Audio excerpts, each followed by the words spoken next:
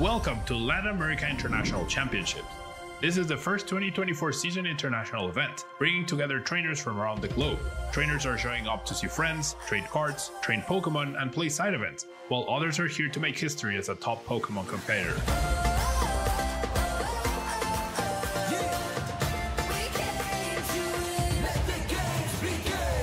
The International Championship started in 2017, bringing together global competitors and showcasing top tier matches. Last year, JW Naldo became a hometown hero from Brazil, taking home the Pokemon Go LAIC 2023 Championship. Como falei, consegui atingir um objetivo que eu queria. Mostrar primeiramente para o mundo que o Brasil é uma região muito forte, para dar mais oportunidade a nossos jogadores. JW Naldo trying to become a champion here in Sao Paulo. He's two wing attacks away, and that is it! Tord Reklev added LAIC to his championship belt, completing his collection of international titles with the LAIC 2023 Pokemon TCG Championship. It means a lot to finally be back on top. The LAIC was the missing piece. He has done it! He has taken all four hemispheres of the globe. But we haven't had a VG LAIC champion since playing on the Nintendo DS back in the 2020 season with James Peck. Last year, you came here and took the runner-up title, and this year you leave as the champion.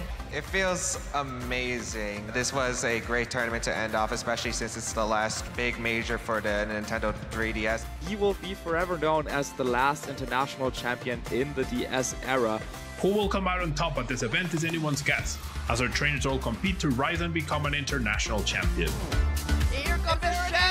Here comes the Shadow Ball! What goes a game three! Can he get one more counter? And he Oh, does! He's just retreating into Oricorio and passing Wow. again. Ryan draws for turn and draws the boss's orders in order to bring up the Mew. If this can get it up, except the Hydro Pump to follow it up. He's gonna get the knockout. Ice Spinner into the Dragonite, four times super effective.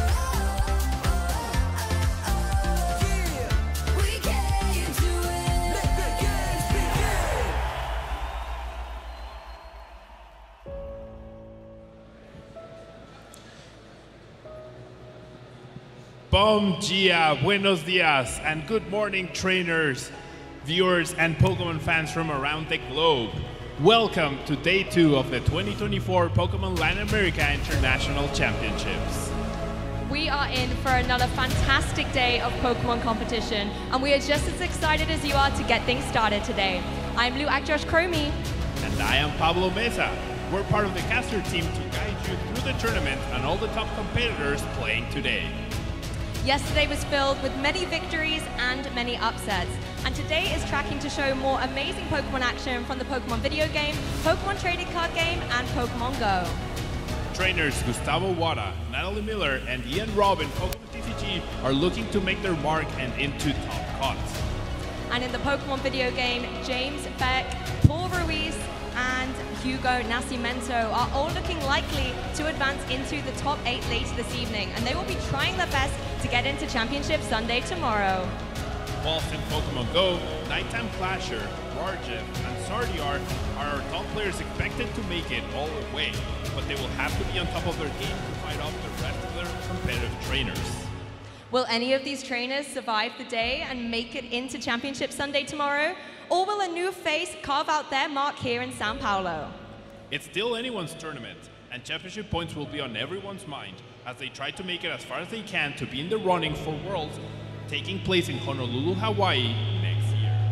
Now, a big thank you to all of the staff, judges, production crew, and unsung heroes who are behind the scenes and are crucial to making this event a roaring success. Now, let's find out who will be crowned the LAIC 2024 champions by the end of this weekend. Trainers, are you ready? Casters, over to you.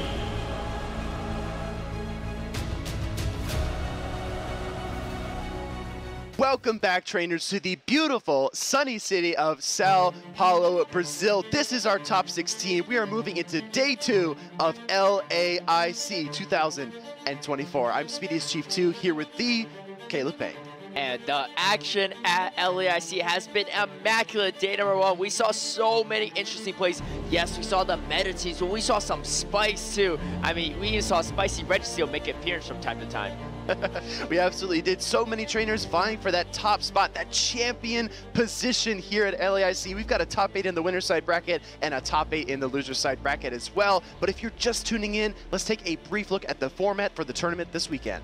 Yeah, and here we are at Sao Paulo, Brazil for our first international at Latin America International Championships. That'll be followed up at London for the Europe International Championships in April. And then we got New Orleans to round it out at North America. And of course, this is all for that coveted invite to World Championships in Honolulu, Hawaii next year. It's all about the championship points. If you win here in Sao Paulo, you do qualify immediately for the World Championships, but it's also based on regions as well. So make sure to check the corresponding numbers and compete in your local cups, challenges, regionals, internationals, and beyond. And even if you get the points too, they can help cover that travel award. Whoever has more points for that travel award in your region will get those prizes. So a lot to fight for, even more than just the World's Invitation. Of course, if you're just joining us now and you don't know the format, let's take a quick look at the format for our tournament today.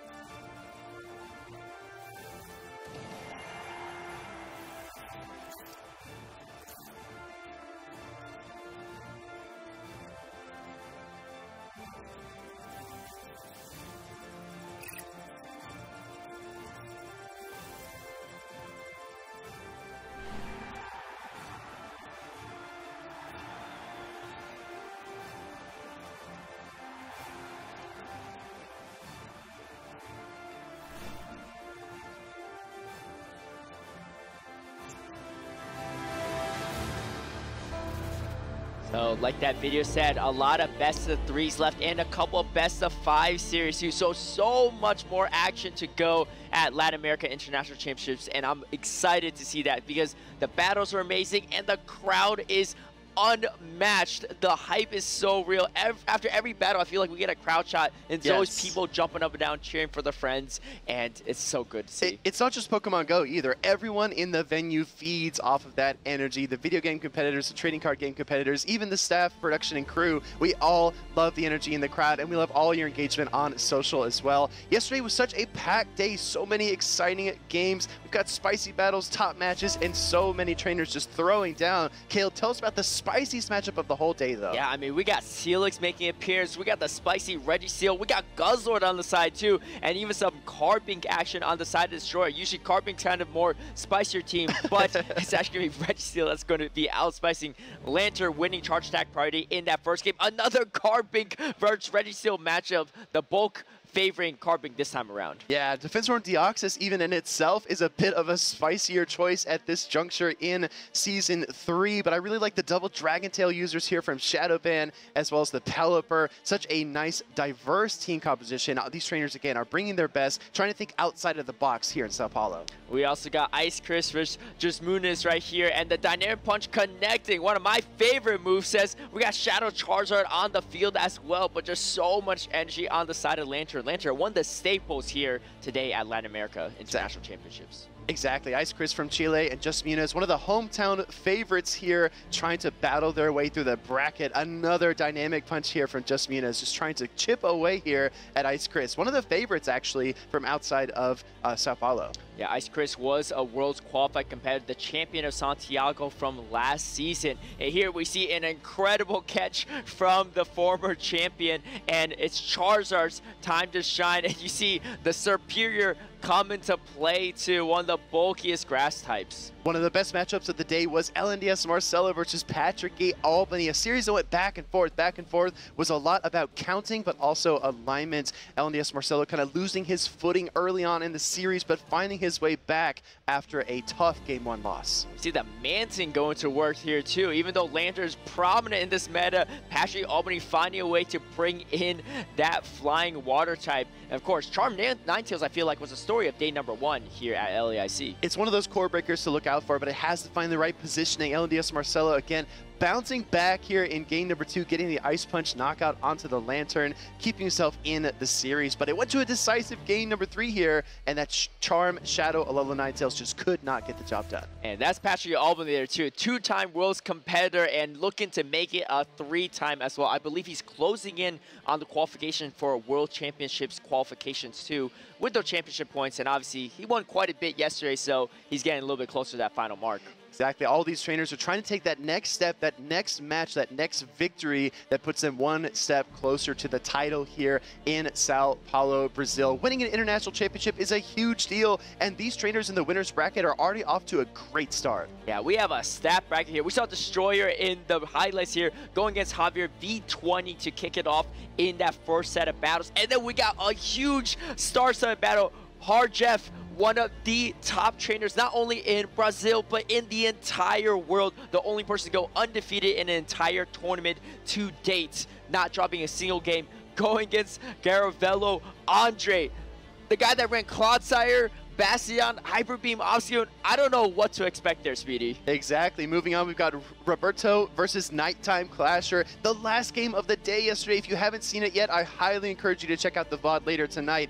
The Charizard sweep in the end of Game 3 was one of the best, most breathtaking moments of the entire tournament so far, followed up by Trixen versus Basti. No tricks here. It's pure skill, Caleb, because these trainers are on fire. Speaking of picks that are on fire, though, Shadow Alola Ninetales being pretty prominent. We've seen a lot of Shadow Alola and Sandslash, but your Clodsire coming through into day number two as well. Yeah, Clodsire. I put it on number one prediction for a reason, right? Yeah. A lot of people are Clodsire doubters, but I think people just don't know how to play as well a lot of Clodsire actually in day number two. Maybe not over half of the teams, but I know there's one on Nighttime Crasher's team, one on Andre's team, maybe a few others have might be missing as well. So, you know, it really takes a talented trainer to make it shine, and I think this will be the time for it. Yeah, I'm proud to say all of our caster picks came to fruition, even the Arctibax the only one that did not appear at all, unfortunately, was my Haunter, but still. Hey, I, I, there was no Runerigus here, to be oh, fair. Oh, okay, so, okay, yeah. okay. Yeah, you're right. Thank yeah. you thank you for balancing that yeah, out. We're just a few steps ahead of the game is what I like to think. next time, next IC. But that being said, we're going to jump into some battles here shortly. Our trainers have been staying up all night. I'm sure they've been scrimming, practicing. The only thing on their mind is winning this next round of battles because it's so incredibly important that they win this match, move on to the next stage, and try to get to that grand finals position. Uh, and I think our battlers are ready on say, so we'll take a look over there. Hopefully they weren't up all night, though. Oh, and speaking of which, before we even get there, let's take a look at some other stuff that you can get while watching the stream. We see epic action, but you also have some Twitch drops you can also watch and earn, not only for Pokemon Go, but you have a Pokemon TCG as well for the trading card game live. And of course, you get some neat items for Pokemon Go, a Star Piece, Rare Candy, uh, TMs, a bunch of different things. I mean, getting rewarded just for tuning in is awesome. You get great battles, great content, and great rewards. But speaking of rewards, for our video game players out there, you can pick up Alex Gomez's Dragapult, one of my favorite Pokemon to play in Scarlet and Violet, and it's always good to have a champion's touch. Not a Pokemon in Pokemon Go yet, but definitely one to look out for potentially down the road very strong Pokemon. Ghost Dragon, if I believe. Yes. And that's uh that's some scary typing right there. It's spooky, right? But Dragapult, a very impressive Pokemon. Definitely pick one up for your team. Iron Hands as well. I've heard rumors it's the Medicham of, of uh, VGC. But that being said, though, talk, speaking of fighting type Pokemon, how about this Iron Valiant artwork? Iron Valiant EX as well. Receive the special illustration rare Iron Valiant EX for TCG, and uh, the code is Paradox LAIC. Like I said yesterday, I don't know too much about TCG, but that's a good-looking court card for sure. it's a very good-looking card, and I'll tell you what, Caleb, to watch more good-looking battles and more awesome action, make sure to follow us on all social media platforms. Use that hashtag uh, play Pokemon. Make sure to follow us on X. Watch on YouTube and Instagram, wherever you might be. Get involved in the chat. Get engaged. You are part of this just as much as we are here in the venue today. Yeah, let us know your thoughts on X too. There might be a chance you might be featured on our stream to see what your thoughts are, regardless if you're at the venue or you're at home watching from anywhere in the world. And with that said, I think uh, we got some battles to get into, and I know everyone's hyped for these because these are some of the best trainers, not only from Latin America, but from all around the world. Exactly right. It's an international competition for a reason. A lot of hometown favorites, like we talked about, really pumping up the crowd, getting people excited. But if you're cheering for one trainer in particular, make sure to shout them out in the chat, on social media, get engaged. Let us know which trainer you are supporting and which one you think can go all the way. Caleb, like we talked about, we're jumping right into that winner's bracket. Again, these trainers are at the top of their game, trying to stay in this winner's bracket and coast to the grand finals. But it doesn't get any easier from here. It's like climbing a mountain here in Brazil. You just cannot get away from that thin air and it just gets thinner the higher that you climb. And it gets pretty hot here too. It gets heated battles here over at Latin America International Championships. We have a lot of ice, but uh, these players came to bring the heat for sure. Exactly. I think we might be ready on stage. Let's take a look at the two trainers that we have coming up first here in Sao Paulo on day number two. As a reminder, we are on the winner side of the bracket too, so uh, that means that these trainers can drop a set of battles and still make it all the way to the grand finals. However, being on the winner side is pretty nice too because you have a little more flexibility when you head over to that potential grand finals. Uh, Caleb, I've got great news for you. You talked about your most anticipated matchup on this winner side bracket. Look who it is. We have Harjeff versus Andre. This is, again, the only trainer ever to go 18 and 0. I repeat, did not drop a single battle, not a single set, not a single battle when he swept the Curitiba Regionals. Harjeff is on the left side of your screen. He's taking on Andre with one of the most unconventional teams we've ever seen. Clodsire, Bastiodon, Hyper Beam, Obstagoon, which we didn't even see yesterday. There's still a lot of gas left in the tank here for Andre. Yeah, I mean, you know, Harjeff definitely a mountainous opponent to face. But Andre, the first ever uh, that I'm aware of person to make top cut with a Hyper Beam Obstagoon. Also the first trainer, I believe, here to make top cut with a Clodsire yes. ever in the world, right? Obviously, I think there's at least one other Clodsire in this top cut, but he is the first one to do it. And this team is, like I said, absolutely wild. I have no idea how it's going to go down. The team does look a little bit weak to Lanturn, but there's yeah. no way Andre didn't face a single Lanturn on the way here. And I'm sure he has a way to deal with well, it. Well, just recall back to yesterday, right? The Clodsire came into that game number one. It took a Psychic and an Ice Punch from Medicham, still got to two Earthquakes to win the battle. And then in game number two, it took an Earthquake from a Swampert and then still was able to sludge bomb the Charjabug and then KO the Swampert with poison stings. That is a dangerous Pokemon and one we need to look out for. I agree with you about the Lanturn uh, weakness, but I do think there are ways around it. On his team as well, Andre is bringing Azumarill. Tell us about that. It seems like a bit unconventional. We talked about Registeel being spicy, you know, kind of appearing from, from earlier seasons. What about Azumarill? Yeah, I think the main reason behind Azumarill is you really want to scare off opposing Medicham and just fighting Pokemon. I mean, the X Defense is not a great matchup for Azumarill. It's not terrible either. It's kind of more neutral, but it's really for that opposing Medicham. And of course, there's a couple of Medicham in this tournament running Dynamic Punch. We saw that in the highlights True. earlier. And Dynamic Punch, Ice Punch Medicham completely walled off from Azumarill. I mean, you thought that was a bad matchup before. it's even worse there. So really trying to scare off the Azumarill to protect that double weak to fighting Bastion, double weak to fighting Obstagoon as well. And so I think that might be part of the reason why Andre is bringing it. We didn't actually see it in play though. Uh, I will point out as well, it's very good against the dark types, right? We've seen so many teams running the combination of Umbreon and Medicham, or Medicham and Purified Sableye. We even saw a double dark team yesterday of Mandibuzz and Umbreon. Azumarill would absolutely thrive in that environment. Just play rough after play rough into those dark type Pokemon. I think it's got a lot of flexibility. I think that it's a really kind of uh, undervalued water type at this juncture in the championship series just because it's not as fast. It's not as high octane as a Swampert. It's not as devastating as a Clodsire, or, or excuse me, like a Quagsire, but it still is able to land a lot of damage against its opponents. And the Ice Beam is great coverage as well, especially against flying type Pokemon. Gligar does not want any part of Azumarill's Ice Beam for example. Yeah, and you, you briefly mentioned Clodsire there too. I think it's good to look at this matchup because people aren't as familiar with utilizing Clodsire nor the matchups it may have, a more recent Pokemon introduced to Pokemon Go. Now, here's the thing. Harjeff is running two electric types on his team.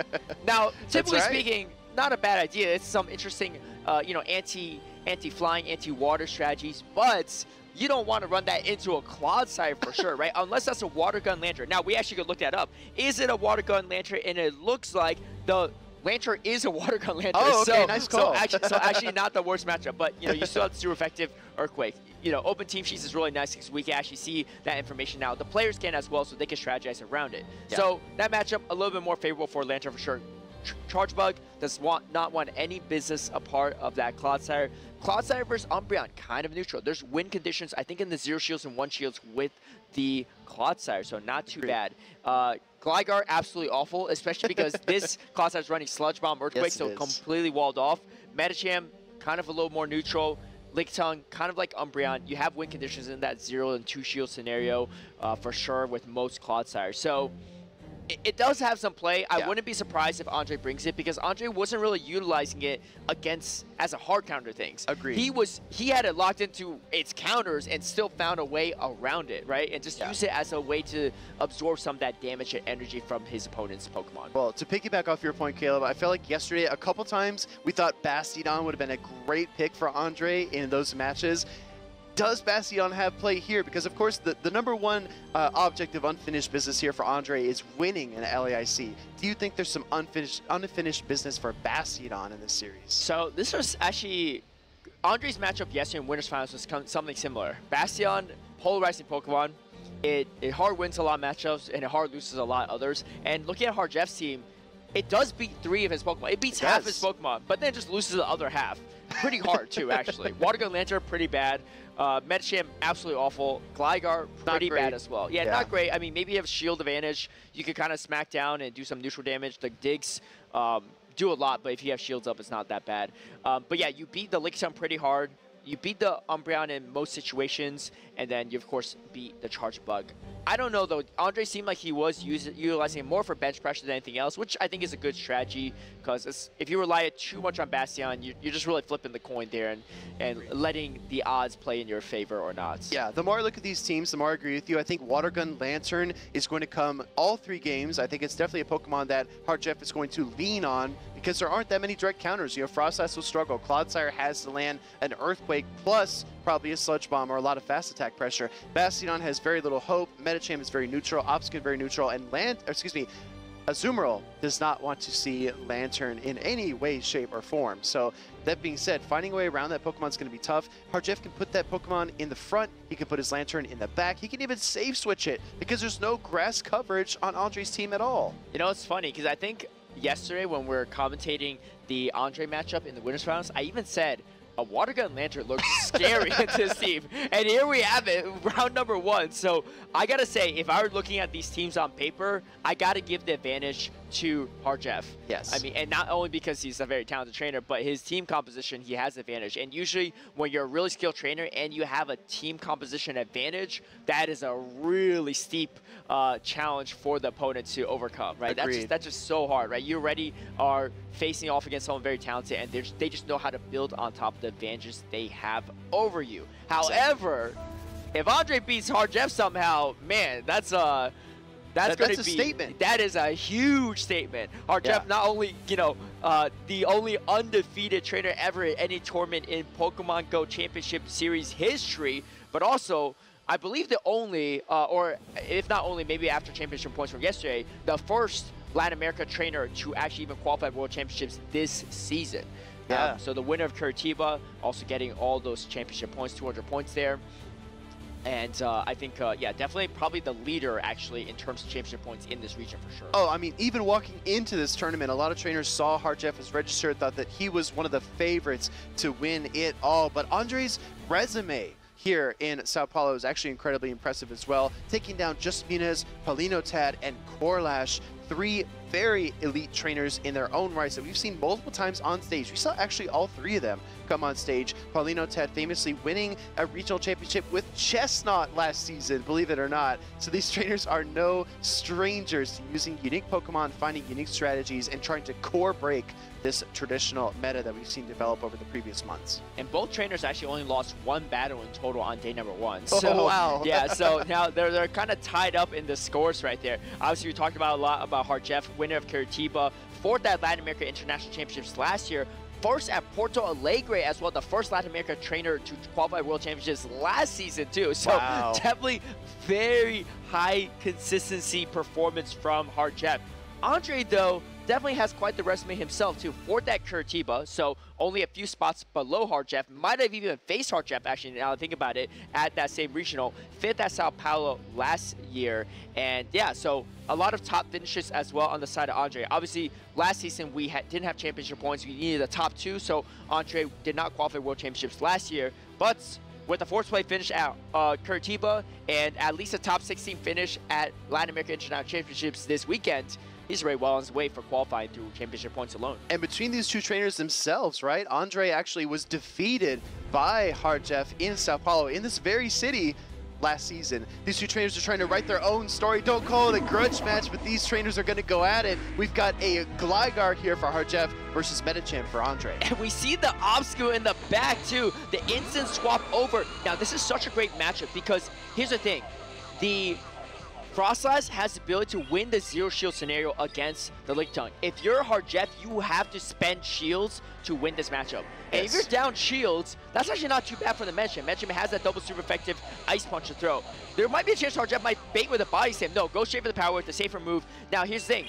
Andre shields, now you have to spend a shield on Hardjeff's side, and actually, I think you have to spend two shields actually to uh, maintain switch advantage here. Yeah, it takes about eight powder snows or so to get to the power whip. So this Froslass is going to outpace to the double avalanches here, forcing at least one protect shield away. Lickitung is going to be forced to throw as soon as it possibly can. Here comes that first protect shield, just like you predicted, Caleb. And what's good here as well is that there is no Medicham on Hardjeff's side, so that Obstagoon is completely free in the back. And I like this play from Hardjeff. I think Hardjeff is going to concede switch advantage. Oh, forcing the shield from Andre here too. Maybe a miscalculation thinking that it might have been the power whip and now going to swap over to the Medicham. Hard pivot over, save the energy on the uh, on the, uh, what do you call yeah. Froslass. Yeah, yeah. I actually like this play a lot because you have the Avalanche on Froslass. If you throw the Ice Punch here, you might be able to strip away that Protect Shield, and we know Froslass will win that Charge Attack priority event against the Gligar. Medicham going to go for the first Ice Punch here. This won't quite KO, so Hardjeff could theoretically no shield this, but as you can see in the back, he's got his Water Gun Lanturn Caleb. He's ready for the potential Clodsire, but he's going to be a little disappointed.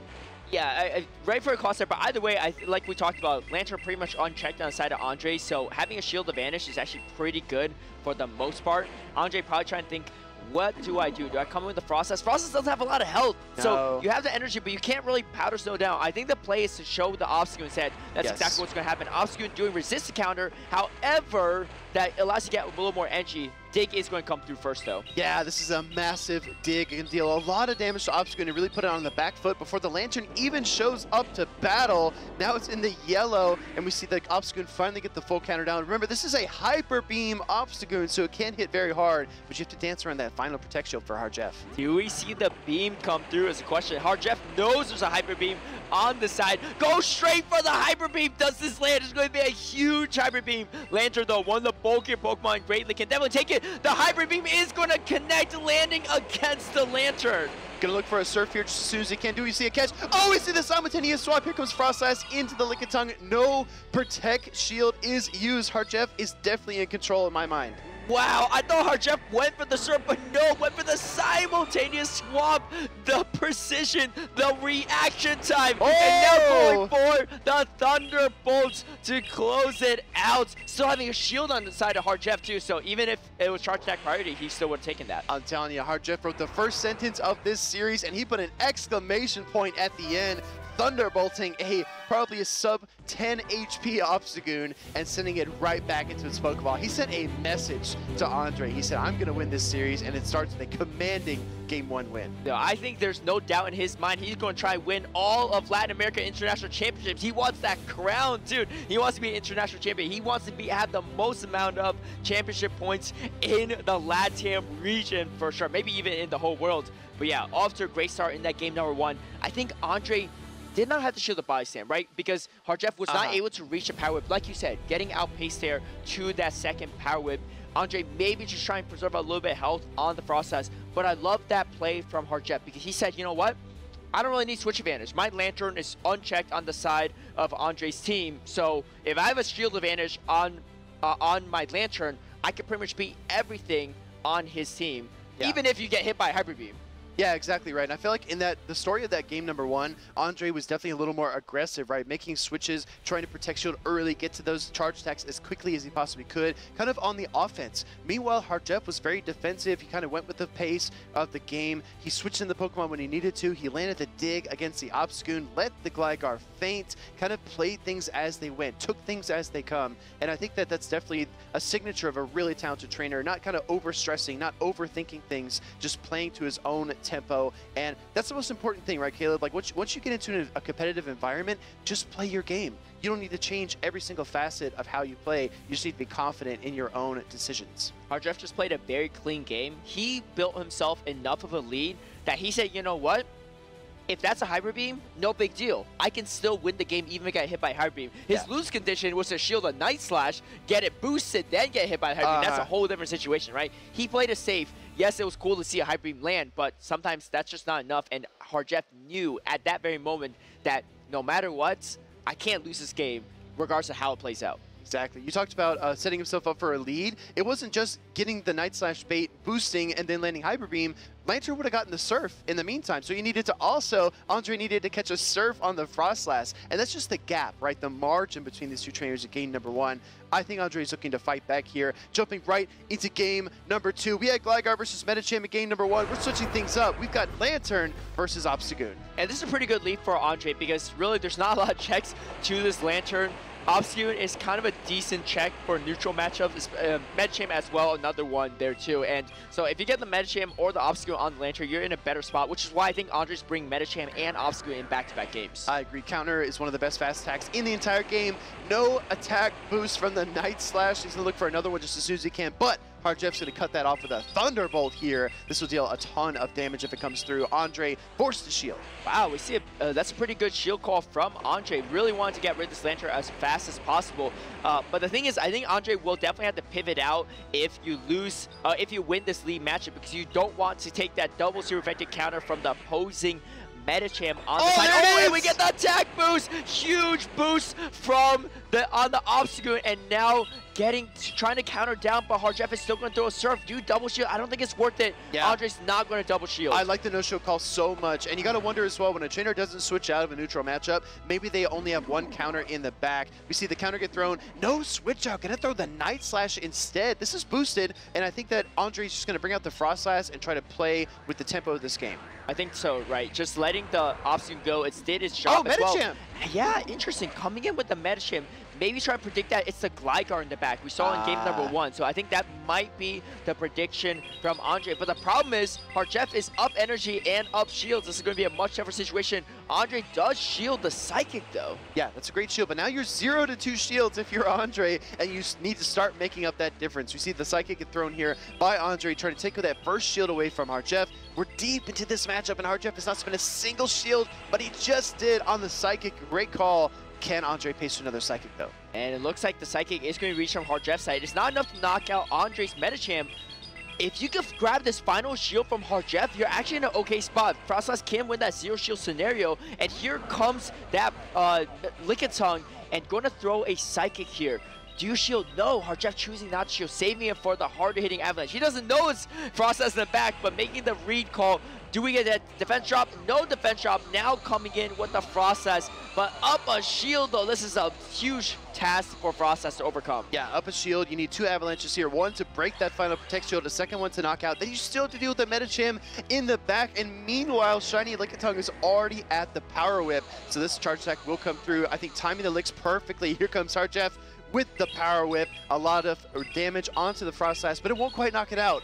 Froslass probably will get to another Avalanche here. Yeah, the lick damage is going to add up, though. Can you get to it? No, the body slam oh. is reached beforehand. Harjeff having complete control over this match, over this series as well. Lickitung taking, almost taking out the process. It does take it out. And here, finishing off the match, Harjeff 2 to 0 in this first round of the winner's bracket. Hard Jeff continues his win streak over Andre, defeating him in Sao Paulo, this very same city last season. Takes the round one win in day two of our top 16 at LAIC.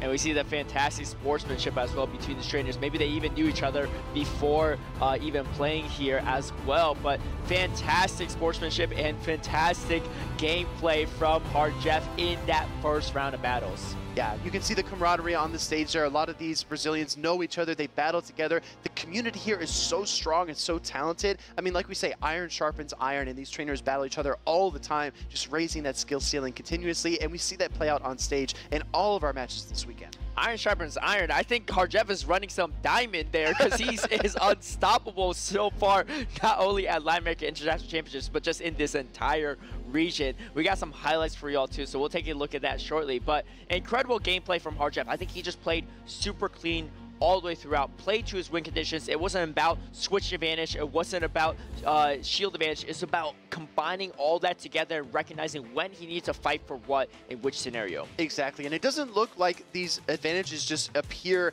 out of the blue. You don't suddenly see a huge advantage materialize. It's gradual. It's piece by piece, just moment by moment. A counter here, a wing attack there, a surf bait there, just uh, just brick by brick, Hardjeff is building this wall and just blocking out Andre and eliminating his win conditions. Like you pointed out, shielding the Night Slash there, catching a surf right here. There were so many things that had to go right for Andre to win this game number one. Yeah, you see Andre a little bit, you know, in, in shocked a little bit from that first game.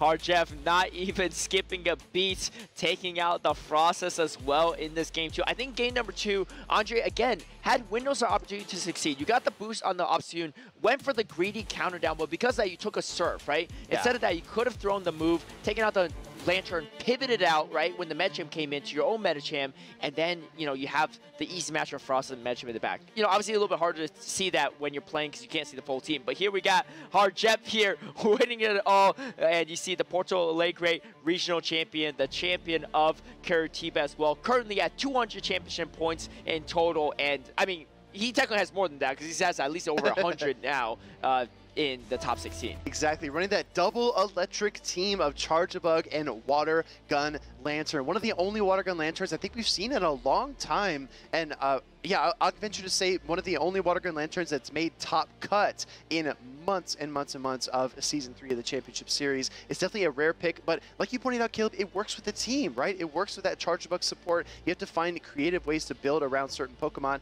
Hardjeff has definitely honed his skills in that department. And I think the water gun makes sense too because a lot of these trainers, even though they didn't bring Clodsire, they're expecting to see Clodsire. And I think that's what Hard Jeff was hoping to see. Uh, and actually, he did see it actually in round one of the winner's bracket. But that water gun Lanturn came in so clutch for him too, right? I mean, you just couldn't even bring Clodsire into that team at all. Exactly. I want to point out one thing that, that's a little bit uh, serendipitous here, Caleb. We saw okay. that Hardjeff won the regional earlier this, this season with Pelipper. But he pivoted away from Pelipper. He's got double electrics on his team. What does that say about the Water Flyers? I'm picking up our debate from yesterday here. Look, all it says is Haunter's still irrelevant. That's all I got to say. You Ouch, know? That's too soon. all I got to say. Too soon, man. Come on. uh, but yeah, he, he did pilot that Pelipper to uh, undefeated 100% win rate. And like we said yesterday, this meta is so interesting because not much has changed in the meta, specifically in terms of Pokemon introduced to it, but it's shifted a lot. The team he used to win Curitiba is completely different than exactly. the one he's used here, right? Yes, Very you have well Charjabug added to the meta with Volt Switch, and you have Cloud Clodsire, but Clodsire is not really the greatest counter to Pelipper, and no one's really running Charjabug except for Hardjeff, apparently. So, apparently. Yeah, apparently. But he's able to switch out his team completely and still do so well with a different team. It really shows that this meta is actually quite flexible in terms of way you can play in it. Yeah, it's definitely it's definitely evolving, shifting, and changing over time. And I like how these kind of older pieces, these Pokemon that were relevant months back, are kind of cycling back into the meta. Look no further than these trainers here, Roberto and Nighttime Clasher. Roberto bringing back that purified Sableye on his team. Again, when our, our last four top eights can contain 31 Medicham out of 32 potential teams, you got to say Purified Sableye is a great play. And then on the opposing side, somehow Shadow Charizard is back, and it looked fierce in that final game of day one. Speedy, I'm conflicted here, right? We yeah. got we got the Clodsire, my top prediction it's there. for at LEIC, right? On the side of Natural Caution. We already saw one Clodsire drop down to a loose bracket. I don't know if I can handle another one, but on this flip side, we got my favorite Carbink on the left-hand side for Roberto's side, and You know, it's uh, yeah, it's hard to hard to Uh, say which one I'm really pulling for You're here. conflicted. I am, I am. Charizard Yeah. really doesn't want to see that Carbink, but the Carbink really doesn't want to see the Clodsire. So That's we true. might see some very alignment-dependent matchups here in this upcoming set of battles. We've talked a lot about Nighttime Clasher. Again, kind of bursting onto the scene with Togedemaru, one of those Pokemon that we did not expect to see. An electric and steel type Pokemon with Wild Charge and Fell Stinger. Very skill intensive, very bait dependent, as I like to say. Togedemaru, hard to pilot. Nighttime Clasher, I, I was actually talking to him uh, yesterday, just before the battle started. He said, Sorry, sorry, I'm not really paying attention to you. I'm actually scrimming. I'm actually, I'm actually practicing with my team, trying to figure it out. And I guess he cracked the code because he's got the Dugong, which definitely has shades of Wadage's NAIC run, as well as the Shadow Charizard, which dominated the top three at NAIC. Just ask, ask House Stark. Was not a fun Pokemon to go up against when you don't have an answer, but luckily Roberto does have the Carbink. You said he burst on scene. I feel like he kind of rolled on scene a little bit slowly. Oh, You know, see, the I Toga see. tomorrow row a little bit slower in the beginning, but he just kept rolling down the hits, snowballing and getting faster and faster there too. Getting he he not only proved that Togedemaru can work in the top level competition, utilizing it at North America International Championships last season, as well as Fresno, making top cut in both with Togedemaru. He did he did move a little bit away from that level of spice though, and he's seen even more success when he's not running that spice. He actually told me yesterday too. I called him backstage that he changed his team at like 1 a.m. the night before, the night of actually The of, night the, of. of, of of the tournament yesterday on Friday, and the team that he ran before, he just did not feel comfortable with it. I believe, if I recall correctly, he told me the team he's running right now was a team that none other than the world champion Zaxxon created. No way, really? Yeah, Okay, yeah. okay. He's got the connects. Well, speaking of world champion plays, my favorite moment from Nighttime Clashers run yesterday was the heads up blind switch in the middle of his opponent's charge attack. He's already pressing the switch button on to his Serperior, trying to send it out into the field. His opponent made that swap into the Medicham, and the Ice Punch was caught. That's really what sealed the game away for Nighttime Clasher, but he's trying to seal away this round one victory. Again, like you pointed out, Caleb, kind of rolling onto the scene in Fresno with Togedemaru, but placing top 16 at NAIC, that's some consistency for you before going on to Peoria and Pittsburgh, both of those tournaments he top cut as well. That's a lot of top cuts too, and all these top cuts happen in less than 12 months. This all happened in one year's time. Incredible stuff from him for sure. But let's not just talk about Nighttime Clash. We got Roberto here on the left-hand side. Yesterday, uh, beat a couple notable trainers, but one of them was actually Savage Boy from the EU region. Oh, that's And right. so knocking out some of the players from other regions, trying to sh- make their stamp and uh, show up these Latin America inter- uh, International Championship uh, players. But Roberto saying, you know what? This is I, I got the home field advantage here. I'm gonna take you out and taking out Savage Boy and looking to take out Nighttime Clasher coming all the way from North America. Hey, we talk a lot about the crowd, right? But the trainers from this region, from the LATAM region, are some of the most intense, skill expressive trainers in the entire world. And they're definitely showing it in ways like that, right? You think, okay, I'm going to travel from the from the EU region or the NA region. I'm going to come down to LAIC and see what these trainers are made of. And you might get a rude surprise here, getting knocked out early like Savage Boy. And if he takes down Nighttime Clasher, he will also defeat another trainer who has traveled far and wide to be here in Sao Paulo this weekend. And we talked about yesterday the moveset choice of Shadow Alolan Sandslash, or just Alolan Sandslash in general. He's a Powder Snow, a lot of advantages here or there. It was a debate, and we settled that debate, right? Well, well, Right? the weekends are still young. You know, we Okay, still got some time. And here's the thing I want to bring out. Roberto, another Powder Snow user for sure on stage. I think, uh, like I said, almost every single Alolan Sandslash we've seen so far on stage was running Powder Snow, or has been. Roberto's going to be another one of those trainers.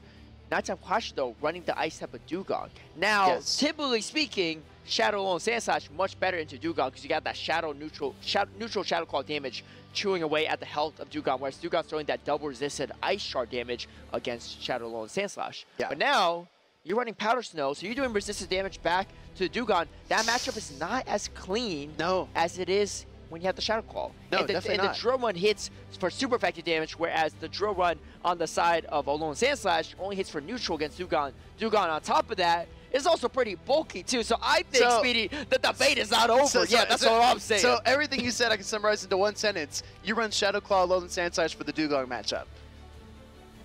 Uh, right? Yeah, yeah, yeah. Okay, yeah, well, yeah. we're jumping into this matchup right here. Roberto on your left left side of your screen with Gligar versus the Lickitung for Nighttime Clasher. Medicham in the back there for Robert Roberto, excuse me. So the Lickitung is a very safe choice here for Nighttime Clasher. Actually bringing the Dugong here, game number one, Caleb. If it finds alignment with that Gligar, it's going to be real tough. And I like both trainers going a little bit away from their harder hitting alignment-based Pokemon. No Charizard on the side, Nighttime Clasher, no Charizard, uh, no Carbink on the side of Roberto. Both playing just kind of more neutral, safer Pokemon, which I think is a great choice, especially for game number one. And this matchup is kind of weird too, right? I think, you know, typically speaking, like I said yesterday, Lickitung has advantage with the bulk, but the, the Gligar still hits kind of hard. And here comes the Serperior. This is actually a really great bait out from Ramberto, getting, uh, Roberto, getting the Serperior coming out, and now that Medicham in the back is pretty free. You got two Pokemon weak to fighting in the back. That's true. Lickitung does have a bit of stored energy, but the Medicham, like you pointed out, has not even seen the field. It's definitely very healthy. Serperior has really kind of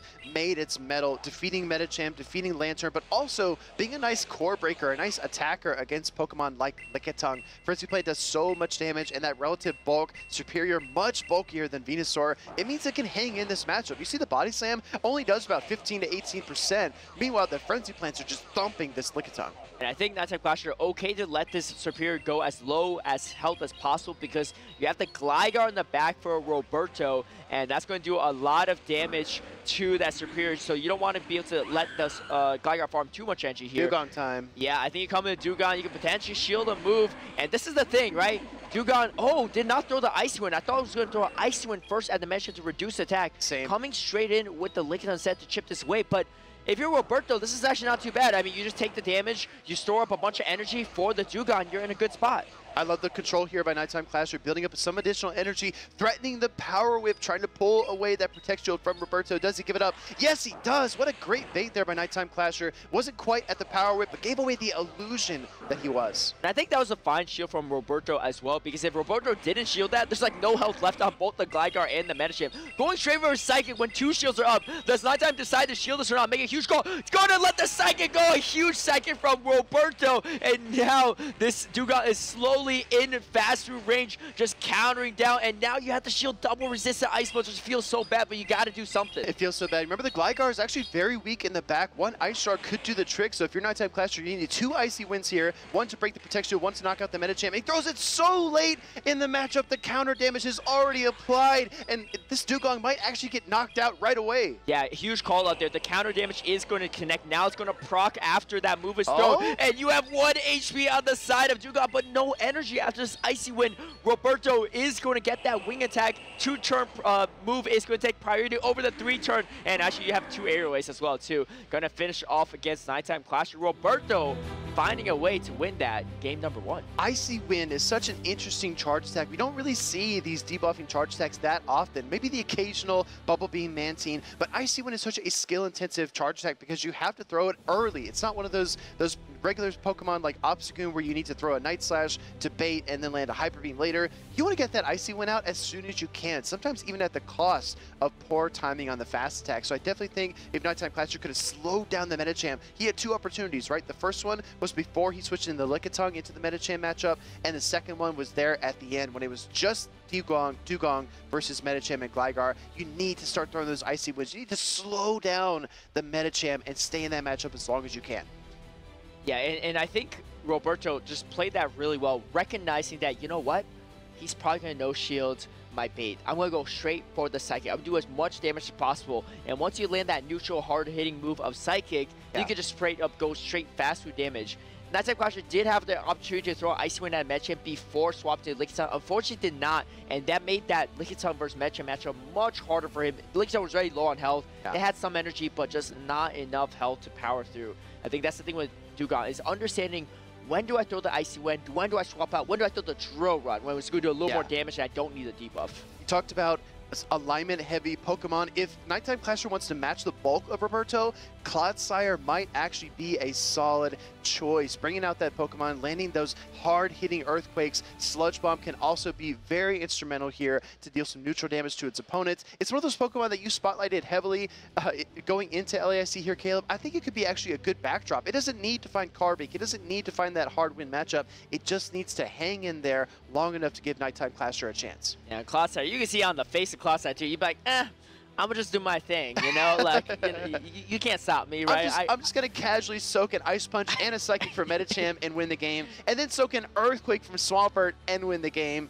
It's just Clodsire things. Exactly, just Clodsire things. And I think Roberto, uh, that's a question. I, I do wonder why he hasn't brought the Clodsire. I think part of it is the Gligar and the Alolan Sandslash, right? A yeah. little bit risky, but you have some play into Alolan Sandslash. It's really the Gligar you want to watch out for. And here comes Roberto. I love this play too. Bring the Carbink, but there's a Clodsire in the back. Yes. Alignment is heavily important in this matchup like we predicted, but Roberto has a game to spare. I like it. Going for the more risky play, whereas Nighttime Caution, though, like you said, it looks pretty good maybe just bring the Clodsire and see what we can do. It, but it's honestly not that clear cut, right? Because the Medicham in the back for Roberto, there is no hard response on Nighttime Clasher's team. He doesn't have a Purified Sableye. He doesn't even have his Charizard to back him up. So he's going to go ahead and throw the Psychic against Lickitung, try to pressure away a Protect Shield. No shield. Oh. Psychic's not enough, though, because Lickitung will still get to the body slam. That's why this matchup is so close. Wait, okay, so Roberto doesn't know the backline for sure, but I actually like this. You get the shield advantage because Alignment look at Roberto's too. side. There is no counter to Clodsire, so your best counter is the Medicham. Do you come in with your own Medicham? You come with your own Medicham, because now Nighttime Clash is going to think, well, I can't come in Dewgong to the Medicham. I have to come in Clodsire. you come in Clodsire, you free the Carbink from the Clodsire. I, I love this play from Roberto. I don't know if he's, he doesn't even know maybe how good he's playing right now for the backline, but this is absolutely perfect. Now, if you're Nighttime Clash, what do you do? There's no way you come in Dewgong. You come yep, in Clodsire. There Carbink's free. There it is. Here comes Clodsire. Can deal so much damage though to the Medicham. It's outside of Earthquake range. This is a big, hard-hitting Psychic. Roberto went straight for it through two Protect Shields to gain number one, and Nighttime Clasher learned his lesson. Gonna Protect Shield up the Psychic. No defense fault occurs either, so he's able to get to that Earthquake. Gonna throw it right away here, Caleb. Do you actually switch and catch a charge attack on the Dewgong. though. I think that's actually the play for uh, Nighttime Clasher because you Oh, it goes through! Oh, and you get the Earthquake go through. I like this play from Roberto as well because you want to trick Nighttime Clasher into thinking Clodsire is not that important. It's not that strong into my backline, right? If he shielded that, then Nighttime Clasher thinking, oh, I need to keep this Clodsire healthy. But the the Psychic is going to connect. And yes, you're going to get to the Sludge Bomb before the Ice Punch reach, but you just shielded Roberto, right? You shield, you throw and Ice Punch. If he shields, you switch, right? If Roberto shields, if you're Nighttime Clasher, you switch. You catch the Ice Punch. You catch the Ice Punch, but like, what can you do? I mean, it's good into the... It's, oh, oh, oh, oh there it is! Catches the double resistant Ice Punch. A huge call for Roberto, uh, for Nighttime Clasher. But Roberto's not. He's, he's like, you know what? I can just leave with the Ice Punch and then save for later. Oh, he, he didn't even leave with the Ice Punch, but it's okay. You just try to rock throw this down maybe. I, I, don't know. This actually might give Nighttime Clasher a slight opening now because you don't yeah. have to move Banks. Here comes Drill Run, right? There are no Protect Shields in play. You might argue that throwing an Icy Wind could slow down the Carbink, but I think the Rock Slide will do enough damage regardless. So I like applying the pressure here a bit with the Drill Run. It does a disappointing amount of damage, I will say, because you'd expect Drill Run to deal more, but Carbink is one of the bulkiest Pokemon in the entire format. Rock Slide coming through won't quite KO, but it puts it within Rock Throw range. And here's the disgusting part of Carbink. This is not in Earthquake range yet, Speedy. Oh, so, no. Yeah, that is the wild part. It is not an Earthquake range. You could get to Earthquake. You can't just Poison Sting this down. There's no way. And in the meantime, the Rock Slide is coming in. I mean, Clodsire is bulky, but Carbink is the bulk king as well. Let's see. Here comes the Rock Slide. Clodsire wobbles a little bit, but does not faint. Going for the Earthquake at maximum energy. He's trying his best here. Earthquake, like you said, Caleb, was probably not going to be enough. Carbink trying to hold strong, super effective damage. It's not enough. Carbink outlasts the Clodsire, and we see Roberto celebrating on stage. You know, I, I was hyping up Clodsire, but I should have just stuck to my roots here. Carbink came to play here in day number two, 2 to 0 against Nighttime Clasher. Roberto taken out all the trainers from all over the regions. We've seen so many unconventional things. Yesterday we saw the Clodsire absorb Earthquake from Swampert and keep on going. This time Carbink absorbing Earthquake from Clodsire and kept on going. That's a 2-0 victory for Roberto as he continues his fight in the winner's side of the bracket. Meanwhile, Nighttime Clasher falls to that loser's side of the bracket. It's a tougher road ahead, but he's proven himself 5-0 in day number one. Flashy Charizard play, just couldn't quite get it done with the Clodsire today. And he had the backline in that second game, but Roberto played it perfectly. He didn't have a clear Clodsire check, gave up Squish Advantage, got Nighttime Clasher confused enough to bring the Clodsire into the Medicham. I mean, of course, you don't really want to bring the Dewgong there, so like it makes sense if you're Nighttime Clasher, but forcing Nighttime Clasher's hand and giving away his hardest counter to Carbink in the back. I mean, Nighttime Clasher probably didn't expect, yeah, there's no way you're going to bring Carbink into a Clodsire team. Come on now. Right? But Roberto, having the guts to do it, having that early game one lead, gave him more flexibility to make a bold gameplay there, and that's exactly what he did. Well, I think that's kind of how the series developed too, right? Because Medicham was such an issue for Nighttime Clasher in game number one. So he, Roberto was probably saying, okay, Shadow Charizard is the natural response. It's his best response. So I'm going to bring my alignment heavy Pokemon Carbink and try to corner that Charizard. And you know what? Carbink is so powerful, even when it doesn't get the optimal position, it still just muscles its way through the competition. Yeah, we saw in the earlier highlights of the beginning of the show, Carbink was facing against Registeel all day long. He was chilling in that situation. Here we have game number one. The uh, Serperior is going to take out the the Lickitung, but Gligar and Medicham looking so strong for the back end and the huge critical Psychic. Yeah. I'm sure Nighttime Clash is going to be staying up all night thinking about how he should have just shielded there and won that first game. Now able to fast move down the Dewgong and Gligar even finishing off the Dewgong to close out game number one. Yeah, such a tough call against these high-skilled trainers. You'd expect a bait when two Protect Shields are in play, but the Psychic coming through is absolutely devastating. And here, Nighttime Clasher trying to control Switch Advantage, landing the Psychic into Roberto's Lickitung, but the Body Slam forced away the Protect Shield. And here, like you called out, Caleb, the perfect positioning from Roberto, forcing the Clodsire out. And I think he was very, very pleased to see that once he realized Dewgong was the final Pokemon. Yeah, I mean, at that point, too, if you look at backline, there's not much that could beat the Carbink outside of that Serperior. Just hoping that there isn't a Serperior in the back, and Roberto played to his advantages. I like this, too, right? He says, you know what? You can catch my double resistant ice punch. No big deal. I'm not in my head. I still know my win condition. You just fell into my trap, and here comes the Carbink.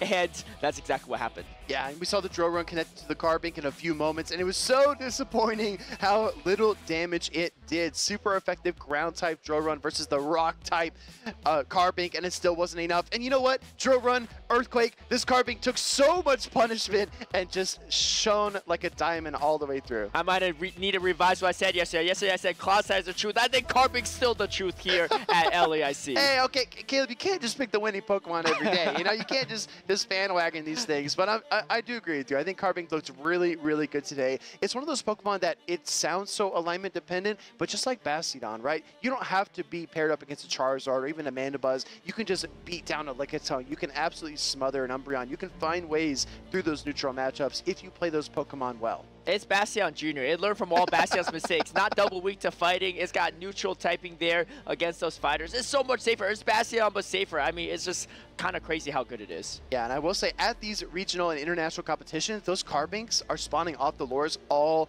the time. Somebody here at this desk, one of the two of us, is trying to gather as much Carbink candy as possible, and I won't say who it is. Yeah. Take, take a guess. Take a guess, right?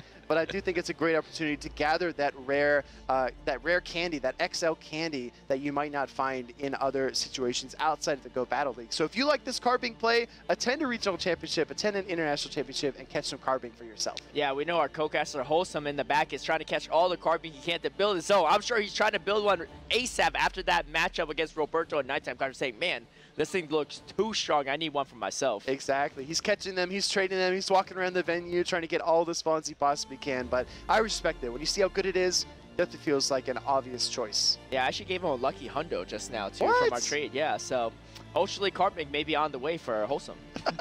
maybe one day. Like you, like you always talk about, maybe when, when the level cap goes up. But But that being said, Destroyer versus Javier is the next matchup on your screen. Two pivot Pokemon that I've identified here on the side of Destroyer. It's got to be that Shadow Dragonair on the side of Javier, the ever polarizing, ever powerful Shadow Alolan Sandslash. I gotta say, I mean, we're talking about all these Pokemon. So Shadow Dragonair, yeah, kind of spicy. But what the heck? There's a Noctowl on the a field. Noctowl? What? What? Like Noctowl, Noctowl used to be. This is what I love about Pokemon Go. It used to be the staple flyer, the best flying Pokemon all of Season 2 of the Championship Series, and now it is the spiciest flyer you can bring. It is completely irrelevant, completely extinct, but I was wrong. It's only in danger because it's here on the field for Destroyer, and I'm very curious to see how Destroyer's going to make this work. Now, Noctowl, it got nerfed this season because Sky Attack is going to cost more energy than before. Now, it's not like it costs more energy and does more damage. It just straight up does cost more energy, does the same damage. So it Yeah. is a, pretty much a negative It's- for that Noctowl regardless. It's the same reason that Altaria is not as present in the meta, right? Because Sky Attack was a shared charge attack between the two Pokemon, and when you don't hit as hard, when you can't close out the Medicham matchup, the Serperior matchup, a lot of trainers kind of pivot away from that, try to find different ways to counter those Pokemon. But I think in certain situations that Noctowl can still be quite the core breaker, right? You have positive matchup against the Medicham, against the Serperior, uh, Lickitung as well. There's no Lickitung on the side of Javier, That's but true. yes, the, the Lickitung Medicham core was super is super strong. I just say it was super strong, is super strong in this meta, and Noctowl was really the solution to core break that. But with Noctowl out of the way, that's why it's so prominent in so many of these tournaments.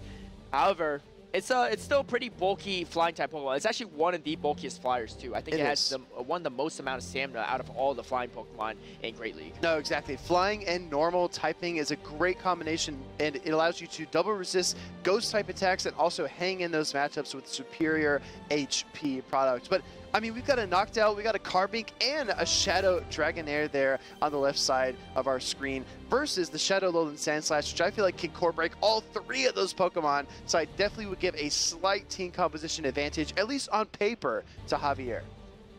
And I gotta say, again, uh, well, let's talk about uh, Destroyer's highlights real quick. Top uh, LAIC in 2024, running that Noctowl, Shadow Dragonair, Carbink as well. I, we got another Carbink in action. That's going to be interesting to see how that plays out against the side of Javier. I actually think it's actually pretty strong into Javier's team. You got the Umbreon and Medicham they could beat fairly consistently. Medicham a little bit trickier, but Umbreon completely walled off. Yeah. It's actually we talked about this last night. Actually, it's actually not that bad into the Alolan Sandslash. You you you have if you land a rock slide, then you can just two shield and rock throw down, and that's really great because the energy goes somewhere for sure. Because you know there's just it does neutral damage or super fight damage against Yeah. the entire team of Javier.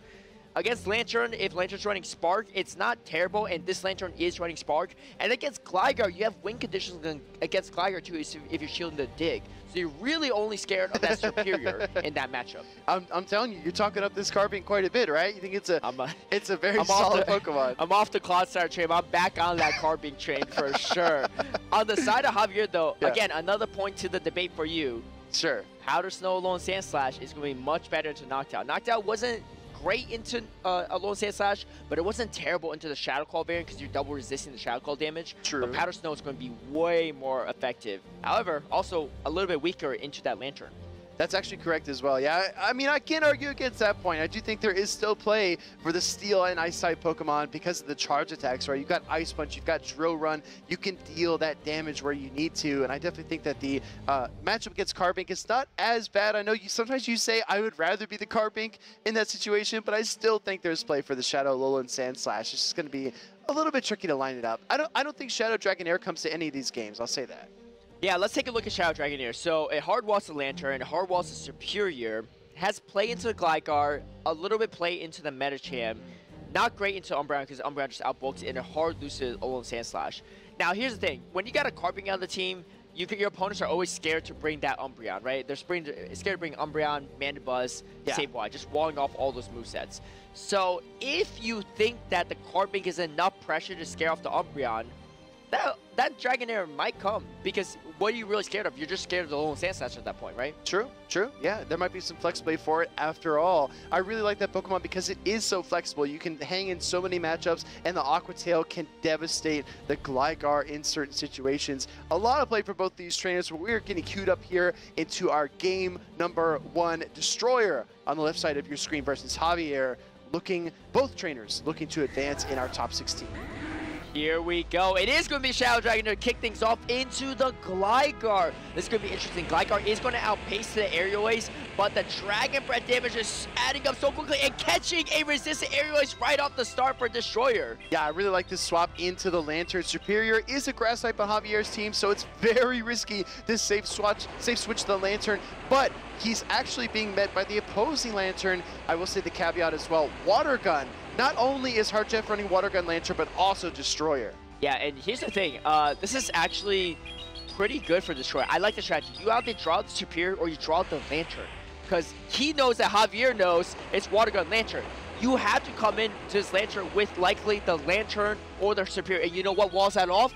Shadow Dragonair. Uh -huh, the, uh -huh. the, the, strategy, I love it. Destroyer already has a strategy for Javier's team. He's prepared for it. And you had that Carbink lurking in the back neutral play against the Gligar and the Medicham. Yeah. I think he's trying to set himself set himself up with some energy. That, and that, on Dragonair pretty good. It's going to be a huge test for Carbink to take on both those Pokemon, but also throwing the Surf that early means that a full Spark down is in the cards for Javier. He's got so much energy, and this Lanturn is just frustratingly barely outside a fast attack range down, so it's able to get not only one Surf, but probably another charge attack right after this. Yeah, you might see a shield from Destroy. It's not great to shield resistant moves, but you don't want the well, actually, that serve didn't do that much, so I think it's fine. Oh, he's going for, for, it. Oh, going for the Thunderbolt, though. Do you shield the Thunderbolt? It's not the worst shield because there's no energy on the side of the Gligar on Javier's side. Not no. letting it go letting it go is going to connect. However, this energy is going to go somewhere regardless. Medicham or the Gligar coming in with the Medicham, throwing the Aqua Tail, though, a blind throw there, so throwing the less energy efficient move, not as hard hitting as the body slam. Yeah, just a few percentage points off, right? We're going to see the swap into Carbink versus Medicham. Still two Protect Shields for both trainers. This is going to be a knock him down, drag him out matchup because we've got a lot of bulk, a lot of neutral damage across the board. Psychic is going to get thrown here. If a defense drop triggers, that could change this matchup quite a bit, but we actually get an immediate swap into the Gligar. I like the swap too because you want to get some energy on this Gligar and the dig is going to be super effective. I think the is going to end up spending all the shields on this Carbink and on the dig. Or, I should say, the potential digs. Uh, Javier yeah. can definitely bait with aerial. It is a little bit risky bait if it goes unshielded. But at this point, you might expect the Shroud to shield regardless. Oh, this is going to be the bait. Does Destroy call? If he just calls it, it's going to be huge. Oh, what? he calls the aerial ace resistant area. Huge call from Destroyer. And now Carbink looking like he's in control this game against the ground type of Gligar. We saw in a previous matchup throwing Psychic through two Protect Shields, throwing the hard-hitting Charge Attack through two Protect Shields. It's not unprecedented, but Destroyer knew the win condition. He knows his own win condition too, switching in the Shadow Dragonair to catch the Aerial Ace. What a play. A huge catch. No shield in the Aerial Ace, catching another Aerial Ace. That's the second Aerial Ace he caught. But but this is weird now too, because now you, you have to shield the Aerial because you have like almost no health left. That's okay. It's not not over yet, though, because Javier can still counter down. That neutral counter damage is going to add up, and you can just throw Ice Punch right here. I think this is the tough part, right? Resistant Rock, though, might not be enough. You need to land a Moonblast at this point, too. I don't think you get to the Moonblast and the Rock Slide B. Yeah, you have to throw two charge attacks here, but in spite of all of the theatrics, the flashy plays, Destroyer's Carbink can't quite close it out. Javier outlasts him with Medicham in the end. Medicham just muscling through these matchups here too. And I think that's the thing with Destroyer's team. A little bit harder to run is yeah. that Water Gun Lanturn because you lose that head-to-head -head matchup, right? So, so no matter what, like even if there's not Serperior in the back-end matchup, you still have to contend with the opposing Lanturn, which Spark, which has a sizable advantage, and you caught some damage from the Gligar, even though Resist is still going to put you lower. So it, it was going to be a tough spot for Destroyer. And I think if Destroyer shielded that Thunderbolt on the Dragonair might have a lot of play. Yeah. However, he's probably also thinking, well, if there's Shadow Low and Sand back, I'm just done for, right? Exactly. Because then it's a I'm waste of shield. shield. Exactly. Yeah. I'm done, like I need the I need to be at least on even shields to have a chance against Alolan Sandslash with my Carbink. Um, but we obviously can see, and the audience can see that there was no Shadow Alolan Sandslash having that much health left on the Dragonair, pretty good situation because yeah. you could do a lot of damage to Gligar, no energy on that one, and then the Medicham as well. I mean, the Medicham, the, the nuisance of Medicham is that it's hard to fast move down with the Carbink. You need to land that Moonblast to really do sizable damage. Yeah, I agree. I, I, think one point you made earlier on in the series, too, is the safe switch of Lanturn by Destroyer was either going to pull out the opposing Lanturn or the Serperior. both Pokemon Shadow Dragonair is a positive matchup against, but Javier just put himself in such a great position, getting the full spark down the opposing Lanturn, getting all that energy. He didn't allow two things to happen, right? He didn't allow the, Shadow Dragonair to farm down his Lanturn to gain that energy back, and he didn't uh, allow himself to lead that matchup without energy, landing the Surf and the Thunderbolt into the Shadow Dragonair, turn a what would have been a positive matchup into a really tough situation for the Dragonair. Like you said, basically nullifying it, even if you use that Protect Shield there, maybe you have a little bit more play, but then it comes down to team prediction, which is even riskier. So I think that Javier is just kind of narrowing the field, kind of closing the windows on these options for Destroyer and not giving him any win conditions. And I think that's why Shadow Dragonair I think is a really cool Pokemon because it hits hard, but it also doesn't take damage very well, right? It's a, yeah. it's a true definition of what a glass cannon is, right? Yeah. It hits super hard. It has really great typing as well. Like I said, walls off the Lanturn's movesets, pretty much walls off the moveset of Serperior outside that aerial ace. But even when you're throwing just resisted Spark, Thunderbolt, and Surf, it still does a decent amount of damage to that Dragonair. So it really takes a lot of, uh, you know, really expert mechanical skills and understanding of matchups to pilot that Shadow Dragonair well. And I think Shadow Dragonair also a real staple in the region of Latam because one of our two-time, Zardy, exactly, two-time World qualified competitors, Zardy ran that to qualify for World Championships last season, winning it all the way with that Shadow Dragon. One of the first to do it, and then we, of course we had that follow-up performance from Tauntaun Batuta at Europe International Championships as well to win it all the way. And here we go. It's going to be the Water Gun Lanturn into the Shadow Alolan Sandslash. A much better matchup for Destroyer, and actually a pretty good matchup because you're taking Resistant Powder Snow all now, the way through. Now you just you're just proving the point, right? That Shadow Claw might be a viable fast stack here for the Shadow Alolan Sandslash, but the charge attacks are where it's at. Here comes a super effective drill run into the Lanturn, taking so much of its HP away. Might be within Powder Snow Ice Punch range in just a few moments, but the Surf's going to get fired up in return. I like this play from Destroyer. Not only does he have two things that can beat the Alolan Sandslash on his team, he's just going to save the shields for the Dragonair. He pulled out the Alolan Sandslash, or I say pulled out, it's right in the lead actually, so he doesn't have to worry about it. It's in the lead. He knows that that's his only strong check to the Dragonair. You don't need switch advantage. Dragonair, especially with energy, is pretty good. I think you might, I mean, you could come in Medicham too, but I think Dragonair coming in with a little bit of energy is also viable. Yeah, I agree. I think uh, Shadow Dragonair finding an opportunity here to get a Dragon Breath down before the Powder Snow even applies, getting the knockout on the Shadow Alolan Sandslash and kind of limiting the options here for Javier. Shadow Dragonair in even shield scenarios can go toe-to-toe -to -toe both of these Pokemon. Medicham needs the Ice Punch to deal any meaningful super effective damage. That one turn Dragon Breath move is going to come in useful there because able to get it before the Powder Snow damage, two turns, is going to proc. Now here's the thing, because you have one Dragon Breath worth of energy, you outpace the Medicham to the Ice Punch now. So, eh, I mean, not even that, I mean, not even talk about outpacing, the Dragon Breath damage is doing so much at this point too. I love the shield from Destroyer. I think Destroyer can potentially try to go for Dragon Breath down, maybe even try to catch the Ice Punch on the Medicham. Can you get the Dragon Breath down? Not able to. Do you try to go for the catch? No! Gets a little greedy, trying to Dragon Breath all the way down. Do you spend the shield? You, you spend to. one shield. Yeah. You gotta spend you're, it. You're so invested, right? You might as well send this Shadow Dragonair into the next matchup. It's a Gligar. If you can build the double Aqua Tails, you can actually strip away some Protect Shields here. We don't. He doesn't know if it's Aqua Tail or Body Slam, so it doesn't matter either way. Both charge attacks costing about the same amount of energy. So getting that first Protect Shield is great. You need to get one more away. And honestly, Caleb, the Dragon Breath damage, oh, oh, my gosh, making the catch. Yeah, uh, a very curious body slam there. I mean, it's it's the same amount of entry, but Aqua Tail is more super effective. Either way, it got the shield from Javier, so yeah. it worked out. But um, getting the catch there is pretty nice. However, Javier is going to outpace his aerial ace.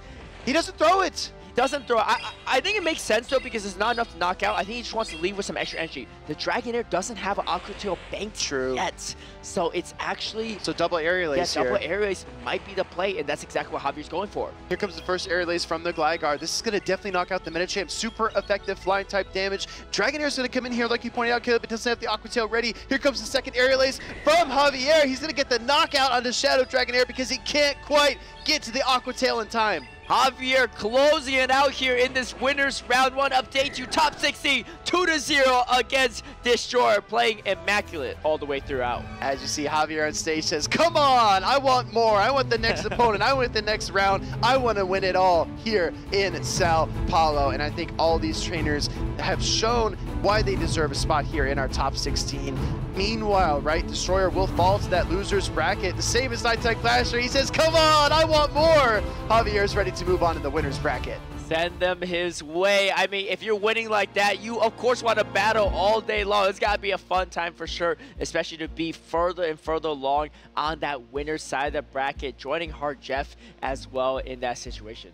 Yeah, exactly. Moving on to the winner side bracket, it's not going to get any easier, right? You're going to take on the Curitiba regional champion who just 2-0'd his first opponent. You're going to take on so many talented trainers, and in that losers bracket as well, Nighttime Clasher and Destroyer are going to continue to fight things out. Let's take a look back at that series. Javier able to pilot his way through a Carbink and Shadow Dragonair combination team. We actually saw some interesting catch from Destroyer in both games, but I think Javier, again, just played to his advantage. He said, you know what, you can catch the moves you want, resistor or neutral, but I'm going to do what I can. And again, bringing the Medicham, forcing the short to throw the Octane That call too. right there. And a huge call, right? Jeez. Huge call.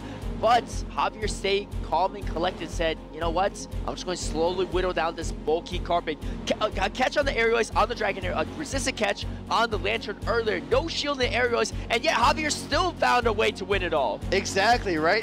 catching a resistant charge attack, catching a KO charge attack, and calling a bait and it still wasn't enough. In game number two, he caught the aerial ace onto the Medicham, tried to get to that second Ice Punch, but Gligar was just too fast, building to the double aerial aces, getting the knockout, and then the subsequent knockout onto that Shadow Dragonair. And Destroyer honestly played really well there too, right? Immaculate catches, really great catches all the way throughout. Just a little bit not enough, but it is a double elimination bracket, so he'll be facing off against some players in the losers bracket, where he might be catching some Ws there. Yeah, exactly. We saw there the more meta team, the more standard, staple team kind of muscling its way through those spicier, more finesse-intensive Pokemon like Shadow Dragonair and Carbink there. Javier moving on in the winner side bracket. Can't wait to see what he does. Meanwhile, like we called out, Destroyer going to continue to fight here at LAIC. I mean, that was only three sets of battles in the winner's bracket so far. We have so much more to go. I'm very excited to see how that turns out. I mean, we only got three of those matchups. We got, what, five more in the winner's yes. bracket and then eight more in the loser's bracket. That's going to be a stacked day of awesome battles. Yeah, that's the difference, right? With with LAIC this year, we got a full day two for you, the top trainers in the world. We're going to try to show you every single battle, so don't don't go anywhere. Don't tune out because you don't want to miss these trainers' epic journeys as they try to work through this top 16 bracket. I can't wait, Caleb. I mean, these games are a treat. Like, being here is the best feeling in the world. Yeah, I mean, and and just seeing how these different teams play out too. There's a lot of variety. Of course, there's some very meta teams, but we see a little spice here there, or some teams are just very, very spicy, like Andres. Yeah, exactly. Very spicy. I mean, we see Registeel and Carbink, we call it a little bit spicy. I, I, I said yesterday, Registeel kind of resembles a salt shaker, right? Might, might not see it as the spiciest Pokemon, but in, the, in today's current meta, I definitely think it's a standout pick. That being said, we've got some Clodsires in our top 16. We've got Nighttime Clashers Clodsire. We also have Andres as well.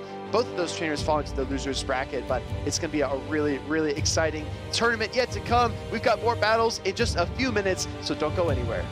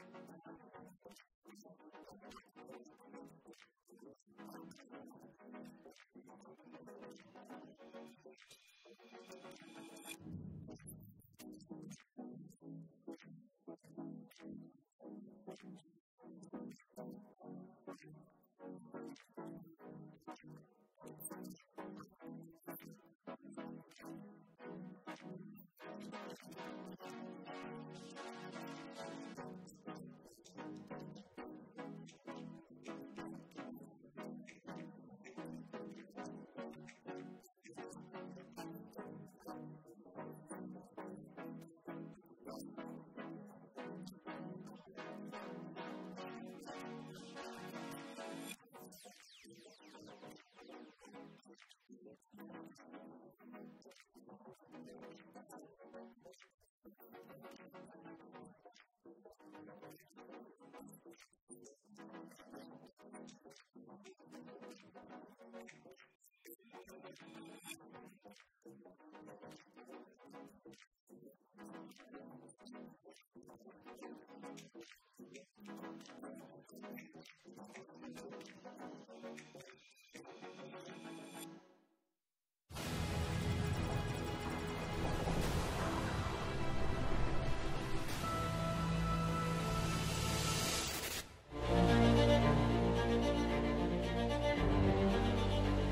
right, hello and welcome back, everyone. We are here in Sao Paulo, Brazil for the 2024 Pokemon Latin America International Championships. So nice to have everyone with us here on this lovely Saturday. We've got a three-day event. We've already seen our first day of battles. We're now in day two. But first off, guys, I am Wholesome Underscore, aka Jim Lawson, joined by my co-caster Lundberger, aka Amanda. Hope everyone is doing well. Amanda, how are you? I'm doing great. I've been loving watching these matches so far. Sweeps all the way. I wonder if this will be a continued streak throughout day two. That's how we started in day one as well. That's it's true. three consecutive 2-0s. We're starting day two with the exact same vibe here, but we've got more battles. Before we get into those battles, though, let's take a quick look at the bracket. I think we have a little uh, view into the winner's side. We early saw uh, Harjef face off versus Garavello 2-0. Then we saw, I believe it was Nighttime Clasher go up against Roberto. Roberto did take the 2-0 victory as well. And then finally, we saw Destroyer versus Javier, with Javier advancing.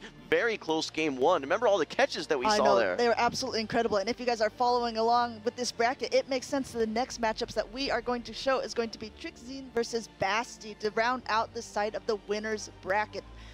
That's right. The winner of that match will be playing against Roberto. That's right. We're already moving very quickly through the winner's bracket at this point, so it's great to see the momentum that is carried from day one here into day two as well. I think our trainers are getting ready on stage here in just a minute, so we'll go ahead and get them introduced as soon as possible here. But I think we're going to be expecting some interesting teams here. We saw a little bit of the Carbink action already. Um, I believe that was going to be from maybe Javier or Roberto's side, perhaps. it was Roberto, yes, Yeah. playing against Nighttime Clasher as well. And also, we just saw it in the very last matchup as well. So two Carbink so far. This is going to be the third. Yeah, we now have another Carbink. So Carbink is one of those Pokemon that is win hard, lose hard. So it'll be interesting to see how that alignment ends up working out here for Trixen. To round out his team, though, he also has the Gligar, the Medicham, Shadow Alolan Sandslash, the Swampert. Interesting to see that versus the Lanturn, plus the Serperior. Yes, and on Basti's side, we have the Medicham, the Serperior, Lanturn, Froslass, Gligar, and Umbreon. Umbreon we saw earlier uh, against the Carbink. It's going to be a long matchup uh, because it takes forever to get to that Moonblast, but it is super effective. Meanwhile, those Umbreons not being able to do much against that Carbink. Yeah, that's going to be the matchup that you want to avoid. Overall, pretty safe matchups for that Umbreon, able to do well versus almost anything that's maybe not Medicham, maybe not Carbink.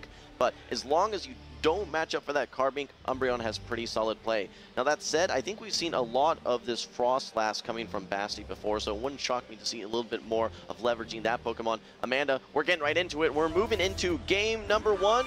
Here it is. We actually have the Froslass into the Carbink, one of the toughest matchups here. Great lead for Trixen. Yeah, a rock in there right away, an immediate swap out to that Medicham, only to be met by a Gligar, but the Ice Punch will be able to reach at the same time. Unfortunately, because of charge attack priority, Trixen will be able to release that first aerial ace and no shield from Basti's side. Yeah, this is actually where I really like the non-Shadow variant of the Gligar. The Shadow variant takes a little bit more damage, 20% more, and puts it in risk of a counter down. So despite this su double super effective Ice Punch, you can see lives it very handily, no problem. And then you should outpace to the Aerial Ace with a little bit of an energy advantage, though this may be close, but you get there just in time. Nice quick swap there from Trixen. Should be able to maintain alignment so long as Basti does not shield. And Basti does not shield, and this is actually not that great because like you said, Froslass I mean, does not do well against a Carbink. He really needed alignment here. We'll have to see how he chooses to play this out because that Serperior also does not do well against the Gligar. That Froslass is going to have to come in, get as much energy as possible. We have a full Powder Snow down, so that's at least good for it. Be maybe able to get to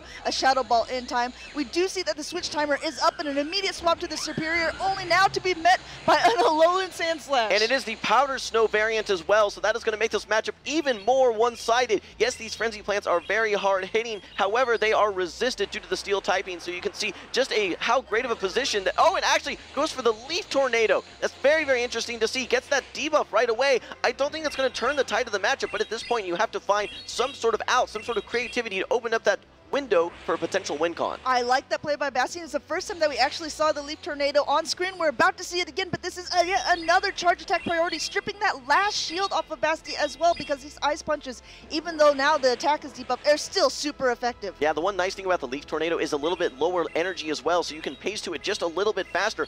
Might be able to outpace to a third charge move and try and stall the Switch Clock out a little bit more, but keep in mind the shielding situation here. Trixen still has both Protect Shields both protect shields. Will he choose to use it? No, he's going to let it go down. And if you look, the switch timer is up. We'll have to see how he chooses to play this out because now goes Alolan Sandslash. But we have a double shielded Carbink against a Froslass and a very low health Serperior going straight for that Leaf Tornado. Okay, this is interesting because we could potentially see the attack debuff. I think Trixen might be counting and knows that it's not the Frenzy Plant, but however, still gets the Protect Shield. Let's see, and gets oh the debuff here. Okay, this could make things a bit more interesting. Rock Slide is loaded and ready to go. This is still super effective damage. Those Rock throws add up very quickly as well. This Froslass is going to need to get to at least two uh, Shadow Balls. I don't know if it's going to be able to get there. Here, I I Here don't know the either. avalanche. I don't know either, Jim. Looks like maybe opting just to get as much damage off as possible, going straight for that avalanche instead. Most likely will be able to make it to at least an avalanche before it takes down, especially because of this attack debuff, throwing right before, and it looks like Carbink wasn't even going for the rock slide at that point. Yeah, Carbink knows that, uh, or I guess Trixen knows that his Carbink can farm all the way down here, that this uh, Froslass from Basti should not be able to reach that third avalanche. You farm all the way down, you come out with a Moonblast. The Serperior has such low HP despite the double attack drop here. Moonblast going to have no issue taking out the Serperior. This was a game of alignment. Trixen able to easily take down Basti in game number one. Basti's going to have to figure out how do I maybe have a more balanced team that's less reliant on perfect alignment, something maybe with some more neutral matchup because that was as one-sided as it gets. Yes, I still like the way that Basti was able to play out of that situation. I mean, he did the best that he could, even getting two attack drops with that Leaf Tornado. Unfortunately, not enough to turn the tides in his favor, and Trixen does take game number one. And I don't know if you guys remember from yesterday, but if you see the prefix here, if you see the LNDS, we know that these are the Lindos, and you can already hear them in the crowd shouting for Trixie as they as he took game number one. Okay, well, just a very, very impressive matchup. Let's take a quick look here at Trixton. Trixton actually already secured a top 16 spot, it looks like here, LAIC 2024, so that's great to see all the success that he's having. That's going to translate to a lot of championship points. Also part of the GP Lindos, the LNDS clan that we see here as well. They've had a lot of success here in today's tournament. Yeah, completely. And this is going to be a really, really good matchup. Like we said, we are in the winner side of the bracket as well. These are the top 16 like we just saw. I, if you're Basti, Jim, what do you do in this situation? I mean, do you, do you think you know, if I just would have played it a little bit differently, if I would have maybe put something else in the lead. Speaking of Basti, actually, we're just going to go straight into his achievements because as you see, he's been also a top competitor here. He's been uh, in Santiago, he was in the top eight in the Natal Regionals in the 2023 in the top 16 and also here, top 16. We're going to jump right into game number two. Okay, well, guys, if you like game number one, you're probably going to like game number two because we are seeing the exact same lead with the Froslass and the Carbink. This time actually has the Lanturn is going to be coming in. Uh, a little bit more neutral matchup here. I think that a Lanturn's a very solid pick. No Serperior on the side of Trixton this time, so you actually have the opportunity to potentially turn this matchup around. Two Surfs likely going to be enough to knock out this Gligar, and you need to land, I believe, two digs as well, so you actually outpaced the moves as the Lanturn. Yes, so going ahead and letting that first one go through, being able to sort of dictate the pacing here, as you were saying, and also being able to get that one spark advantage from switching first was a bit advantageous. Now it's up to Trixton to see if they want to shield, and they do want to shield in this middle game because that first part was so crucial, because that Carbink has such a good matchup against the Froslass, wants to try to keep alignment at, if possible, already at a dig, charging up to a ton of energy before releasing an aerial ace. Okay, well this is interesting. This is a non-shadow Gligar throwing a resisted aerial ace into the Lanturn. Will it be able to hang on? Let's find out right now. One HP. Does it have the surf? Yes, it does. Do you want to go down two shields as Trixton to maintain this alignment? You will come out with a charge moves, which will gives you some, some nice ability to hit back. Yes, opting to use both protect shields to maintain that very solid alignment.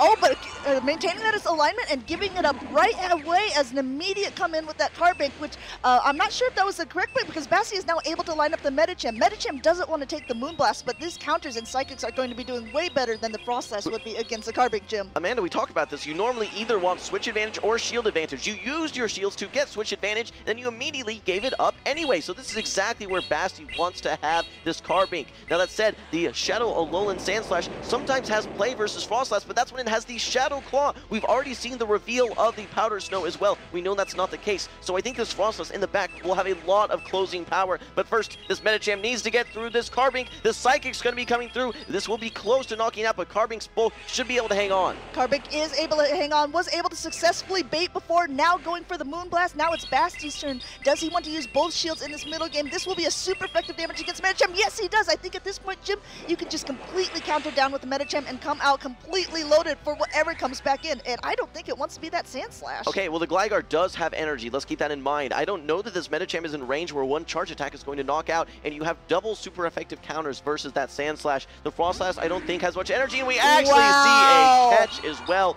No Protect Shields remaining. Froslass going to tank this, no problem. And actually, maybe you get a little bit of energy as well. This will probably draw out the Sandslash. Yes, indeed. With this energy lead, this Froslass should have no problem getting to the Shadow Ball before the Drill Run. Here comes the Shadow Ball. This is going to be nice neutral damage. Maybe not quite enough to knock out, but at this point, Medicham has every opportunity to close out this game. Yes, trying to get up as much energy as possible on Trixie's side. Almost up to two Drill Runs here. Releasing that first one. This probably will be enough to knock out the Froslass, but the real question is, will it have enough energy also to be able to knock out that Medicham? Medicham is still around half health, a little under. I don't think a Drill Run will be able to knock it out at this point. Not even trying, going straight for the Ice Punch. That's definitely not enough, Jim. Yeah, I think at this point you really needed to try and go for that Drill Run, right? You need as much damage as possible. Despite Ice Punch being the stab move, Drill Run does do more damage. You did survive that one counter. Now Medicham has an Ice Punch ready to go. Almost no energy on the Gligar. Here comes the Ice Punch. This is going to even up the series 1-1. We are hearing the Chilean fans chanting for Basti right now. What a series we're seeing. No more sweeps this time, Amanda. Yeah, I was just going to say, Basti broke the sweeps and being able to tie up the series here and now going into a decisive game three. These players, again, these are in the top 16. They are in the winner side of the bracket. They have not lost yet. These have been an incredible, incredible matches. All right, well, Amanda, I have to kind of call back a little bit earlier to that early or to that mid game there in game number two. I did not like the play there from Mm. Trixon in investing both Protect Shields and then still giving up Swap anyway. You invested so much, all of your Protect Shields to get that alignment that you needed, and unfortunately, you were you threw it all away right after that. So a little bit of a miscue, but Trixon needs to find a way to come back. That Carbink lead seems to be really be working. The question is, will Basti continue to lead that Froslass, or maybe throw something else in the lead that has more neutral or even positive play versus the Carbink? Yeah, so you can see the crowds going wild on both sides. Like I said before, I heard the uh, the Lindos when they saw the Carbink against the Froslass both games just cheering wildly, and then we hear the Chileans also just cheering for Basti as he was able to cinch a game number two. The, I mean, there's so many people here. Jim, you said it yesterday. The passion of these Latin American players is out of this world. Yeah, not only the trainers, the fans, the communities, so much passion, so much support here. I mean, this feels like a grand final here, just the energy that we're feeling from the crowd. These trainers are still locking in their Pokemon, and like I mentioned, I think that if you're Basti, you have to be figuring out, I need to have at least one and a half, maybe two answers to this Carbink. We saw a lot of action coming from that Froslass, or sorry, from the Lanturn last game. I think it worked very nicely going up against that Gligar, right? Despite taking those super effective um, digs, you get to those surfs a little bit faster. So it did give that not only a one shield, but two shield advantage in that matchup. Now that said, I could see potentially Basti bringing his own Gligar, knowing that it has pretty neutral play versus that um, versus that Carbink, as well as some of the other Pokemon. Right. They're still trying to figure out what the formula is. But like I said earlier, Amanda, the Froslass, I think, is Basti's favorite pick. So I expect to see it somewhere on the team. Yeah, you would think that the, having a Carbink on the team would maybe scare it away. We'll have to see for sure as we jump into game number three, where we have a Serperior against a Medicham in the lead. Like I said before, this is pretty neutral, and this Serperior is running Aerial Ace, so it has an advantage over Basti's, which is running Leaf Tornado. That's right. And in this matchup, you actually win the zero shields. You need to land a frenzy plant, and then an aerial ace will knock out at that point. Basti playing no games, immediately shielding this frenzy plant is the harder hitting move. Wants to make sure he gets alignment. He knows that knows that, that Froslass has lots of destination like the Gligar, but it wants to avoid that Carbink. So this will be interesting to see how Trixon responds. Actually shields up the Ice Punch, willing to go shields for shields. The longer this matchup goes, it actually gets better for Trixon because you get closer and closer to an aerial ace knocking out, and you do win charge attack priority. So as long as the shields are even here, Trixon may have an opportunity to dictate the alignment of this game. Well, you talked about even shields, Jim. They are not on it anymore as two frenzy plants are now loaded. So even if this one gets shielded, it's going to bring desperately low for the next. We'll have to see how Bastion wants to do what they are. We're going both down two shields in the very first part of this matchup, able to hit this ice punch, You know but what? not before this frenzy plant goes off. Yeah, I don't know if this Frenzy Plant's going to be enough. Perhaps the two-shield matchup actually might go to this Medicham here. Let's find out. Frenzy Plant not quite enough to knock out. The Ice Punch has been reached. This should be enough. You can just see the strength of counter. Vine Whip doesn't add up nearly as fast as these fast attacks counter coming from the Medicham. In this two-shield matchup, despite having to tank that Frenzy uh, Frenzy Plant, the Medicham actually wins. And what this means is this Carbink now will not be lined up versus the Froslass. Instead, you'll have the Gligar. Now, you do take neutral damage from these rock throws while all your fast attacks are resisted. This isn't necessarily just a game over, but what's so great for Basti is he now has the Froslass, avoiding the Carbink, getting lined up versus the Gligar, hitting for double super effective damage. Yes, the powder snows are going to be doing so much damage, but let's get right back to the dig. Super effective, but the Carbink is still just in the yellow, still just rock throwing away here, getting up to almost two rock sides before throwing, before throwing this Moonblast here. Uh, there's so much energy on the Carbink, but there's still a decent amount of health left on the Gligar. I'm not sure if this will be enough. I don't think so. All right, potential for a catch. Tries to catch the dig and does. This is the play that you needed to keep yourself in this game. This is a double resisted dig. This will be almost no damage whatsoever on the Gligar. This will draw out the Froslass, and the Froslass does outpace to a move. If you go straight for the Avalanche here, you're going to charge attack priority tie on the dig. Do we see it? Actually doesn't throw the energy. Wants to get ahead in energy here and maybe come out of this matchup with a move. I think that's the smartest play, though. I think that's probably his win condition, Jim, because there's so much still left on the Carbink as well. It's going to be able to need to throw almost immediately there. Maybe if we're going for the most aggressive powder snow down, no, still having to throw this avalanche right before. But this Froslass is loaded. There are no protect shields left on either side. It's going to be a race to see how much damage this will be able to do to the Carbink. Will the Shadow Ball be enough? Carbink needs to survive the Shadow Ball, needs to farm down. It is a bulky Pokemon. This is the harder hitting of the two moves. It's the Shadow Ball coming through. Will it be enough to knock out the Carbink? not oh, quite. Needs to powder snow down. This is going to be a race to the finish. And Froslass takes it.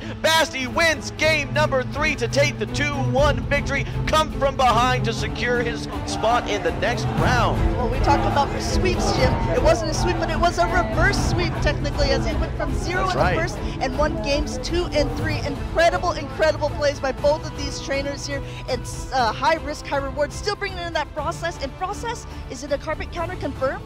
I, I, I guess so, right? I think Froslass with that hard-hitting neutral shadow ball, that's all you needed to do was get it so, so close to that little bit of HP. I don't think that the Carbink was going to come out with a move anyway, so maybe one wing attack from the Gligar could have knocked out, but you just see the strength of Froslass. We talked about how much Basti likes to play it. We saw it in the lead two times. Game three, bringing it into the back, finding ways to get energy, and there's so many destinations for either ice or ghost types attacks. So what an incredible matchup. Let's look at the highlights here, Amanda. Yeah, I can't wait. All right, I think this was game number one. We actually saw what was a very kind of alignment-dependent matchup, right? We saw Trixon getting all the leads, the switches, as well as the closing matchups. Serperior had really no chance, despite going for some Leaf Tornadoes to try and turn the tide against that Alolan Sandslash. Really no opportunity. Very uh, one-sided game one. Yeah, but game two was really where it came back. And I think that when Gligar ended up swapping out here uh, and uh, going double shields down, I remember this, uh, and then swapping into the Carbink, which was kind of losing that alignment that they was looking for, ended up kind of co proving costly at the end as this Medicham was able to completely counter down Basti being able to take game number two. Yeah, I don't know that it was necessarily a win for sure for Trixon at that point, but again, you either want to have Switch or you want to have um, alignment, or sorry, a Switch or Shields, and he ended up giving up both, so that's really, really tough here. But yeah, you can see game number two, Gligar ends up getting knocked out, and that was the, the series tie for Basti. Game number three, it was so even though that lead matchup is what determined the alignment for Basti, able to get his Gligar lined up versus this Carbink, which ended up great despite the beautiful catch that we see Oh. right here from Trixon, trying to work his way back into this game. Basti had the Froslass, which proved to be so, so impactful, not only in game number two, but game number three here. This, or this Shadow Ball, rather, coming through nearly eliminating this Carbink and those two or three last Powder Snows just enough to take game number two, and he raises his fists in triumph. Congratulations again to Basti for an incredible come from behind 2-1 victory. And um, if you're a fan of Jixon, don't worry. Like we said, we're in the winner side of the bracket right now, which means that they didn't lose at all day number one. It's a, it's the quicker road uh, to to the winners bracket. I think you don't have to play as many games. He will be still playing some more to determine where his ranking will be, and we might even see him back in the finals. All right. Well, I did want to call out just the strength of Froslass. I know I mentioned it before. It's one of those Pokemon. If I look at kind of some of the Pokemon on their way out and the Pokemon on their way up in the meta, Froslass for me is probably the one that stands out most as far as one of the major winners. What's interesting is we see fewer flyers in general, but the Right. flyer that we do see, Gligar, Gligar. which it has such a tremendous matchup against. And when we look not so much at its typing, but the types of moves that it has, ice attacks and ghost attacks. Two of the typings that have some of the most broad coverage that we see. There's very few Pokemon that are going to be resisting both ice as well as ghost. So it's very rare that you find a hard, hard wall for that Froslass. The one weakness I would say is that it lacks bulk. So when it goes up against things like Bastiodon or Carbink, they don't even have to shield. They can just farm you all the way down. But if you can get some good alignment and if, and if you can get some energy leads, Froslass has lots and lots of play in this current meta. Especially if shields are down. It's one of those Pokemon that the charge attacks are so powerful that it can get most Pokemon down very, very far. And then we've seen it quite often being able to quite powder snow down after that to get even more energy to throw at something in the back. That's right. It almost reminds me a little bit of a Shadow Charizard in the sense of, hey, let's get those shields down, let's find ways to get energy, and then unleash those hard-hitting Blast Burns. While Avalanche and Shadow Ball maybe not quite as impactful as the Blast Burn, again, the typing and relevancy right now of those typings really seems to be incredibly impactful in this meta. The only things that you really have to worry about, like I mentioned, are going to be some of the rocks, maybe a, a, seal from time to time, but one of the big benefits that I think why Froslass is on the way up is one of its counters, the Shadow Claw, Alolan Sandslash, we're seeing more on Powder Snow That's now. right. So Shadow Claw, it takes the matchup where it's just devastatingly bad to where Powder Snow, you get a little bit of an energy lead, you can easily win that matchup. Let's go ahead and look at the bracket and see how all all the trainers have been playing. A lot of Froslass users, I think, have been making it this far into the brackets. Just a reminder here, well, we've seen all of these matches so far. Javier will be playing against Harjeff next, who, again, has not lost any games on stream, and he's only lost, what is it, Jim? He has got an amazing record in, right now. In his last two tournaments, between this one and his previous regional, he, I believe, is 31 and 1 That's, in games played. Yes. Unreal. He went 18 and 0, if you remember, just to completely sweep his tournament, and I think it was Curitiba, and then he's only dropped one game so far this tournament, and there's been round after round after round after round, 31 and 1. I, that's got to be one of the most successful runs we've ever seen. Absolutely. And then, then on the other side of the bracket, we have Roberto, who beat Nighttime Clasher, and then the game that we just saw. We're into the losers bracket side right now, so you guys can kind of see what's going on. Uh, we have uh, already, we have Trixin, who we just saw play Nighttime Clasher, Garveo, Andrea, and the Destroyer. They lost in the winners final, so they are going to be playing against the winners of this losers round one. Lots of names here that are pretty popular, that are well known, especially in this Latin America community. I mean, Amanda, you could just see that path in that loser side of the bracket. So many games that you have to be uh, going through, right? right so once right. you drop down to the losers, you know it's going to be a gauntlet. They're down, but they're not out. In fact, we've very recently seen a lot of individuals come from the losers bracket, reset the bracket, and actually take the grand championship as well. So incredible, uh, incredible games that, that we have still in store for us, without a doubt. Now that said, we are getting ready on stage here as well. Our next two trainers are going to be Kourlash and Danny Booz, starting off our loser side of the bracket. Taking a look at some of these teams, one of the Pokemon that stood out most to us as a spice pick from our uh, day one actually was the Charjabug. Again, this is a Pokemon that benefited from the com recent Community Day, now getting the fast attack Volt Switch, which makes its matchups a little bit more safe and consistent. Yes, I am really liking the Charjabug because most of the time as the charge attacks, people have been running Discharge and X-Scissor. Now that X-Scissor recently got a charge attack uh, buff as well. So this is something that we've seen. There are other possibilities. You can be running it with Crunch for a possible debuff charge attack, uh, which maybe would be even doing better against those Froslasses that we've been seeing flying around. We'll have to see. But again, this is the first tournament of this uh, 2024 season where there are open team sheets. So there is no doubt on Danny Booz's side what Kourlash is running on that Charjabug. That's right. You know what's really interesting? It's not just the Volt Switch, but I think X-Scissor was very, very impactful for that Charjabug as well. Getting a little bit of a higher base damage, even though it's a little bit more energy, again, it has more consistent matchups. And it's not so much the electric damage that I think is impactful as much as it is the X-Scissor. Because when you look at the targets for electric damage, normally it's going to be flying and water. The flyers that we see, Gligar, right? So mm, it's, exactly. it's, it's doing it's doing resisted damage. The waters that we see, Swampert and Lanturn, you're doing resisted or neutral, Neutral. damage, right? So it's very interesting. The current meta that we have does not really have that destination for electric damage. Nonetheless, it still performs very well due to the strength of neutral damage of Volt Switch as well as the strength of neutral X-Scissor. Yeah, let's go through the rest of the team too, because that is not the only electric that I am seeing on Kourlash's side. We're also seeing a Registeel, which is not always that common anymore. We've talked about uh, Pokemon that are kind of falling out of the meta. I think Registeel is one of the big ones there. Even with the rise of Lickitung, I was talking with some trainers because they had Registeel their team. I said, why did you bring a Registeel?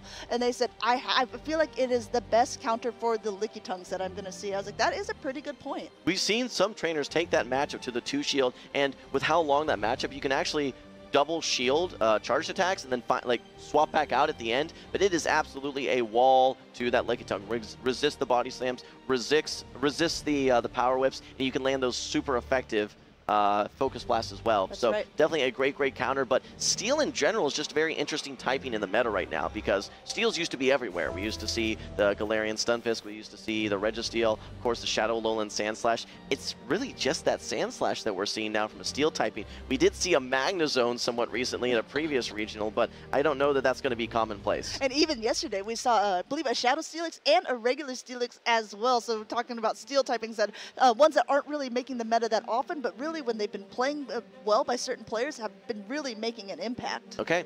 All right, well, just rounding out the teams here for Danny Booz, we do have the Gligar, the Lanturn, the Serperior, the Purified Sableye, Medicham, and the Shadow Alolan Sandslash. No surprises there whatsoever. I can see here that I think that on Danny Booz's side, he is running the Powder Snow variant as well of the Shadow Alolan Sandslash, which seems to be the staple in the meta now rather than Shadow Claw. Yeah, I like that. I, I mean, I don't even know if you remember, Jim, but that was part of my caster predictions. I said that it's going to be the Shadow Alolan Sandslash, but it's going to be that Powder Snow. And I think mostly it's because of that rise of Gligar, and it's because of all the grasses that are going on. Now, I think that also there's Mandibuzz on the side. You, that was one of your picks. Do you think that Mandibuzz has a lot of play against the Danny Booz's side? Uh, Mandibuzz is going to have mostly good plays. The one thing it needs to watch out for is going to be the Lanturn as well as the Alolan Sandslash. If it can avoid those matchups, I think it's going to look very, very solid. Hey, I do want to call this out here for Danny Booz. He was actually knocked down to the losers bracket in round two. Wow. But, but has won seven rounds in losers in a row so far against Kate Fitzgerald, Mystic Chansey, uh, LNDS Pokemon, Andrew Manjarres, Leanne Bernal, and I mean, those are huge resume of knockouts for these last seven uh, uh, last seven victories. But Amanda, let's get into game number one. We've got Corlash, we've got Danaboos, and we have one of the most one-sided matchups, Purified Sableye into the Medicham. An immediate swap out to Swampert as a safe swap, which is kind of not a safe swap if there's a Serperior on the other side, but it looks like there is no Serperior on Danny Booz's side, choosing to stay in with this Sableye now and throwing a foul play, which gets shielded up by Kurlash. knows that that first matchup was not very good for him. He wants to be able to maintain this middle matchup, going up to two Hydro Cannons, releasing the first one onto the Sableye. Now let's see if Danny Booz chooses to respond with a shield of his own. You know, this used to be one of the most common safe swap matchups that we would see is the Sableye with the Swampert response, but actually I like the chip and dip uh, strategy here. Actually now bringing in the Medicham, once you've been able to get ahead in HP, you can tank one of these Hydro Cannons no problem. In fact, from the non-shadow, uh, before these mud shots, you can almost, yeah, you can tank two of these Hydro Cannons, so I don't think you can go for the counter down. What'll be interesting to see if Danny Booz wants to go for the zero shield, land the Ice Punch, and try and win that way, or actually, yeah, tries to go for the zero shield at this point. A little interesting because now I think that Kurlash has the opportunity, if you want to double shield, there may be an opportunity to actually double shield and switch alignment. No, wants to only use one shield. Kurlash going to have to settle for uh, getting back to that Medicham versus Sableye matchup. But keep in mind, Sableye, much lower HP now. One Ice Punch might be close to knocking out. I think that maybe just a strategy saying, okay, I want to at least get it as low as possible. The Mandibuzz is coming now instead, though, just gaining a lot of energy. But this is a super effective Ice Punch. Mandibuzz is one of the bulkier Pokemon that we see in Great League, though, so this will not be doing that much damage. Meanwhile, I think we're going to see an aggressive Snarl down coming out with a lot of energy now to be only met with that Gligar. This one is running Aerial Ace and Dark Pulse, just getting up a lot more energy before the Aerial Is even throwing, now throwing this Dark Pulse. Well, Amanda, you asked me, does Mandibuzz have play against this team? I said there's two things it needs to watch out for, the Shadow Alolan Sandslash and the Lanturn, neither being on the team right now. So this Mandibuzz has free reign here in the skies going up against its flying counterpart, this Gligar. It's throwing Dark Pulses rather than Aerial Aces like the Gligar has to throw, so I have to get this advantage to the Mandibuzz right now. Now, the only question is how impactful will that Sableye still be? And oh, we actually have a catch right here. This is catching super effective damage, but you have to think at this point, Mandibuzz is going to be the MVP. Medicham is basically a scratch right now, knowing that that Sableye still exists in the back and it has energy. Yes, and there's still two shields left on Danny Buzz's side as well, which is super interesting. Sableye just getting up a lot of energy now before throwing the foul play. This won't be enough to knock out the Medicham, but still Kurlash uses his last shield because he wants to get up enough energy to throw an Ice Punch or perhaps even aggressive, aggressively try to counter down, not able to do so. This second foul play will be enough to knock out the Meta Medicham. Absolutely, you're trying to go for your win con there, try and farm down, try and at least maybe get both shields with double Ice Punch and then sweep with the Mandibuzz. Unfortunately, I don't think you're going to be able to do so. You still need to get through this entire Gligar, still in the green. Yes, you have lots of energy, but one charge attack doesn't knock out. You're going to need to, I believe, get to four charged attacks to even pressure this Medicham whatsoever. Meanwhile, I think that with the wing attacks plus an aerial ace, this game is going to be over relatively quick, but let's see how this plays out. Yeah, I'm going straight for the aerial aces instead. That does take less energy to get to, and it is stripping those shields away from Danny Booz. The second one coming through, and you can see Danny Booz is quite surprised at this point as well, getting up a lot of energy of his own. Now throwing a Dark Pulse before able to get there, but you know what, Jim? Like we talked about, this is not a Shadow Gligar. This is just a regular one. It will be able to take this. Yeah, I was a little surprised that the Gligar did not throw energy a little bit earlier, but throwing on good timing here. You'll love to see that. Aerial Ace coming through, even if this is not enough to knock out. Uh, I believe that Danny Booz is only one wing attack away from that next Aerial Ace as well. It does knock out, though. Mandibuzz goes down, and Danny Booz, a little bit of a closer matchup there, despite how how great of a lead it was, takes game number one. Yeah, game number one goes indeed to Danny Booz. And I want to talk about the Cinderella story that you just brought up earlier, being able to win so many matches, seven in a row, I believe you said, Jim, uh, being knocked down from round two is absolutely incredible. Yeah, Amanda, I kind of want to look at like where the momentum is, right? Because Corlash was just knocked down, I believe, today in Group E of the winners finals. Or no, that must have been the last game of, yeah, of, of, yesterday, of yesterday yeah. right? So coming off essentially a, a lose uh, one game lose, whereas Danny Booz is on a seven game win streak. So when we look at momentum, when we look at confidence, you have to give the advantage right now to Danny Booz. And so far, that's translated very, very nicely. Now, it certainly helps having your Sableye lined up versus a Medicham. There's no doubt about that. But I think for Corlash here, you have to really try and collect yourself and say, all right, I've been losing, I lost here. How do I collect myself and bring my my best self? How do I bring 110% here in game number two? Because at this point, one game and you're done. That's true. And, and, here's the thing. Sometimes it is a little bit of luck, and sometimes it is a little bit of alignment, but these players are I mean, you don't get here just by luck and alignment alone. There has to be strategy. There has to be skill. These two players have been doing incredibly, incredibly well to be able to make it to day two of the largest competition that we've had so far this season. Um, I want to bring up another point when we were talking about Danny Booz and how he's had this incredible run. A similar run was made by Maximilian P and Adrian Wildcat at the Barcelona special event. Both of those being knocked down to the losers bracket in round two as well and making it, I believe, eight games in a row that they won. So I mean, it looks like Danny Booz might be on that exact same trajectory. Yeah, it's very possible. Um, you know, it's really interesting to see some of these Cinderella stories, come from behind stories, like you said, where people can take a little bit of an early defeat, gather themselves, and then take all that momentum into potentially the grand finals as well. Amanda, we're moving into game number two. A terrible lead to start. This is going to be a little bit of a more neutral lead. You have to like that you are running that Powder Snow Shadow Alolan Sandslash here. That is going to be adding up fast attacks quite a bit faster. Lickitung does have a little bit of a bulk advantage here. However, its charge, uh, charge attacks are all resisted by the Sandslash. That's right. This drill run already coming through. And like you said, I mean, it's, the Shadow Claw would not be doing as well against the Lickitung, but the Lickitung is down, down to almost half health because of that drill run and Powder Snows combined.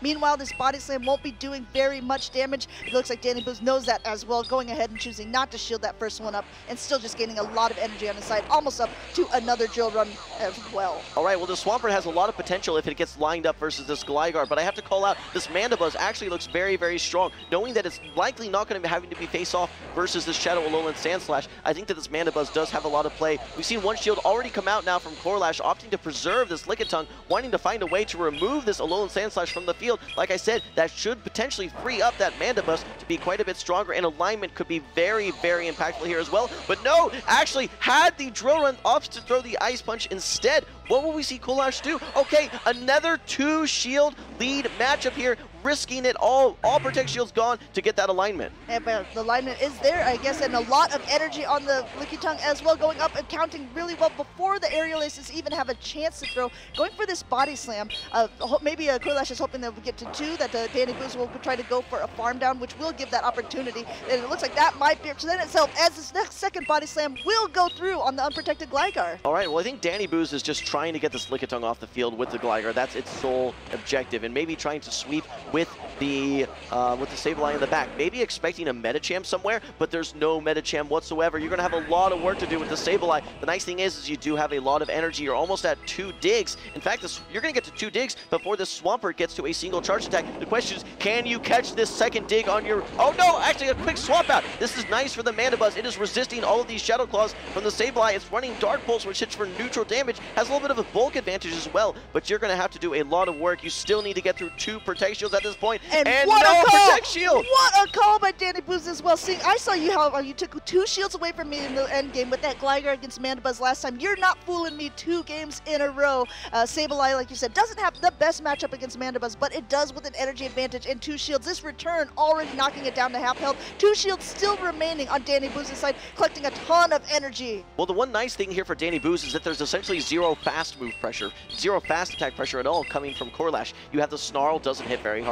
Mudshot doesn't hit hard at all, so you can no shield one attack quite safely. Now that said, you need to get to the second return. In fact, no shielding this as well. We have to remind, we have to remember there is still the dig nearly stored on the Gligar as well. So here comes the next return, you need to get not only a dig, but I think also a little bit of Shadow Claw chip damage, maybe even a foul play against that Swampert. Okay, and actually Switch Clocks are up at this point, brings in the Gligar, trying to get to that dig here. Here it comes. This may be enough damage to knock out. I think Danny thinks it might be enough uh, damage as he is grinning from ear to ear as he is swiping from left to right. It is able to connect with the Swampert. It goes down and we have a sweep by Danny Booz again. The momentum, the confidence, like we talked about. Danny Booz now on an eight-match win streak. Congratulations to him. He still has a lot of matches ahead of him in these losers brackets, but you got to be feeling good as a Danny Booz fan, seeing all this momentum carrying over match after match after match. And that is eight in a row then I believe that is talking about winning. It's not quite the run that we've seen of uh, what we were talking about before. Hard Jeff winning, I believe, around 30 games to one, but I mean, can't complain. Eight straight consecutive games is nothing to scoff at. Without a doubt. Now, I want to say congratulations to Corlash as well, making it as far as he did. Absolutely. Very, very impressive. That's going to translate to a lot of championship points as well. So kudos to him for sure. I think we're going to get some highlights queued up here in just a second. We can take a look back at those two matches.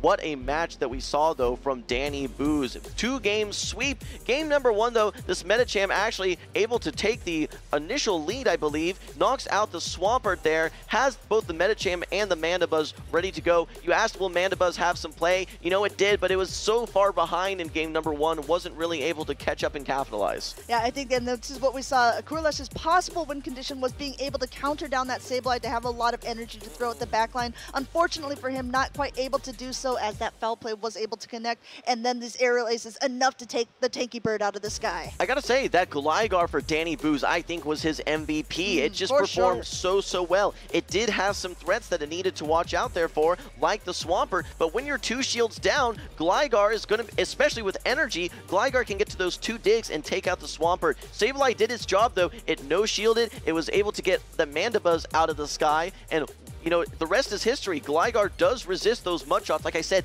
zero fast attack pressure on Corlash's side at that point. So you can preserve that one protect shield for a Hydro Cannon, land that second dig, and take the 2-0 sweep.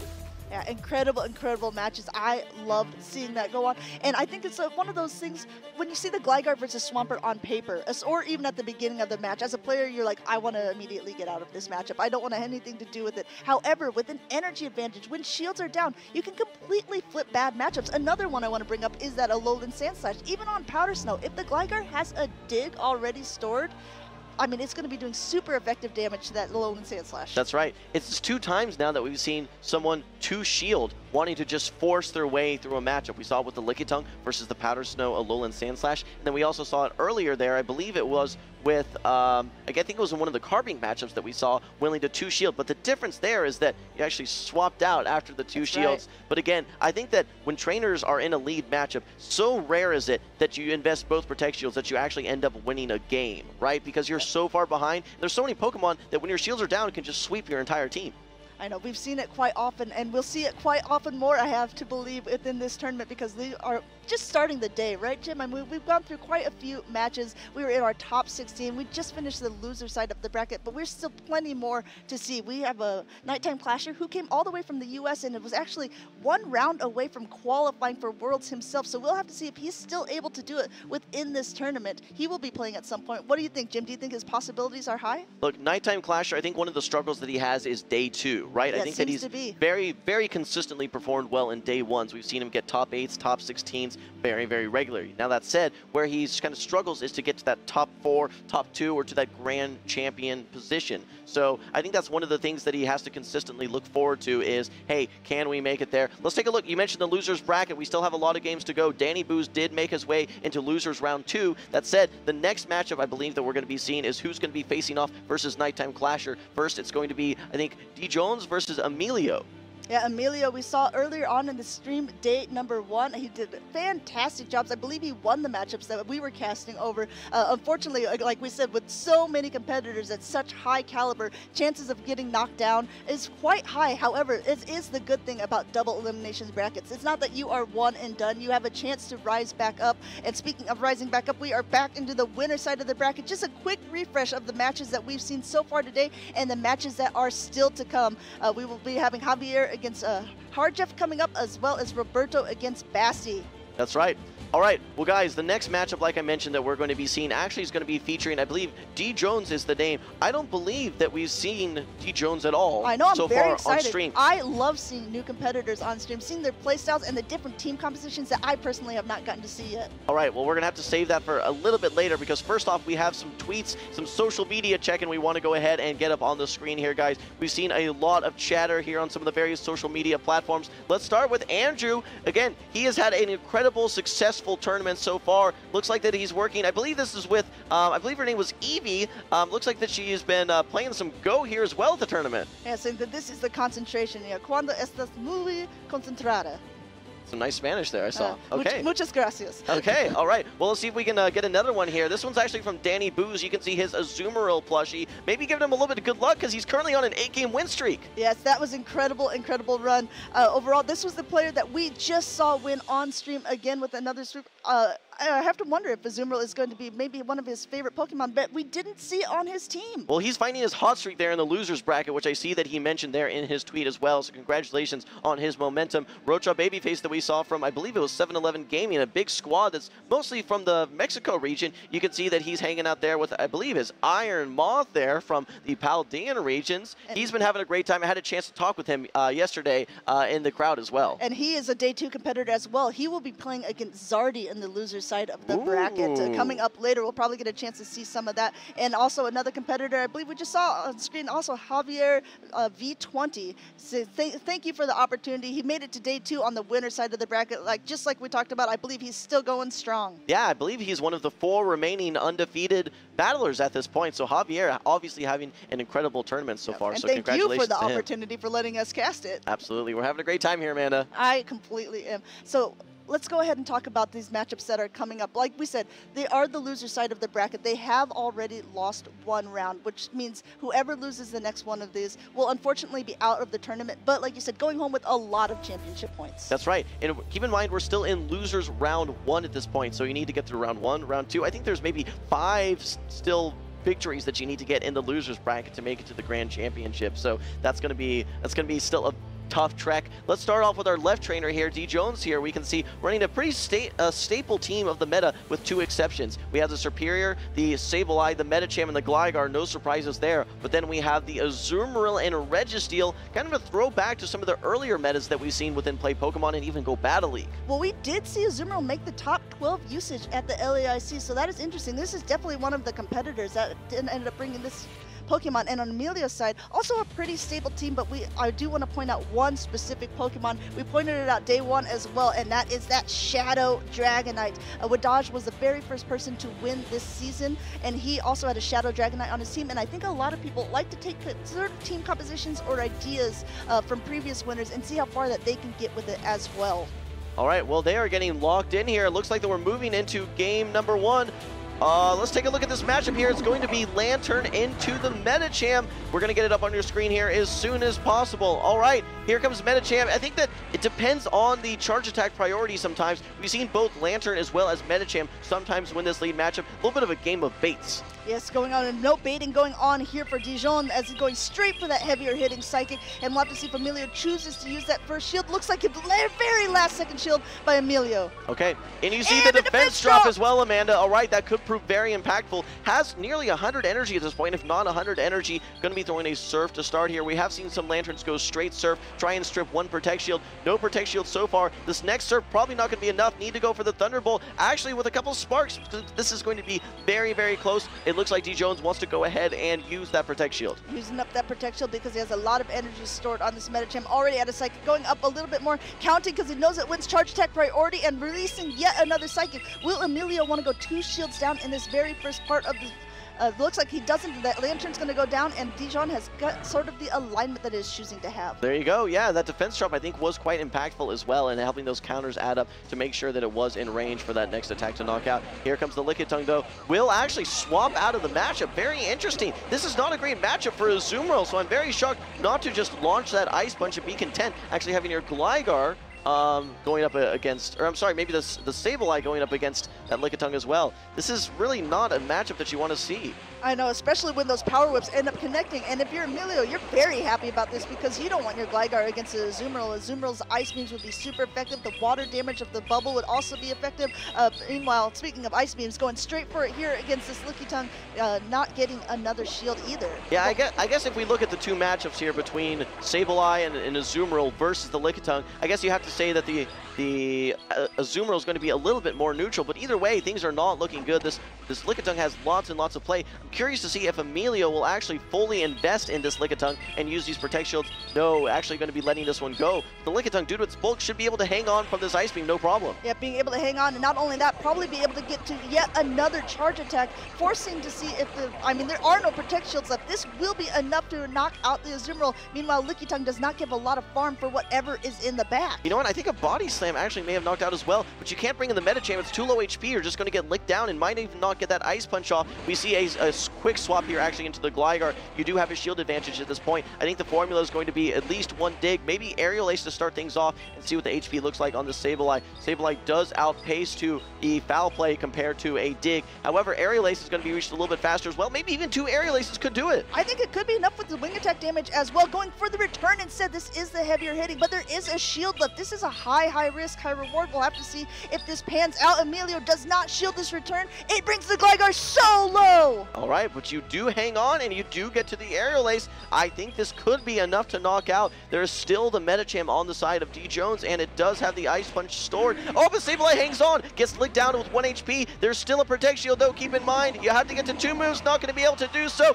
Hangs on with 1 HP, and Emilio takes game number one. Fantastic gameplay by Emilio, really hanging on by an absolute thread there. I like that play by Dijon, though, going straight for the return, because sometimes that is your only win condition. If that was able to take it out, I think uh, he really would have had a chance there.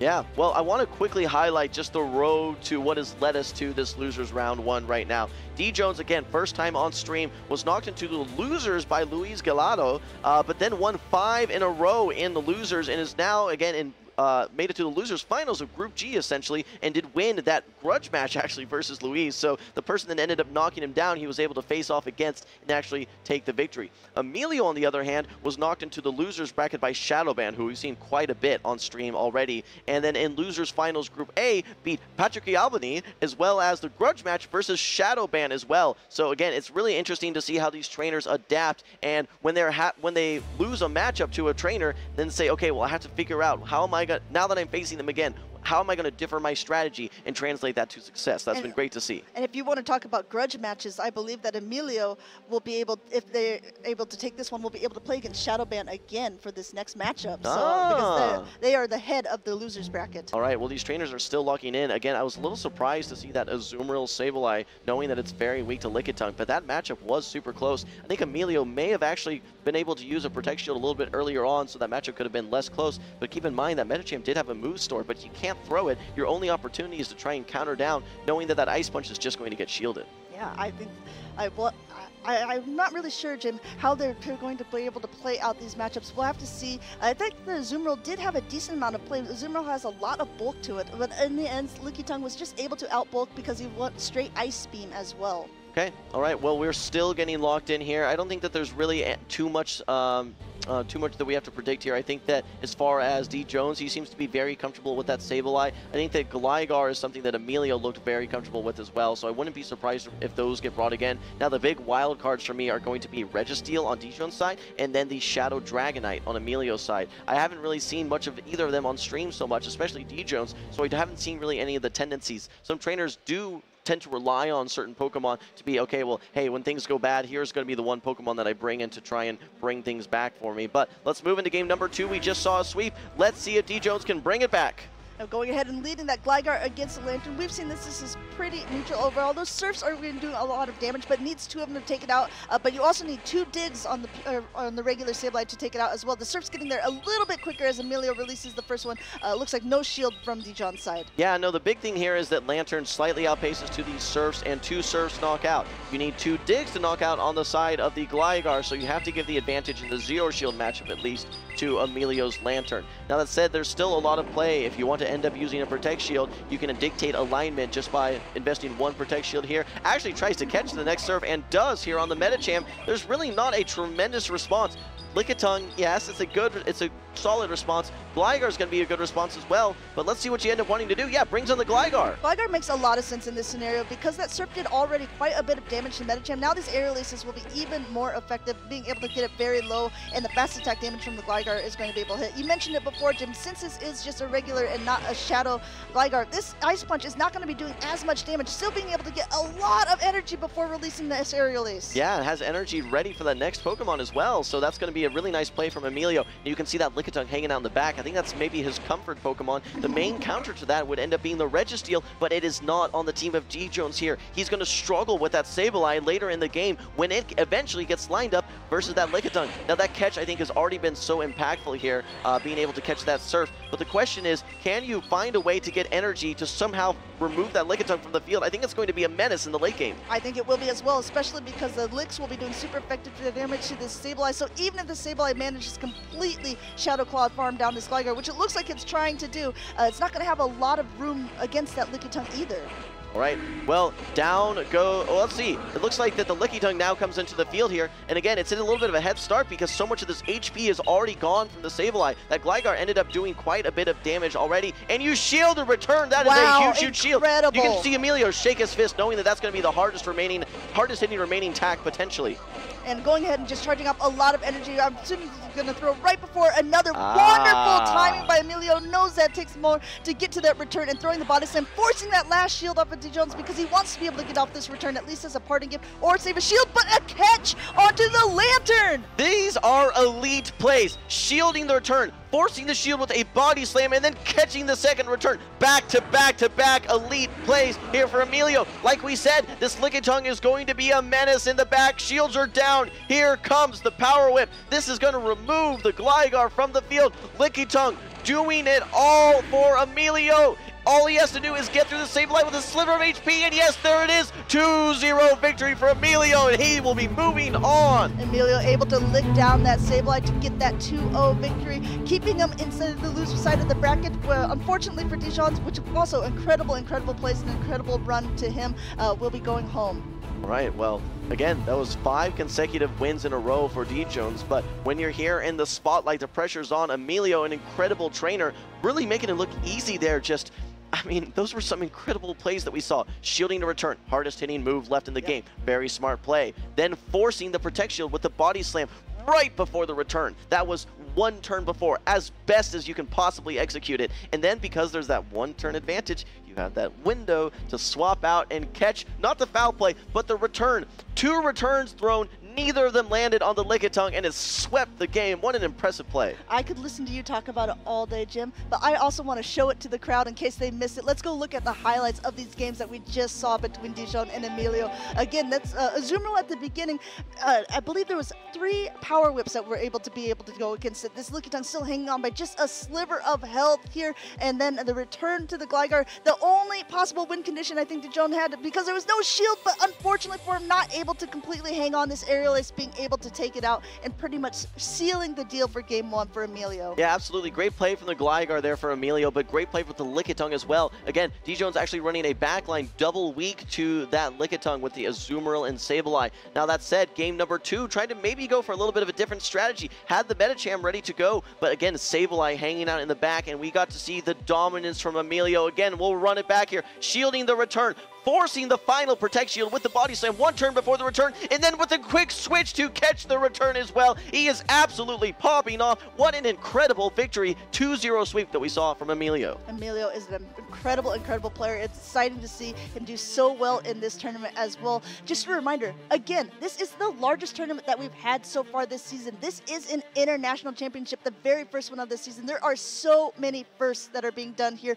first with open team sheets as well. It's and this is going to be the first region or international champion of this 2024 season, and the first with so many championship points on the line. I believe a lot of competitors already have gotten their qualifications simply by participating, by getting a good top cut here. That's what I, that's exactly what I was thinking. Is just what's what are these trainers playing for? You mentioned the championship points, but there's also cash prizes, there's also booster packs, not to mention the glory and the honor of potentially being the 2024 Latin America International Champion as well. So there's just so much on the line here. You can feel the energy not only from the trainers, but in the crowd as well. And when you see plays like that, Oh my gosh, it just makes me want to shake my fists as well. You're seeing Emilio celebrating. I'm just, I'm losing my mind here on the casting booth, just seeing this amazing execution from these trainers. I have to ask you, Jim, because we saw a lot of matches. Are any trainers particularly catching your eye as ones that you think, oh, I think that they have got the skills, they have got the capabilities to be our new international champion? So I really, earlier in day one, I really like the plays from Roberto. I think that he's still in the tournament at this point. He may have been knocked down to loser's bracket, but I saw some very impressive plays from him. I have to say the favorite right now, just seeing the success 31 and 1 Hard Jeff and he's made some amazing plays times when I think that he, there's no way he can come back finds a way to just worm his way back in and take a victory so very very impressive from him but after watching Emilio I mean those are as high level plays as you can get top top top tier. Those are champion plays that we're seeing. So from what I've seen so far Emilio looks very, very strong as well. Yeah, same. I was going to tell you that I was cheering hardy for Zardy, but I haven't really seen him much on screen. I know that he is a day two competitor. He will be facing off against Rocha Babyface later in this as well. So we will have to see how these two trainers, uh, not two trainers, all of these trainers just continue to play out these matchups. So many matches left to be played. We still have to find out who's going to be our champion. All right, but before we crown our champion for 2024, let's take a look back at our 2023 LAIC champion, JW Naldo.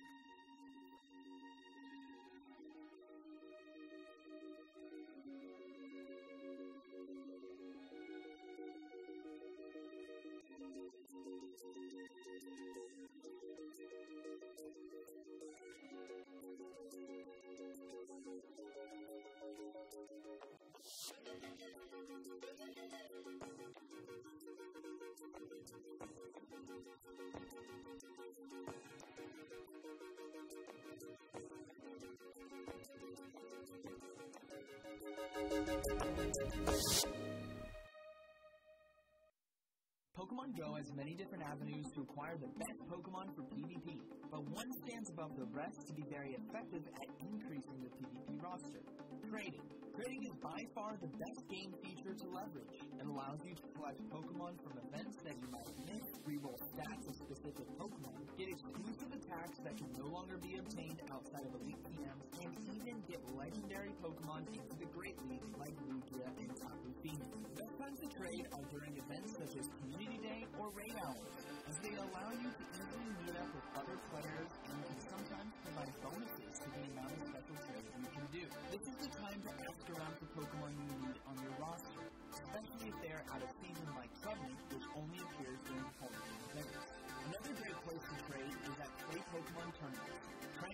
are just like you and likely have key Pokemon you've been looking for, or regional Pokemon such as Sylveus and Malucha. Now trading is a two-way street, so it's always best practice to keep Community Day Pokemon and special event Pokemon for future trades, as other trainers might need them from you. Here's a list of some of the top Pokemon used in the Great League for Play Pokemon tournaments. While this meta is ever evolving, it's important to add these Pokemon to your roster as they are consistently performing at the highest level in both Go Battle League and Play Pokemon. The friendship gifting system can also help you lower the cost of trades. For example, someone that you are good friends with will cost you 20,000 Stardust for a new Pokedex entry, while someone you are ultra friends with will only cost 1,600 Stardust. This is fantastic for trainers that can trade with their local community as you can easily work towards higher friendship levels, while also preparing you for potential cost of trades when you go to special events. The stats of Pokemon traders are also randomized, giving you a chance at better stats for that Pokemon.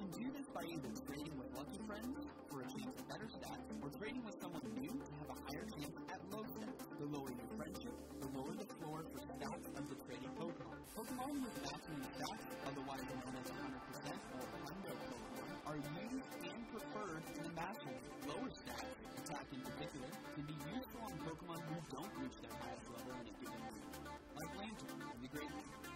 So be sure to always leverage the trading feature in Pokemon Go. Way to meet new friends and build your Pokemon Go PvP roster. See ya!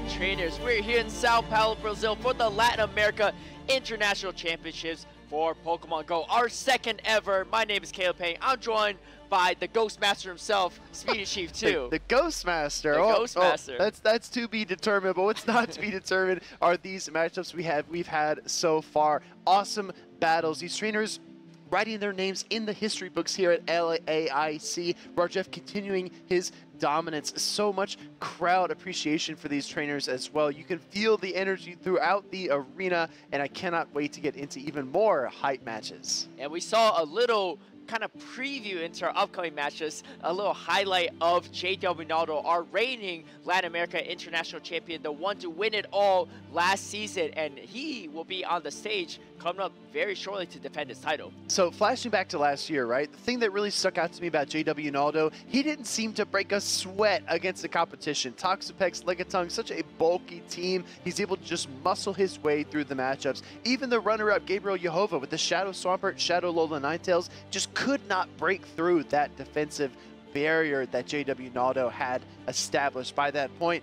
He's kind of on the back foot, though, in the loser's bracket here, if I'm not mistaken. He did take a loss on day number one, but is still in this tournament, double elimination, and I think he really paved the way for our current meta. He relied True. on bulk, right? Bulk was his key to success. Even if you have the matchup you want, you just can't outmuscle him in the situation. So, in my opinion, I think this is the perfect meta for him. Yeah. Although maybe not so much because everyone else is taking the same strategies he did. So we're going to see how that plays out. But an incredible battler for sure, and he'll be going off against Steiner if I'm not mistaken. We've had earthquakes shaking the stadium, frenzy plants flourishing. Let's get a bird's eye view of the winner's side bracket as some of the dust has already settled. In the winner's semis, we've got Javier V20 versus LNDS Hard Jeff, and then we've got Roberto versus Basti. Which of those two matchups are you the most hyped for, Caleb? I mean, it's it's hard to argue against uh, the top part of that bracket. Hard Jeff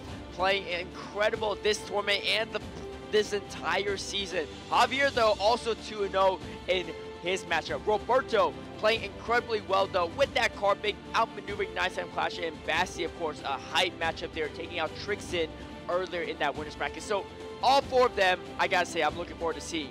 And we can see the losers bracket is slowly populating as well. We got Trixin versus Danny Booz in the first set of battles. Nighttime Clash versus Emilio. And we got Andre waiting to see who he'll be facing off. JW Naldo, JW or Steiner here. And of course, we got a showdown between Daniel versus Zardy in that other losers round one to determine who's going to face off against Destroyer. I just want to point out, Caleb, both of our Clodsires here in, in day two have fallen to that losers bracket, right? Nighttime Clasher and Andre, both those Clodsires underground, if I may, in that losers bracket, trying to burrow underneath the competition and come out on the grand final side. Can't count Clodsire out yet, though. It still has a place in the meta, in my opinion, because Carbink is still in this meta and is wreaking havoc, especially in that winner's bracket as well. You see Roberto dominating Nighttime Clasher in that first set of battles, and that was with against a Clodsire team. So you really need that strong check to Carbink, and there's not a lot of options there besides Clodsire and, you know, a few of the water and grass types. Well, let's pivot our spotlight to the stage. Our reigning LAIC champion, JW Naldo, on the left side of your screen versus LNDS Steiner. Check out JW Naldo's team. Lanturn, Dugong, Medicham, Gligar, Serperior, and Lickitung. So carrying over the Lickitung from last season, no Toxapex, no Clodsire, no Poison types anywhere to be seen in my opinion, JW Naldo's team is the archetype of the meta team of the season so far, especially in the month of October and now November. You got Lanturn, Medicham, Gligar, Serperior, Lickitung, and an Ice type. A lot of times in North America, it's a Froslass, but here at LAIC, we see a lot of Alolan Sandslash, and also now we see a Dewgong on the side of JW Naldo's side. I like it too, because Dewgong a little bit bulkier than Alolan Sandslash, and if everyone's running Powder Snow Alolan Sandslash, it's actually not that bad of a matchup.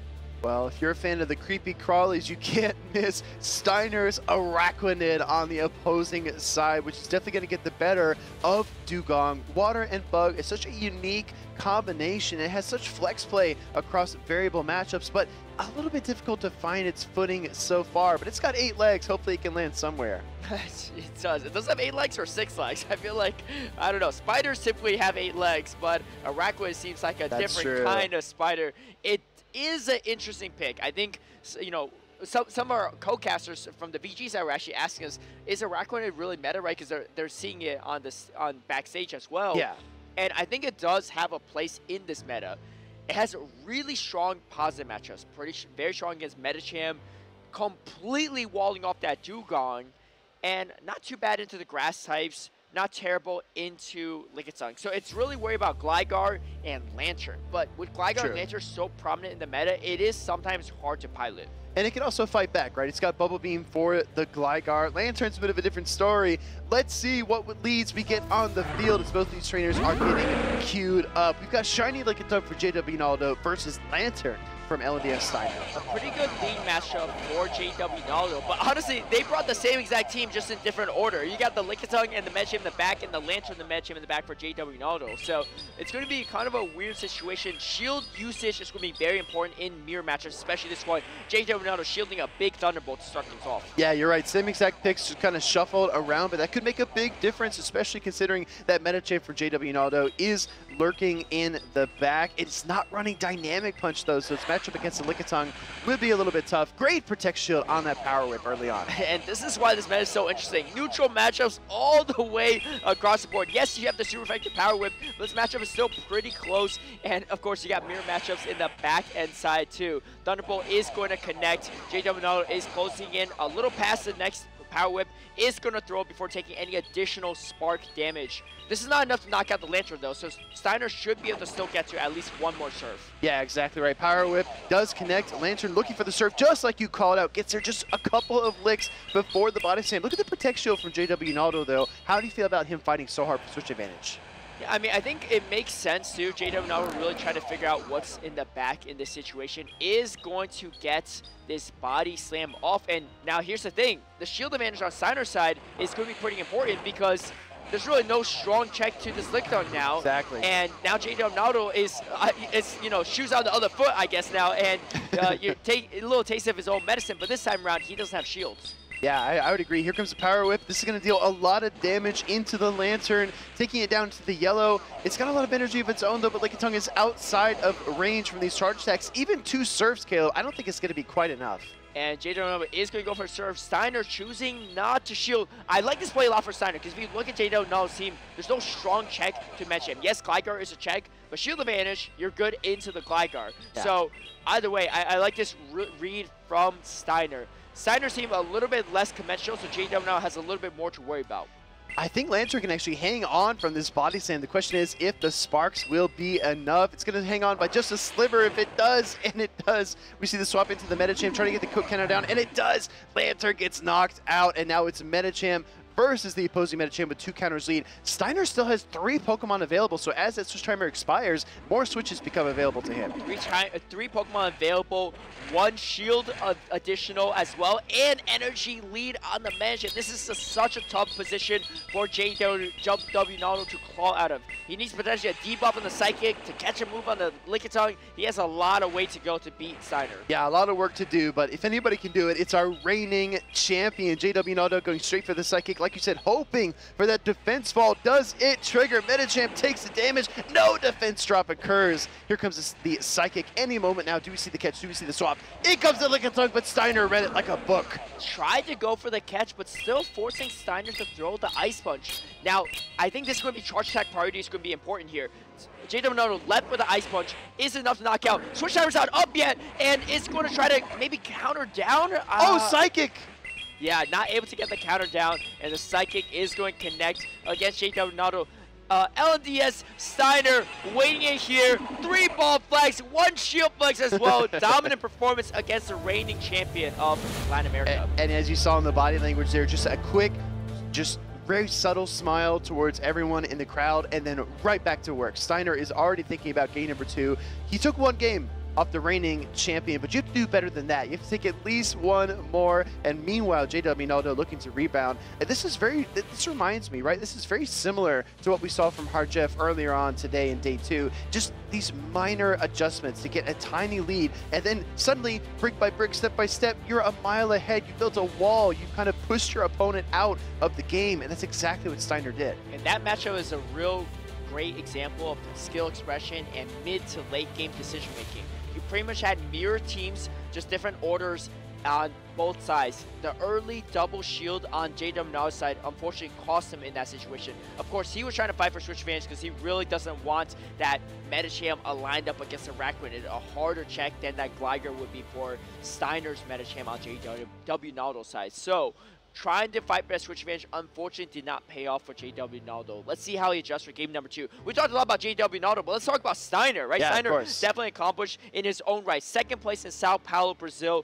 2023 in that regional, and then 13th in Curitiba this season. So yes, maybe not as accomplished as JW Naldo, but definitely has the skills to stand up against some of the best. Going toe to toe, we're heading into game number two here. The reigning LAIC champ is risking elimination in game number two in our losers round one. Lanturn and mirror match on the field, both running Spark. Actually, that's that's not the only mirror that I see on the screen. This is a straight mirror matchup in both games one and two, running the same thing. Now, this is much different than the first game because you're actually in the exact mirror matchup in the lead and in the back end rather than the other reverse order for game number one charge attack priority is going to matter a lot in this lead scenario. And also potentially shielding Thunderbolt or Surf Baits. We saw JW Naldo kind of buckling first in that game number one, kind of ceding that early advantage to LNDS Steiner. I would be really, really surprised to see him do the same thing as we see the charge attack priority. Steiner's Lanturn gets to fire the Thunderbolt first. It's actually critical in this matchup. And it is going to connect against JW Naldo's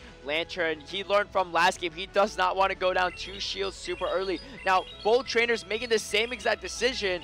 Let's see how close it's going to be from Spark damage. Oh, no. Oh, they both switched. They both swapped. No and they way. both swapped into the same exact Pokemon. I think they're almost at the same exact energy. I think JW Naldo might be a turn. No, they're exactly at the same timing. Steiner going for the Ice Punch bait, and it doesn't get shielded from JW Naldo. A huge no-shield call. Not only that, but winning the charge attack priority again with a different Pokemon. His Medicham was able to go first. If this goes unshielded, whoa, what a great call by Steiner shielding the early Psychic.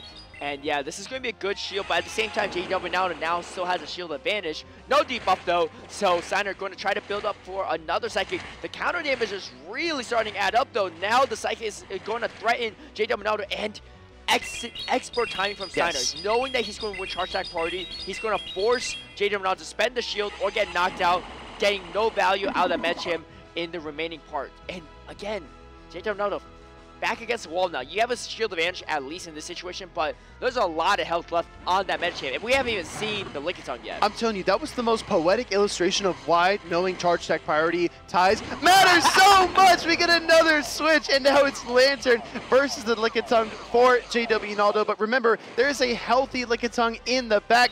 Hey, closes his zap and still gets to the body slam. The champ still got it. Yeah, didn't miss miss a beat there. Actually, this is not too bad for JW Naldo. I think there's still energy remaining on the Lanturn, and you just got to bring this Medicham low. But the problem oh, this is... bait. This bait. It's, it's going to be a bait, and not even if the bait doesn't land, how do you take out Lickitung with your own Lickitung if you have low health? No shield, though. Huge no shield from JW Naldo. Easily could have been the Psychic there, but another Ice Punch raining down on the shiny Lickitung here for JW Naldo. This Pokemon was so instrumental for him last year, and it's his last hope in this game number two, Elimination Bracket versus Steiner.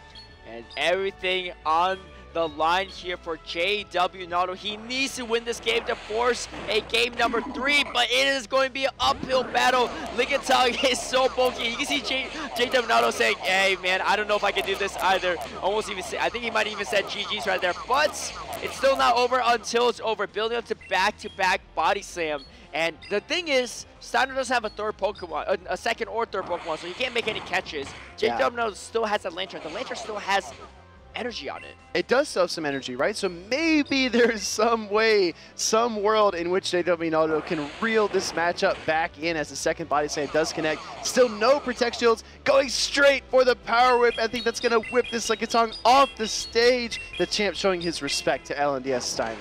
Amazing sportsmanship there. Lanturn has energy, but just not enough. And yeah, doesn't even have the Thunderbolt. You can see clapping for his opponent there. We'd love to see it. And LNDS Steiner making it further into this bracket. You see the crowd loves it as well.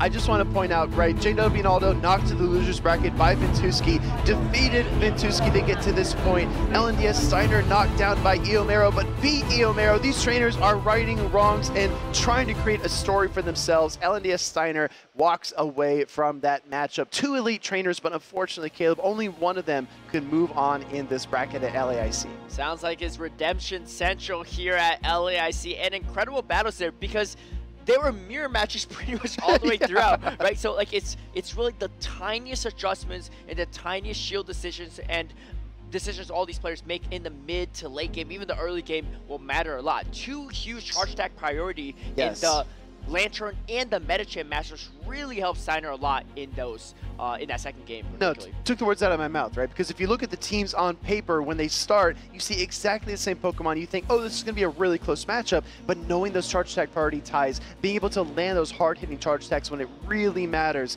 it turned what the slimmest of margins into a chasm between these two trainers. And that's why Steiner's Lickitung came out at the very end, basically completely healthy, and just kind of moonwalk through the final moments of that matchup. Yeah, that's a hard matchup to flip. If your Lickitung has less health than the other one, you're usually going to lose that matchup unless you have like 100 energy. But let's take yeah. a look at the highlights from that battle and see how it all went down. And here you see Steiner closing out that first game on that Psychic JW now trying to go for the counter down, but the three ball flex is a little too strong. Actually, I realized why JW now didn't even throw the move. Steiner still had the shield too, so there's he just did, no way, did. right? He had so much ground to cover in that second matchup. And here we see the instant same lead, the same exact swap, but Steiner, even though failing the shield bait with the ice punch, taking advantage of that charge attack priority to land a huge psychic and get so much value. Down a shield, but that matchup has so much health. You can see, again, a simultaneous swap from both traders. Just really goes to show the expertise from both of them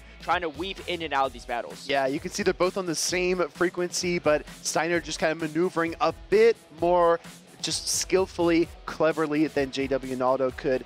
Our LAIC reigning champion is eliminated here in Sao Paulo, which means that someone else is going to take that crown, and you've likely already seen them on stream. They're a champion. They just don't know it yet. We don't know it either. I mean, I don't think anyone knows it yet, but let us know in the comments down below, in the chat. Let us know who you think is going to take it all the way. I'm sure you're rooting for some players as well, someone you might be watching in these previous regionals, someone you might have even faced. But speaking of people that you know in these regionals and these tournaments, we got a big name coming up. It's going to be Zardy going off against DVS Daniel for a chance to move forward in this losers bracket. I, I just got to ask you, Caleb. I mean, when we look at Brazil and the Latin region in general, Zardy's a name that's always in the discussion, always in the top five, top 10 trainers, maybe even top three, right? A lot of people respect and know this battler. It's taken us so long to see him on stage, but he's definitely going to surprise us and amaze us with some of these plays because that's just what we come to expect. Winning regional championships with Dragonair, playing Charizard, playing awesome Pokemon that do awesome things. And I mean, I, am really excited for this next round. Yeah, and, and being the first person to qualify for uh, the World Championships from Brazil as well. So yeah. making quite a bit of headway in that World Championships in London in 2022. Uh, honestly, Zardy, even though he's on loose side, very consistent battle, right? You don't always end up on the winner side of things, but just even making the top cut, just making day two, and just constantly be in the topic of conversation and someone to watch out for already shows how talented you are. Hey, you got to be in the race to win the race, right? And being consistent is key. Speaking of consistency, let's take a look at our top 12 here because you have to consistently make the best plays and bring the best Pokemon to these matchups. Anything kind of standing out here, shocking you? How about Registeel being higher usage than Carbink? Let's talk about that. I mean, yeah, that's that's true. We got we got a little more spice in the steel category there with the Registeel. But Sableye making an appearance in that top 12. Sableye was technically in top 12 for day number one, too. Dropping a little bit in that top 12 area. Froslass uh, there as well as a Ghost type. Top three looks about the same. Medicham usage skyrocketed in day number two. Oh, I yeah. mean, it was like 67% or something like that in day number one, but Medicham here to stay for sure. I don't know though. Lack of Clodsire, Carbink moving up to on top 12. Hey, two things that we can really rely on. One is that Sao Paulo is sunny and gorgeous, and two is that Medicham is good.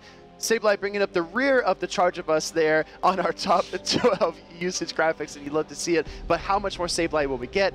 Hard to say. I will mention, though, speaking of, of looking out for things, this is the first time Zardy's been on stream this entire event. I, I was having that feeling, right? We haven't seen this trainer hit the stage, and I'm so glad we get to see him now. Same for JW Naldo as well. And we got two Registeel on both sides. you rarely see that these days. And, and that's the thing, right? Looking back on that 12, top 12 usage for day number two again, Registeel and Carbink both were not on that top 12 usage for day number one. You know what hard counters both of them? What? Clodsire. Uh, okay, But okay. the lack of Clodsire here at LAIC means Registeel and Carbink are free to roam around, and they're going to put in some work for sure. Well, speaking of Clodsire, Daniel actually succumbed to Nighttime Clashers, Clodsire and Shadow Charizard core in day number one. Again, the last battle of the day after one of the most miraculous comebacks I think we've ever seen leading his Registeel into Charizard, double protect shielding, finding a way to come back and win game number one, but then loses game number three against Nighttime Clasher. Looking for some redemption here. Both of these trainers trying to stay in the tournament. And this, I believe, is Daniel's furthest run in any tournament to date. So definitely feeling great about his performance. Now has to face off against some of the best in the region, some of the best in the world, but he is well on his way to earning more championship points and more spots up on the rankings for this tournament. Zardy, of course, is a tough battler. You don't really want to face him at any point in tournament, but if you keep winning, you're eventually going to face someone like him. Well, we've seen Daniel on stream before, so we'll breeze through his team. Just as a refresher for everyone, Registeel, Serperior, Froslass, Medicham, Lickitung, and Swampert. But how about we talk about Zardy's team? Again, first appearance on stream. He's known for his Shadow Dragonair, and guess what? He's bringing it today. He's got it here in Sao Paulo. Shadow Dragonair, Defensor Deoxys, Registeel, Lickitung, as well as Mandibuzz and Swampert. And that Medicham usage, what was it? 93.6%? I think uh, 0.8%. Okay. I'm just, I'm just it's, it's I mean, 93 look, plus. Look, I, I ain't here to argue with the facts. You, you know the numbers better than me. But I gotta say, not almost 94% in usage. And Zardy, one of the few people not running that Medicham, him, he alone is probably making up a huge percentage of that missing percentage for Medicham in usage. One of the few Deoxys defense trainers and one of the few people not running Medicham. Taking a look here at Zardy's previous accomplishments all the way back to 2022, winning in Joinville, sent him to London for the World Championships, where he finished in the top eight last season, finishing as the champion of Natal, and then this season winning in Curitiba three times qualifying for Worlds, it would seem. He's got 100 championship points right now. He's got a little ways to go, but he's making huge headway here at LAIC. And I think those 100 championship points are not including the ones he's earned this weekend. Exactly. So inching closer and closer to that qualification, which is going to be pretty big. I think, if I'm not mistaken, this is the second tournament in Latin America this season. So still a lot of future tournaments to go for sure, and a lot of opportunities. And you know, he's. I mean, I'd be shocked if he doesn't qualify for World Championships a third time in a row. And hey, it might be today, it might be this weekend on the backs of that Shadow Dragonair. Hey, I- I'm telling you, there's a difference between recognizing opportunity and seizing opportunity. And Zardy closes those deals, makes those plays. He is clutch when he needs to be, and he's trying to do his best to stay in this tournament. He needs a lot of clutch plays to beat somebody like Daniel because he took Nighttime Clasher to the very limit in day number one. And let's look at that Shadow Dragonair. How does it look against Daniel's team, right? Because that's his signature Pokemon, and he doesn't just use it as bench pressure, he uses that Pokemon. Yes. And so, looking at the matchups, hard walls against a Serperior, uh, very strong against the Swampert, right? You had to watch over Earthquake, but outside that, that faster pressure is fantastic. Pretty neutral into the Lickitung Medicham. You do get kind of outbulked in those matchups, but still hits pretty hard for neutral. This is a matchup that a lot of people might not be familiar with, especially if you're new to Pokemon Go PvP. Tell, tell us about it. I, I know what you're talking about. Froslass and Shadow Dragon. Yeah, let's Ice go. Ice type. Ice type, fantastic into the Dragon type. Dragon's weak to ice, taking super effective damage. But Dragon damage and that water damage from Aqua Tail unresisted on side of Froslass. When you have shields up, that Shadow Dragon actually can beat Froslass. So that's something to watch out for for sure. And we have both of those Pokemon on the field for game number one. Daniel leads his Medicham into Zardy's Swampert. But look at those back lines. Mandibuzz and Shadow Dragonair for Zardy. Meanwhile, Froslass Registeel for Daniel. And you see Zardy throwing the Hydro at Earthquake Energy. Daniel responding with the Ice Punch, I believe. This should be charge attack priority. Daniel, uh, oh, Zardy's definitely going to win that one. Here comes the Ice Punch. You spend this early shield or not? I mean, Shadow Dragonair kind of needs shields, so you don't want to spend too many shields. Is going to let the Ice Punch go. A huge call. And now swapping in the Shadow Dragonair. Going for the Ice Punch. I like this play. Going for Oh, maybe, oh, banked oh, it. Banked it. Even better, because now you can take the energy on the Registeel. Hey, we talked about wearing opponents down. The Shadow Dragonair can put in so much work here against the Registeel. Steel or not, watch the Dragon Breaths absolutely melt down the HP of this bulky, ancient Pokemon. I'm gonna look for the Zap Cannon here to try to lower the Dragonair's attack, but getting the second Aqua Tail is huge. This is a full strength Aqua Tail, and suddenly, Caleb, we, we've only been talking for a couple seconds. Registeel's in the yellow. and here's the thing with Registeel, it's a little clunky. You're only doing one damage per lockout, so not much damage at all. If you don't land a charge attack, it doesn't do much. Going for the undercharge, but still gets shielded. However, the Froslass on Daniel's side looking pretty strong. I think he recognized too. Here it No, comes. uh, the Dark type on Mandibuzz is still going to take super effective, and you can see Zardy throwing another Aqua Do you let this go? And Daniel lets it go. I think going to try to rely on the Froslass to win it all. Yeah, but you saw the head shake there. He couldn't believe that they were just letting it through, switching into the Mandibuzz. I like this play a lot because you don't want to, you don't want to let the Froslass get too far ahead on energy. You want to try to away his shield. You know Mandibuzz can take one of these avalanches, but honestly, this is a pressure point of this entire matchup. Mandibuzz needs to put in work for Zardy. and still two shields on side of Daniel. I think we're going to see Aerial Ace bait for sure. The question is, do you shield it though if you're Daniel's side? This would be a huge no-shield call. Yeah. Going for the safe play though, which I think still makes sense because the Ace is still going to add up just in terms of damage alone. Not optimal timing, though, means that the Froslass has the Avalanche. Another charge attack from Zardy, though. This might be a difference maker. If Froslass doesn't protect shield this, it gets knocked out. It's not a bait. It's a Dark Pulse. It rattles through the air, but gets defended by the Protect Shield. Now, Froslass is going to overcharge. A last second shield from Daniel, a huge call, and this is so good for Daniel. Not only are shields down for Zardy, but even if shields are up, he has the back-to-back Avalanche. Having the move ready, has an Avalanche stored, has an Ice Punch stored. I don't think the Swampert has a Hydro Cannon ready, trying to draw the energy away from this Froslass. Are you going to throw? And goes and throws the Avalanche. Daniel kind of shaking his head, but I think he's in a good position right now. yeah, I, I don't think he likes to play too much, but like you said, still the Ice Punch stored on the Medicham. It's all up to Swampert, the starting Pokemon for, oh my gosh, he almost gets the Hydro Cannon. This is not enough, though. I think he gets the Hydro Cannon, he knocks out. It's going to be Froslass versus Swampert here in the end. And this is going to put the Swampert quite low. You have to throw this Swa Hydro Cannon. If you don't, you're just going to be knocked out from the counter. Froslass, I believe, should get the Powder Snow down against Swampert. And Daniel coming into this first game in the losers round one to take Oh, out close. a game from Zardy. one mud shot away, one second difference in that matchup. I, I just want to point out one thing, right? We talk about this time and time again about move timing, about the the finer mechanics of Pokemon Go. You could tell Zardy was shaking his head a lot in that game. He did not like how that game went. He felt like he left some opportunities on the field. Even now, he's not pleased with the result, right? He feels like maybe his fast attack timing could have been better, his charge attack timing could have been better. He knows he could play better than that, and he did not live up to his own expectations. So he's going to look to kind of bounce back here. Meanwhile, Daniel played really well. And that's the thing, right? At this level of competition, if your opponent makes a mistake, I mean, you do whatever you can. We call those unforced errors in tennis, right? If your opponent makes a mistake, you capitalize. You want to win this tournament. You just have to keep going. I don't know what I don't know much about tennis, but I do agree with everything else he said there too. So I'll take your word on the tennis reference. but it looks like Zardy a little upset. Not only uh, I don't think necessarily at himself, but maybe saw that maybe the game didn't function as he wanted to. So it looks like this might potentially be review. Let's see what our judges have to say about it. Maybe if it's so, it is under review. So we do have confirmation on that. We might be able to get a replay to see exactly what happened there because like you said, yes, the timing probably wasn't great mm. on the charge attacks, but the real question is, was that Zardy's own fault or was it maybe something that happened in the game? Yeah, yeah. It, it could be a result of, you know, a, a, connection issue or something like that. So we want to get everything right. Again, Pokemon Go is such a detailed, fast-paced game. It, just the just the smallest difference. We saw that the end game came down to probably one fast attack from the Froslass or the Swampert could have flipped the outcome of that matchup. When one second or even a half second matters, in terms of the outcome, you want to make sure you get every single thing right. So the players going to talk it over, judges as well. We have an incredible judging crew here, been officiating the matches all weekend long. Again, it's so important to get this right. We want the best trainer to have the best shot at winning each of these games.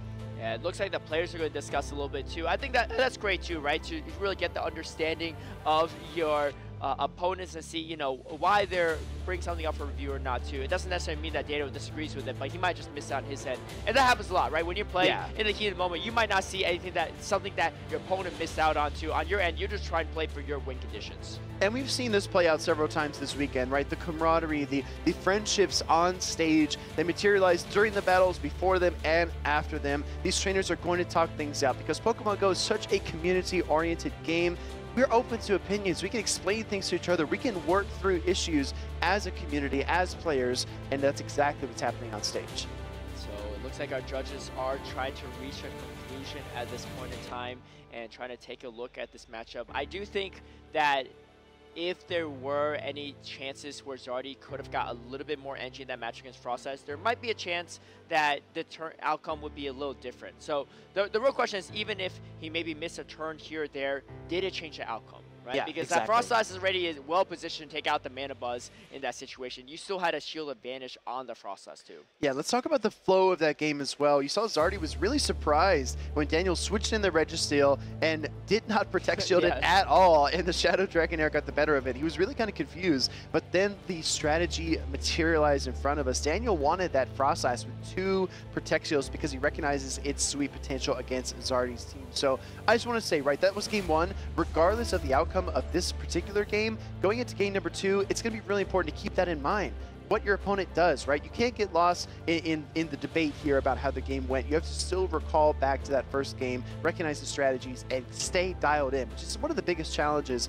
of competing at an IC. We're going to look at this moment in particular. And I getting, getting word from judges, it looks like Zardy is trying to review this situation where he's trying to throw in aerial but not able to. Ah. And right there you can see throwing the aerial after two snarls instead of one snarl for that optimal timing. Which is uncharacteristic, right? It Which is a little bit. You can see him shake his head a little bit. I, I personally couldn't really see it very carefully because it looks like, guys, we're going to slow it down a little bit. That made sense though. It looked like yeah. he was going for Dark Pulse in that situation, knowing that he could only get to one more move. Makes sense to go Dark Pulse there. I think it's really that first situation, that first aerial is, uh, was he trying to tap for or not? Obviously, the timing wasn't amazing because of the fact that he went for the aerials and then now getting the avalanche yeah. off. It, it, yeah, it's... It, you can tell, right, based on the three-turn Snarl versus the two-turn Powder Snows. I mean, you're always going to seed at least one turn of energy, but seeding an entire Powder Snow is a bit tough. Zardy needs to really optimize his fast attack timing here. We're going to get a slower look. Shout out to our incredible production team so we can actually dive right into the details It does he tap on the aerial ace? His finger's just a little bit short. I can't tell if it's quite there. It's hard to see for sure. You can see his finger is going towards the aerial ace. Did he click it and the game didn't register? It's a different Yeah. question. Sometimes it's really hard to tell because maybe you did click on it, but it's not showing on the screen, right? Yeah, you look at the impact zone, right? Where it originates, where that ripple is, and where you tapped on the screen. As you know in Pokemon Go, tapping anywhere on the screen besides the charge attack buttons or the top left button will trigger the fast attack. So that's one of the most frustrating things, right? When you really want the charge attack, but you tap a fast attack instead, and suddenly you're locked into a one and a half second snarl. And that's something I actually uh, would love to talk about too, because some some players, especially less experienced PvPers, might not realize is you can't possibly throw a charge attack in the middle of your fast move. If you're using a one-turn fast move like Lock On from Registeel, Dragon Breath from Shadow Dragonair, these Pokemon you could throw anytime because your one turn It's is just a half sec- second. It's just a half second, and you can just throw the move right after. Also, one turn uh, activation essentially to click on that charged attack. But for moves that have longer duration, right, you got two turn moves, a little bit shorter, but still uh, you can't throw in the middle of a Mudshot two turn move. A Snarl, a three turn move, right? In the middle of the Snarl, there's three whole turns right there. Yes. One and a half second where you can't throw the move at all because you're in the middle of that fast move animation. And Yeah. because of that, you can't possibly th throw an Aerial Ace or Dark Pulse in that situation, even if you're pressing on it. And some people are like, why can't I press on it? It's like, because you can't possibly throw a charge attack in the middle of your fast attack, especially on a longer duration. That's why Pokemon like Talonflame, super hard to use because it's got a five turn duration fast attack. And you have to time your charge attacks very carefully. Otherwise, you do what commonly is called an overtap. An overtap, yeah, that's kind of like the phrase that we use for it because you definitely want to nail those charge attack buttons when you can. We got a really good look at this yesterday as well. The Mandibuzz versus Sableye matchup. And granted, yes, Sableye is running Shadow Claw, but it's also a two turn fast attack, just like Counter, just like Mudshot, just like Powder Snow. So the principle is still the same. It takes just a moment for that energy to populate within your charge attack button. And again, when the button swells and lights up, you can kind of tap on that zone, but it's definitely very tricky. And the fighter mechanics are pretty tough. I mean, you know, there's a lot of tapping in Pokemon Go, but there's also some skill to those taps. there definitely is. And people tap a little differently themselves. Some use a two finger tap, some just use the one finger tap. I want to talk about a little bit about that game one as our judges are continuing to review this first game. I like the strategy Daniel went for. And I think this is what confused Zardy a little bit, but I think it makes a lot of sense in hindsight.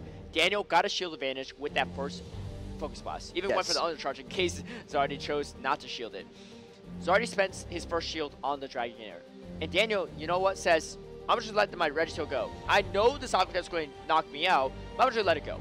And the reason is, if you look at the side of Daniel, that frost Froslass is super strong against the entire team of Zardy. Agreed. Fantastic matchup against the Deoxys defense. The rest of the matchups are kind of neutral, but with the shield advantage, you're actually in a good spot. Shield advantage against the Registeel, you can win that matchup. Shield advantage against the Shadow Dragonair, pretty good for the most part, right? You take a lot of damage from Dragon Breath, but pretty good. And honestly, the Dragonair was very low on health at that point. Swampert, same thing, shield advantage, pretty good situation. Mandibuzz, same situation. And then Lickitung, you win on that even shield situation against zero and one shield situation with the shield advantage even better. And so I think Daniel is saying your team is core broken by Froslass, especially if I have a shield advantage. And we saw Yeah. this strategy implemented by Hard Jeffy earlier on uh, day number 2 Mm-hmm. against Andre, relying on that water gun Lanturn. Shield advantage water gun Lanturn looks so good, especially into that team composition. So I think looking at that game, regardless if it's a rematch or not, Daniel made a really great strategy and call there to say, I don't need switch advantage. I'm going for it all with my Frost shield advantage. And I think he's going to rely on that strategy in both games two and maybe even three. And, you know, regardless of how he builds out the rest of the team, I, I'll be losing my mind if there's not Froslass on every single team. Yeah, exactly right. I, I think that the, the formula was there. I think that the strategy played itself out, and uh, it's really tough to, to consider some of these trainers like Daniel, who maybe you're not as familiar with, taking on a trainer like Zardy. There are so many capable trainers out there, and thousands of them are watching this stream right now, and we would love to see you come out and compete. We know that you can hang with the best of them. Speaking of the best of them, it looks like we reviewed the footage. Zardy was okay with the decision to not rematch game number one. So Daniel leads the series one to zero. Yeah, maybe he's already recognizing that uh, the Aerial Ace was not pressed, or it's just too hard to determine if it was pressed in that situation. Another possibility is also, we talked about it, did it make a difference, right? Yeah. Were you actually going to win that matchup still, even if you got the optimization? Because essentially what he's arguing for is I needed one extra turn there because I was trying to optimize instead yes. of giving away a two-turn powder snow into my one-turn throwing of the Aerial Ace. And I think looking back on it, I don't think it would have mattered, me personally as well. And it looks like Zardy and the judges agree because the Froslass would have won charge attack priority against the Mandibuzz in that situation, even if it got to that Aerial Ace at the very end, one turn earlier. Very, very well said. Caleb, you brought up a really interesting point earlier as well. You talked about how Froslass does not have a direct counter on Zardy's side. There's no way to really kind of wall that Pokemon off. Even even with the Registeel, right? You cannot absorb two Shadow Balls worth of damage from the Ghost and Ice type Pokemon. So if you're Zardy, you have to find creative ways to beat these tough teams. Can you talk a bit more about that? Like finding unconventional ways to take down Pokemon that you don't have a direct response for. What what position and what condition does Zardy need for him to topple this Froslass? Well, we talked about how strong the Frost is on Daniel's side, but also Zardy's Dragonair looks very strong. And Dragonair, if you're on even shields, can actually do pretty well into the Frost. You just out-muscle it with that fast pressure of the Dragon Breath. So I think Dragonair is definitely an option. And, I, and Zardy knew, knew about it too. I brought it into that first game. Swampert is not bad either. Swampert gets those Hydro Cannons way faster than Froslass gets to the Avalanche. Powder Snow to get to the Avalanche, 6, 6, 6. 6 Powder Snows on the first one, 6 on the second one, 5 on the third one, six on the fourth one. If you get to four avalanches, I feel like you won the game right there. Yeah, right? four avalanches is a lot. Yeah, yeah. But Swampert, on the other hand, much faster pacing with a Mudshot to Hydro Cannon uh, timing. Five, four, five, four. That's what we talk about. Is it the five cycle or the four cycle, right? Because on the second Hydro Cannon is only four Mudshot to it. On the fourth Hydro Cannon, only four Mudshot, Mudshot to it, which is why it feels like when you're facing off against Swampert, there's a Hydro Cannon flying around every five seconds. Dude, there's so much math in Pokemon Go, but these are some easy numbers. Zardy needs to win two games straight to stay in the tournament here in Sao Paulo. Meanwhile, Daniel's just one win away from taking down a trainer that's qualified for Worlds numerous times and is at the top of his game. And this is already looking like a great start for Daniel, trying to catch the Power Whip, not able to do it, and now this is a weird There's no situation. answer! There's no answer to the Registeel safe swap. I think Daniel's going to go for a chip and dip situation, maybe bring in his own Registeel after this, chip it down. I don't know, I mean, take a Focus Blast, it's just weird. And now here comes the Registeel. Zardy is going to throw his own Focus Blast. I'd like this play from Daniel, though, because Registeel is so clunky. You need to throw two charge attacks in this situation take out the opposing Registeel in the Mirror Master. You're not doing any damage to the Fast Moves anyway. And now look at this. Daniel's going to reach his Focus at more sooner than Zardy is, and now able to take it out. And because the Lick and Body Slam damage added on to the Registeel, it's enough to knock out Registeel, Zardy's Registeel if he doesn't shield, and he does not shield, taking it out. That's his answer to Safe Swap Registeel. But, but I'm looking at this Registeel now. It's very palatable in terms of HP. You can get about seven Mudshots if you're Swampert and cap on your energy. Throw a Hydro Cannon right here to get the knockout. And there's no answer for Swampert either. There's no Serperior here on the side of Daniel. So he's got to get creative. I mean, there's still four shields in play. He has a lot of energy. He actually has a Power Whip worth of energy too. Again, Daniel not shielding anything, saying, I'm going to win this on the backs of a shield advantage process. But like I said, Zardy's Shadow Dragonair, it's going to do a lot of damage with the fasting pressure. And so that in itself could be pretty crucial. The Zardy shield not? He knows there's a Dragonair in the back. A huge no-shield call. Could have been Power Whip, but it was not. And here you can see Daniel trying to get to another Bison. Wow. On charge attack priority. Daniel's saying, you know what, I don't care. I'm not shielding. I'm not shielding yeah. anything here.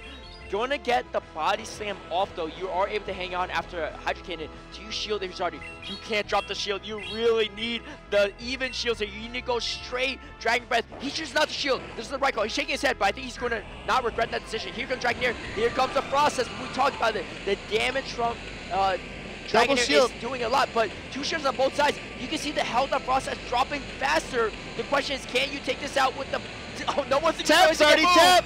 Here comes here comes Shadow Dragonair trying to Dragon Breath down the opponent. Here comes Lickitung trying to Dragon Breath down. Can't quite get it. And Daniel is able to edge out Zardy with the Lickitung there. One turn fast attacks all the way around. Not a single Protect Shields spent in that entire game, and Daniel comes out on top. DBS Daniel, all smiles here, taking out one of the strongest trainers in Latin America and in the whole world. Easy starting to the sportsmanship, giving him the claps as well to recognize that Daniel played immaculate, played really well in that series. And wow, I gotta see the highlights of that one. But the, the one turn fast moves there too, right in the end. One turn Lick versus one turn Dragonair. I actually thought Dragonair might be able to Me edge too. out the Lickitung at the very end, but just not enough. I think Zardy had the right formula. He made the right no shield calls as well, right? Not shielding the Swampert, knowing that he had to save both shields from the Froslass. He knew there was a Frost in his back. That shows his expertise in the game, recognizing the team composition that Daniel would bring and knowing that his team is weak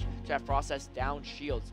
Held onto shields, but just unfortunately not enough to carry it all the way. Uh, We got to give it up for Daniel, giving us two of the most exciting series we've seen all weekend long. Here comes his Frost Ice in game number one. Zardy's Mandibuzz unable to slow it down, takes the Avalanche, gets knocked out. He's already at a shield disadvantage to begin with, and now Froslass is just going to sweep through the competition. And you can see uh, going for it, that play with the Avalanche, shaking his head, but you know, he's actually in a much better spot than he thought he was.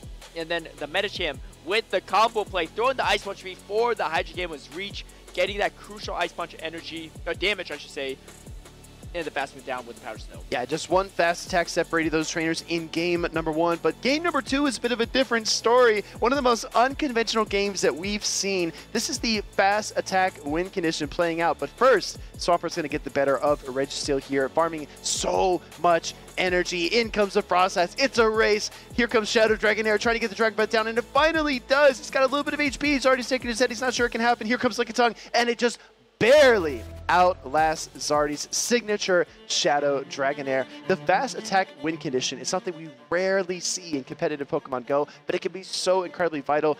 Typically, Caleb, we see that with like charm users, right? Uh, Shadow Alolan Ninetales is the is the number one kind of culprit in my mind, but it can win you battles. Recognizing your win conditions can be very unconventional sometimes. And for those that are wondering, why not throw a charge attack anyway? I mean, you have shields, but still just throw it. Because the main thing is, anytime you throw a charge attack, it costs you one turn to throw it. It allows your opponent to get another turn of fast attack damage. That another extra Dragon Breath coming into Froslass changes things quite a bit. You get one less Powder Snow in that situation. You get one less Lick if you're the Lickitung and you're doing that. So you actually want to commit all the way to the fast attack pressure. If you cannot throw enough charge attacks to get rid of their shields to get to land a move, it makes no sense to do it. And you see both trainers showing their knowledge of the game and understanding. And one HP in a dream for Daniels Lickitung, one HP in a dream for Daniels Road to continuing on in this bracket LAIC. You love to see Yeah, it. so tough. Close matchups, right? It takes about six powder snows for Dragonair to get to the Aqua Tail. So the pacing there was so close. These matches have been razor thin, and they've been a treat to watch. But speaking of things that you can get from watching, we've got some awesome Twitch drops here on the stream. Make sure you're tuning in, claiming these awesome rewards. It takes a lot to build a competitive Pokemon Go PvP team, but these items will help. Star pieces, rare candies, TMs, all kinds of items you can get just from watching the stream this weekend. And it's not just limited to Pokemon Go.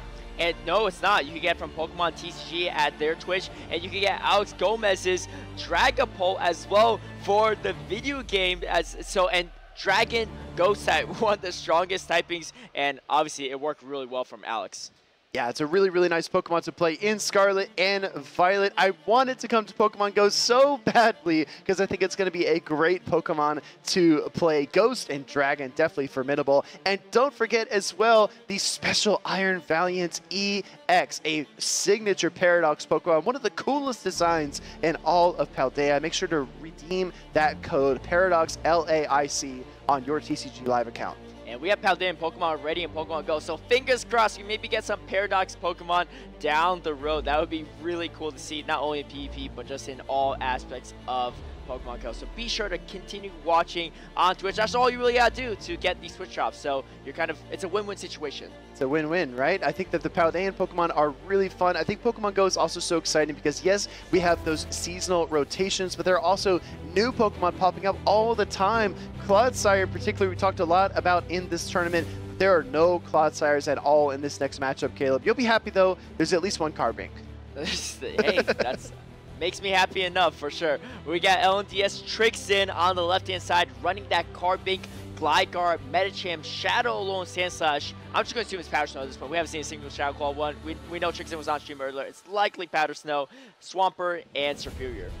Yeah, really, really solid teams and solid players. Again, this is what I really think of when I think of hard meta here in Season 3. A couple of exceptions, right? We see the Carbink, we see the Purified Sableye, a little bit of variation here and there, but these two trainers have been fighting really, really hard. Trixen has been fun to watch, and Danny Booz as well. Very, very talented in his own right. I don't know who has more more momentum coming into this losers round too, right? I mean, they're just kind of getting their second day started, but the battles are not getting any easier. They are not. And this, looking at the team from Trixen, I really like the combination. I feel like Grass and Carbink, Serperior and Carbink, or Venus and Carbink, very strong core. you love to see the crowd. Look at the crowd here too. They're cheering on their friends as well, and they've they've been cheering on all weekend, and yes. they've continued to go on. I can hear from backstage right? when I'm in the break room, so it's incredible to see. I know I don't even need to look at the stream. I know if there's if I'm hearing the crowd, something big happens. Do us all a favor and type some olays in the chat if you are watching. The crowd here in Sao Paulo is electric, and it's so much fun. It's such an honor to be here among these passionate and committed trainers. LNDS Trixen versus Danny Booz on your screen. Again, this is losers round two. Let's just remind you, uh, everyone at home, what's at stake. If you lose this series, if you're Danny Booz and you lose, you're out of the tournament. You have no shot to make it to that grand final stage. If you're Trixen, this might be the last round that you play in Sao Paulo. Your back is against the wall in this loser side bracket. And yeah, uh, agreed. 100%. Trixen, again, we're talking about the grass and Carbink combination. However, I think a new combination on the rise is Carbink and Gligar. Gligar being a hard wall to that Clodsire. And you see all three Pokemon on Trixen's side. Here we have a Serperior ma uh, mirror matchup, and there's no Leaf Tornado in sight. Aerial Ace is going to be raining. you read my mind. I was looking for the Leaf Tornado, but knowing which of these Serperior wins that charge attack priority tie is going to be critical. First Air coming here from Trixen does deal some super effective damage to Danny Booz, but he did not force the charge attack priority tie. What that commonly tells us is that Danny Booz knows he's trained his Serperior to a very high level, trying to maximize those stats, and he's likely to lose the charge attack priority tie. But is that a fake out? Is it true? He's going for the back-to-backs here. And, and Trixen not throwing the aerials on this uh, potential charge attack priority as well. So we really have no idea which one's going to win charge attack priority. Are we going to find out which Serperior is going to be superior in this situation? Oh. You like that one? Oh my gosh, yeah. That was, uh, that was a really, really good joke there, Caleb. You Here know? we see another I read it from a Speedy Chief joke book earlier. Uh, yeah, yeah, I've got dozens of them. We're going to see a lot of power whips coming through. And there's a charge attack priority tie, just like we predicted. Trixen's Serperior is going to win this exchange and get to go first, which is critical in terms of controlling switch advantage. And that's an interesting matchup too, because I think most people are going to default to more bulk on their Serperior. So it's hard to see exactly. It doesn't really make as much sense to build a attack heavy Serperior oh, in that situation. big. Oh, and yeah, uh, speaking of big, Look, that's, a big yeah, that's a big Medicham on the right hand side and a small one, but that small Medicham can pack a punch because it has Psychic. It's going to win that head-to-head -head matchup. Yeah, we saw the Medichams come out, but this is critical too because the Ice Punch will connect. There's a Swampert in the back for Trixen, and here it comes into the Gligar as if it needed any help. That Ice Punch took the majority of Gligar's HP away. Gonna go for the Aerial Ace here. Could be a dig.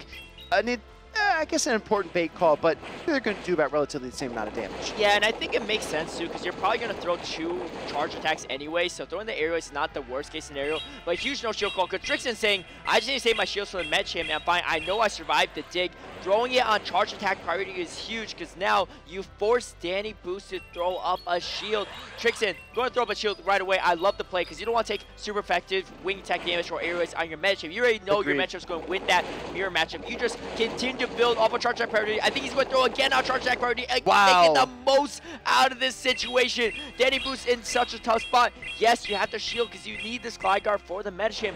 Trixen Array has another Hydro Cannon. You have to catch a second Hydro Cannon here. Yeah, absolutely. Signed, sealed, and delivered. That charge attack priority tie was perfect from Trixen. He's going to look to deal another Hydro Cannon here, but he can overcharge even more because the Gligar does not have the energy. Actually going to go straight for it. I, I think you like that play, Caleb. I see you nodding your head. I like it because, yes, he could get greedy and try to go for no charge attack priority, but he takes out Gligar. He knows he will win this game because he has a superior Medicham moveset and catching the Ice Punch, too. Insult to injury. Trixen saying, I'm going to play as best as I could and going to save the energy on the Swampert as well. I love the play building up to that Psychic now. Yeah, here comes Medicham from Trixen. It's small in stature, but it hits hard. Here comes another Ice Punch from Danny Booz trying to chip down this Medicham, but like you pointed out, Caleb, that Psychic on the side of Trixen is going to be a difference maker here. Ice Punch chips, but Psychic chunks, and here it comes from Trixen's Medicham. Visually, this is like a David and Goliath matchup. David going to come out on top of this one for sure. The Psychic is going to connect. There's a chance that this Ice Punch actually could knock out. Wait. the Swampert has energy. Can you go for it? Danny Booz throws the Ice Punch. Swampert does not have Hydrocan. You need to survive enough mud shot damage One mud to get. shot.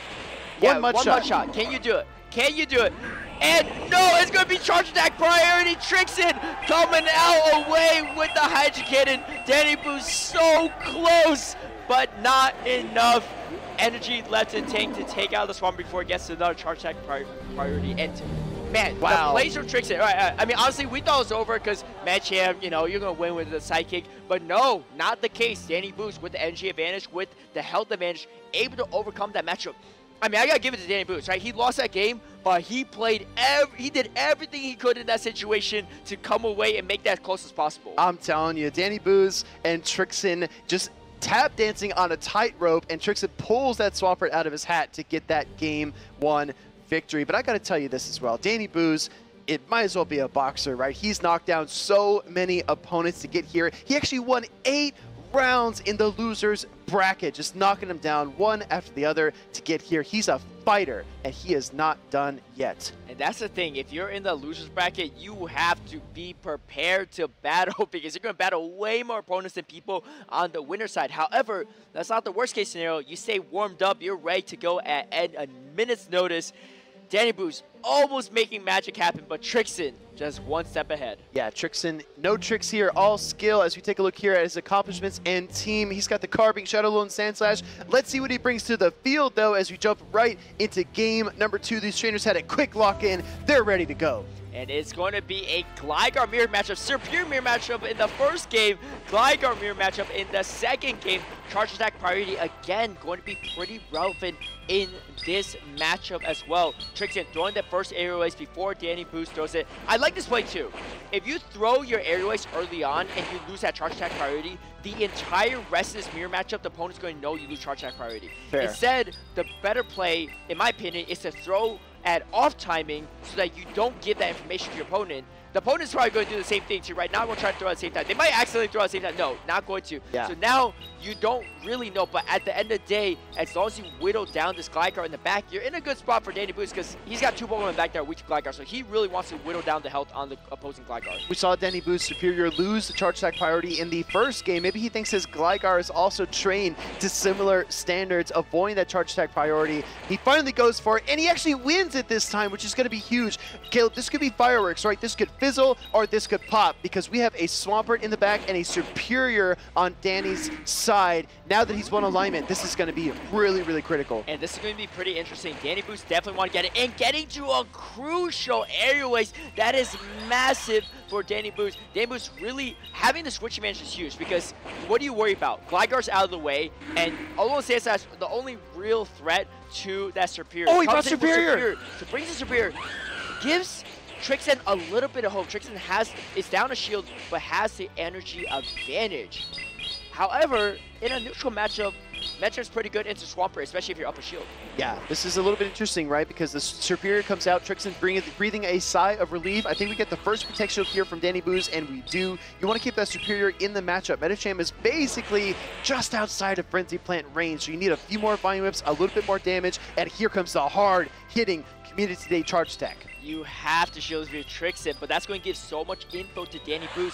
He does shield, but here's the thing. Danny Booz could go straight for the Frenzy Plant at this point. You can't catch There the it Frenzy is. On the Swampert. It is going to connect. You see Trixen shaking his head. He needs to hang on. He needs to survive this Frenzy Plant to get that crucial Ice Punch. Can you get it off? No, it is going to knock out. This is going to be terrible for the Swampert. Swampert trying to get to that move. You're going to get to the Frenzy Plant at the same time, and you see Trixen not even throwing the Hydro Cannon, recognizing this game is over. Danny Booz Serperior lost the charge attack priority and eventually lost him the game in game number one, but it comes back here with a one-hit KO on Swampert. Danny Booz is right back in it. taking out the Swampert. Huge plays from Danny Booz. You see the Danny Booz fans also cheering as well too. There's fans on both sides of the field and you love to hear it. Absolutely. The crowd is electric. As we talked about before though, this is the loser's side bracket. This is a decisive game number three. One of these trainers is going to lead that stage and they're going to go home. The other one will continue to fight it out here in Sao Paulo. Your tournament run, your tournament life comes down to this next game. You have to make the right picks. You have to make the right choices, make the right formula to win this series. You know Serperior matchups, you know the Gligar matchups. There is a lot at stake here, and these trainers have to make the best decision for themselves. And we've seen two mirror matchups start off in games one and two. Do we see it again for the third game? That's going to be the real question. Players are locked in and ready to go. It is going to be game number three, decisive for this one. And a fantastic lead for Trixen, an even better backline. Yeah, this is a solid position for Trixen, but the momentum can swing. Danny Booz has that Purified Sableye. He brought the number one counter to Medicham, and that energy can really swing things in the future. But first, Aerial Ace connects into Serperior. Gonna look for a Frenzy Plant here. No switch outs from Danny Booz. Danny Booz, ABA weak to Gligar, going for this hard-hitting neutral Frenzy Plant. Do you shield if you're Trixen? And Trixen is going to shield, going to snuff out the ABA weakness, recognizing that it makes no sense for Danny Booz to stay in this matchup unless you are weak to Gligar in the back too. And he's thinking, Right, what, what, can be in the weak back? It's got to be the, uh, Medicham. So he's already yeah. predicting the Medicham in the back. Now, this is going to be interesting for Danny Booz. He is in a tough position, forced to show the Sableye, too. Now, Trixen knows much more on how to play around this matchup. Yeah, I think you said it perfectly, right? In the mind of the competitor, Trixen knows the Gligar is going to have tremendous value, so it's absolutely worth that first shield. And he's going to force the shield away from Danny Booz, but it's just the aerial ace. He really wishes he would have shielded the Dig there. And I got bad news for the Sableye. I don't think that this foul play even KOs. I don't think so either. The question is, can Trixen reach a Dig? Gligar deceptively bulky, going for a dig now. And not to shield. This is huge. just everything tricks Trixen needs. You want to bring the Sable as low as possible because you know your matchup is to win that mirror matchup. You have a decent amount of energy, though, on the Sable so it's to do a decent amount of damage to the Sable It is definitely not over yet. Sable trying to powder snow down, throws the foul play. Do we get a shield from Trixen? That would be a deciding factor here. Do we get the protection on the foul play? No, gonna let it through. Trixen making all the reads, use swap, and then here comes the ice punch. You gotta see the Medicham right after this. This is definitely not over yet. You get some energy lead on Danny Booz's his sides Medicham. That ice punch is gonna hurt. But the thing is, you have Psychic already, so I guess you're closing in on the ice punch range. Energy is on the side of Danny, though.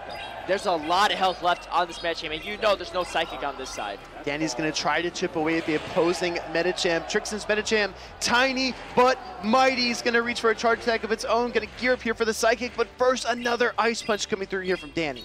You need to catch a move on the safe one. Danny shaking his head. Might be over, but he's going to go down swinging. Can you get the switch timer close? No, Switch Timer is not the bait. Force to shield the Ice One. Trixen has another one up his sleeve as well. Can you swap over to Sableye to, to somehow catch some of this energy? Not able to, and throws the Psychic enough to definitely knock out this Medicham. Trixen's Medicham claps its hands. The Psychic rains down on the Medicham, and Danny Booz forced to throw in the towel here against LNDS Trixen. Trixen closing it out, two to one, and you know all his fans, all his friends, all his teammates are in the crowd loving it. Absolutely loving it, loving the energy here. Don't call it home field advantage. We've got fans from all over the world here cheering on these trainers, but Trixen was definitely the better trainer in this engagement. Danny Booz with a phenomenal record, eight wins in a row in that loser's bracket, just fighting with his tournament life on the line time and time again, but finally got knocked out of the ring by LNDS Trixen. That lead in that final game was a little too hard for Danny Booz to overcome, but on top of that, the really great read from Trixen to recognize, hey, he's ABA weak to my Gligar. I'm going to shield the Frenzy Plant, right? Typically, you don't yeah. have to shield that matchup. If you want to win it with Gligar, even down a shield, you can win it, but saying, you know what? This Gligar has so much value. Getting the shield bait against Sableye and landing the dig. Got so much value with the Gligar. Let's take a look at the highlights see how it all unfolded. Yeah, call it intuition, call it body language, whatever you want to call it. These trainers are making high level reads time and time again. Winning the charge attack priority tie here for Trixen definitely set him on the right path in game number one. Swampert striking back here from Danny Booz, but the Medicham just could not quite get the job done here with the switch. And this game was actually super close. Impeccable plays from Trixen, but Danny Booz making all the adjustments needed almost almost winning this, but Trixen just a little too quick with his Swampert, getting that Hydro Cannon on that charge attack priority against Danny Booz. You know Danny Booz, you can see on his face too, he knew how close he was at coming back from one of the toughest matchups for him. Game number two though, made the right adjustments, winning charge attack priority in that lead matchup too, really set him up for victory. Yeah, that Swampert was really the ace up Trixen's sleeve, but in the end, he relied on his Medicham to close things out. A great Protect Shield here in game number two from uh, from Trixen against Danny Booz. Aerial Ace gets the full counter down. He's got Danny Booz in a tough spot, but Danny Booz able to strike back. Frenzy Plant was actually enough to get the knockout here against the opposing Medicham, and he just slams the door shut on Swampert here. And Serperior is going to shine in this matchup, looking so good against the Swampert for Trixen that's been in those first two games. But everything that's strong has its own weakness, and here Serperior did not look nearly as strong against the Gligar in the lead, and here was the Gligar doing so much work for Trixen, getting the airway shield bait, now landing a harder hitting dig, putting the Sableye so low, and again, another big no shield too in that Alolan Sandslash and the decisive Psychic to close it out for Trixen. Yeah, that tiny Medicham just making a huge outsized impact here at LAIC. I'll tell you what, everybody watching at home, drop a follow on the channel if you enjoyed that matchup between Trixen and Danny Booz. Drop, drop a follow for the tiny Medicham for the XX Small, right? Drop a follow on the channel. Show us your support. Let us know you're enjoying the LAIC 2024 broadcast. And be sure to follow us on all the different social too. Use hashtag Pokemon LAIC if you want your tweets featured on the stream too. We might just see your thoughts, whether you're at the venue or you're at home to let us know what you think of the competition here this weekend. I'm telling you, there's so many trainers here in the arena that are standing up, cheering, being vocal. I know there are far many at home that are just in the matches with us, that are clenching their fists and so excited when these trainers win, and it's so, I guess, upset when things don't go their way. But still, let us know how everything's playing out for you. Speaking of playing things out, why don't we get some tips from some of the top trainers in the world? We'll be right back after this.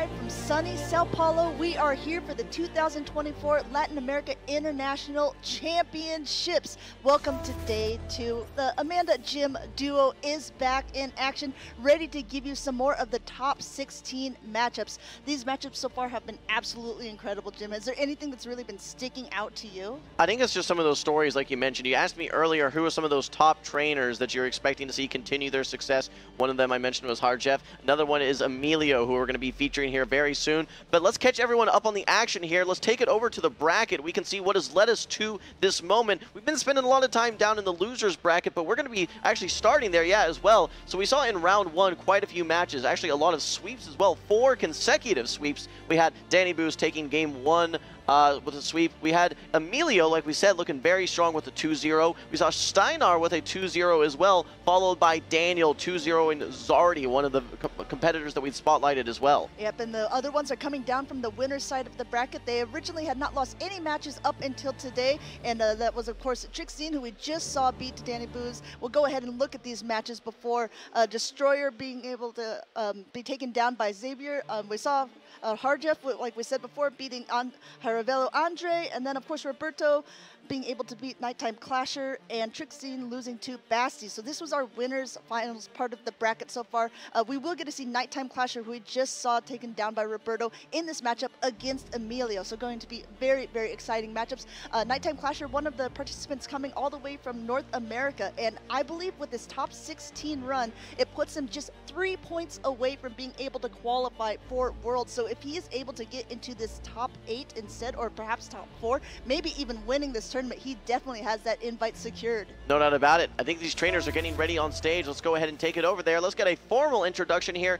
Yet again, Nighttime Clasher, one of the more interesting teams that we've seen here, not only with the Clodsire, but with the Dewgong as well. Dewgong being one of those Pokemon that has incredible ice and ground charged attacks, provides a lot of flexibility to hit almost any typing. It's going to be rounded out with the Medicham, the Lickitung, the Serperior, and the Shadow Charizard. Yeah, Shadow Charizard. We saw an action yesterday of Nighttime Clasher against Daniel being able to secure a 2-1 victory, but let's not count out Emilio here, a Chilean player that we've seen quite often on stream already doing an absolutely amazing job. Uh, he is running that Lickitung, Medicham, Lanturn, Gligar, Sandslash, and that Shadow Dragonite. All right, and if we uh, take a look actually at these uh, the kind of paths to success here, like we mentioned, Emilio earlier on, he had one of the most impressive 2-0s that I had ever seen. He had had back-to-back-to-back top tier plays. I put that S plus tier play. So what an incredible, incredible trip that he's had. But you mentioned Nighttime Clasher. He needs to figure out how to take that success from day one into day two. Amanda, let's move into the battle. Well, this might not be the way to go about it as a Serperior and Gligar is not the best matchup for Serperior. Looks like going ahead and staying in because those Frenzy Plants will be doing neutral damage. The Aerial Ace will be able to connect first. Both of them charging up a little bit of extra energy. Nighttime Clasher attempting an attempt of a Licky, uh, Lickitung safe swap. Yeah, you know what? I think you have to swap out in this scenario. You have two better answers to this Gligar. You don't want to stay in that bad matchup. Yes, you can fire off those neutral Frenzy Plants, but you don't want to take any aerial aces at all. This is interesting now. The chip and dip strategy, like we see from Emilio very regularly, have a little bit of an HP advantage, but two body slams will add up very quickly. You're going to need to land this Psychic if you're going to take down this Lickitung. Yeah, Lickitung already at that body slam. First one being able to go through. Emilio says, I know that I will be able to tank that. It's going to be the Licks in the next body slam that will be doing more, but the Psychic is going to be able to be reached first. Will Nighttime Clasher call this? Yes, he does, shielding up that Lickitung. Yeah, Nighttime Clasher has a lot to gain here. If he's able to get that Dewgong lined up versus that Gligar, that is going to be the best possible scenario for him. Trying to desperately get to two body slams, throws on good timing, able to fire off this body slam. It's enough to knock out. Does Emilio want to return and have his own shield? Yes, indeed. Now it's going to be a race to the finish. Can you get to this last body slam, or will we see a counter down, maybe even an ice punch? Does not get to the body slam. This is huge for Emilio. This is indeed huge for Emilio. Also coming out with a move stored. We'll have to see what comes in. An ice punch. Uh, you can tell not super happy with this. This is not going to be doing that much damage at all to the Dewgong. Dewgong, however, does not want to be taking these counters. We might see an aggressive farm down just to get a lot of energy. Yeah, actually an exhale from Nighttime Clasher there. He knows he got a little bit lucky there. He tanks that double resisted Ice Punch and gets a little bit of an energy advantage. He's going to be meeting the Lickitung, which is not what he wants to see. Wants to be aligned versus that Gligar, but he does have the advantage to potentially throw some energy, maybe even swap back into Serperior. Keep in mind, Serperior has a lot of energy that it has gained. And we have to remember, Icy Wind is a 100% going to debuff the attack of this Lickitung. It is already one stage debuff, already two stages debuff now because of this Dewgong's Icy Wind. Emilio knows it as well. This Power Whip will not be doing as much uh, to the Dewgong either and swapping immediately in for a combination play. This Frenzy Plant going. Will Emilio use this last shield on the Lickitung? All right, no, Ops to let it go knows that you will hang on. You can swap out and bank that energy for later, knowing that it will no longer be debuffed. Here comes the Gligar. It almost has two Aerial Aces. We actually have a charge attack priority tie, potentially. The Aerial Ace will be the first to fire. This is super effective, but again, not a very efficient move in general. It's not going to be enough to knock out the Serperior. Definitely not enough to knock out. It is looks like a charge attack a priority. The properly now shielding up this last Frenzy Plant, which would be doing more damage to the Gligar overall. Emilio is out of shields, but up in energy. Look at this, already being able to just basically almost fast attack down, coming out with a lot of energy on both the Gligar and the Lickitung in the back. All right, at this point, Nighttime Clasher might be thinking to himself, my win condition is to no shield and aerial ace, so I expect to see a no shield at this point. That's exactly what we see. Unfortunately for him, it is the dig. This is going to be a lot of damage. Keep in mind that there is still a move stored on that Lickitung as well. You can throw one move and actually maybe just farm all the way down. No, but actually instead opts to throw the aerial ace. Going to be able to shield this up. Keep in mind, I think Emilio might be down shields here. This could come down to a charged attack priority. No! No! A 1 HP shield knockout. What a win for Emilio. You can see the excitement in his face. Yeah, it's absolutely incredible, and maybe a mechanic that not all players actually know about. So, Jim, let's go ahead and explain this real quick. When a shield goes up, one damage still goes through the shield every single time, though it protects from most of that damage. However, if you only have one HP left on your Pokemon, shielding that up will still cause that to go through, causing a shield knockout, as we just saw. What an amazing game, game one. They don't get closer than that, Amanda. Nighttime Clasher almost was able to fully farm down. In fact, I believe that Ice Shard would have been the knockout blow versus that Gligar, where it's hitting double super effective. Yes, there was a move stored on the Lickitung, but I think the Dewgong may have had an opportunity to throw that charge attack, but again, just like you said, due to the mechanics with a shield, one HP is always taken regardless of the circumstances. Sometimes you might see the sliver of HP go from the yellow to the red, even with the shield.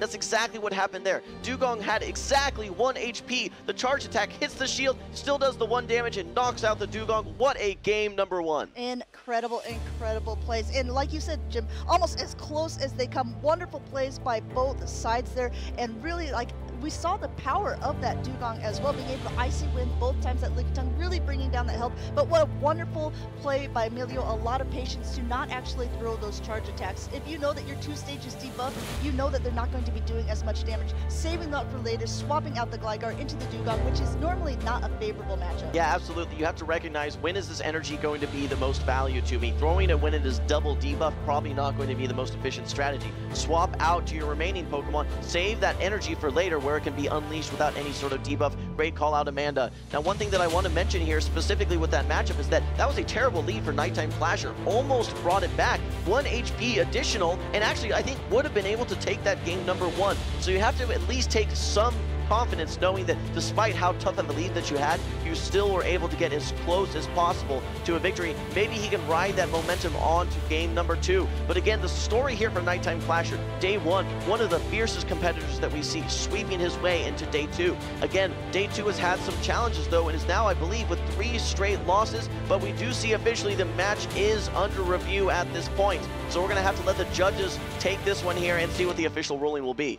Yeah, while we talk about that, let's kind of go over not only game one, but these guys' journey so far. Like you were saying earlier, Emilio has had such an incredible run. You've been overwhelmingly impressed with the plays that he has put on time and time again throughout this LAIC. Uh, I don't think he was your favorite necessarily going in, but the more you talk about him, the more I'm really picking up that you are a, a big, big fan. I think we mentioned this the last time we were on the broadcast. Emilio initially was knocked down by Shadow Band down into the losers round, but he's had lots of success now. Again, he beat Patrick Albany and then also had the grudge match versus Shadow Band as well, where he was able to take the victory. Has not lost since that initial loss, so he's definitely on a wave of momentum. He had a 2-0 victory in his last matchup as well. Now three straight victories. We're going to have to see the result of this match. Uh, at this point, it sounds like we are starting to get our ruling here. It's being reviewed still right now. There may be some potential fast attacks that were missed. We're getting to, we're going to get that information to you as soon as possible. The one thing that I wanted to look at though is specifically the Dewgong because I think right. it's one of the most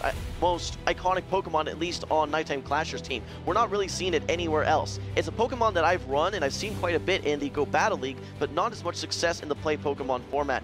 Now, Amanda, obviously it's going to struggle versus the Medicham, but where do you see Dewgong shining in this current meta? I think because uh, there's not a lot of flyers like you talked about, but Gligar is everywhere, and Dewgong does amazing against Gligar. We saw it basically in this matchup. I mean, when there's a lot of energy on the Gligar, of course, when there's not a lot of energy on any Pokemon, uh, there's always going to be a more of a fighting chance, but Dewgong being able to hit a lot of things as well with these icy winds, again, with a 100% capability to debuff your opponent's attack. We're going to go ahead and take a look look at this uh, match that is under review right now to see what is going on. Uh, as we see now, a body, the body slam from Nighttime Clasher is going through and it is going unshielded by Emilio's side. Well, Amanda, remember this. This Lickitung was unable to get that body slam off, which would have turned switch for Nighttime Clasher. If he's able to get that body slam, that would be incredibly impactful. So you can see a body slam is loaded right there. I believe there was a shield on this initial Psychic. This was the first Protect shield. If I'm not mistaken, Emilio then also shields this next body slam. The question is, can Lickitung get to this last body slam? Let's look very closely here and see if there's any missed fast attacks whatsoever. These licks seem to be coming through. Throws on good timing, like we mentioned. Here comes the body slam, and Emilio does counter shield to use his first Protect Shield. This is going to be very close at the very end here, though, with these counters. Should this Lickitung be able to reach this Body Slam? I don't know. I think it was very close. It seemed like that those two counters, along with two licks, just knocked out.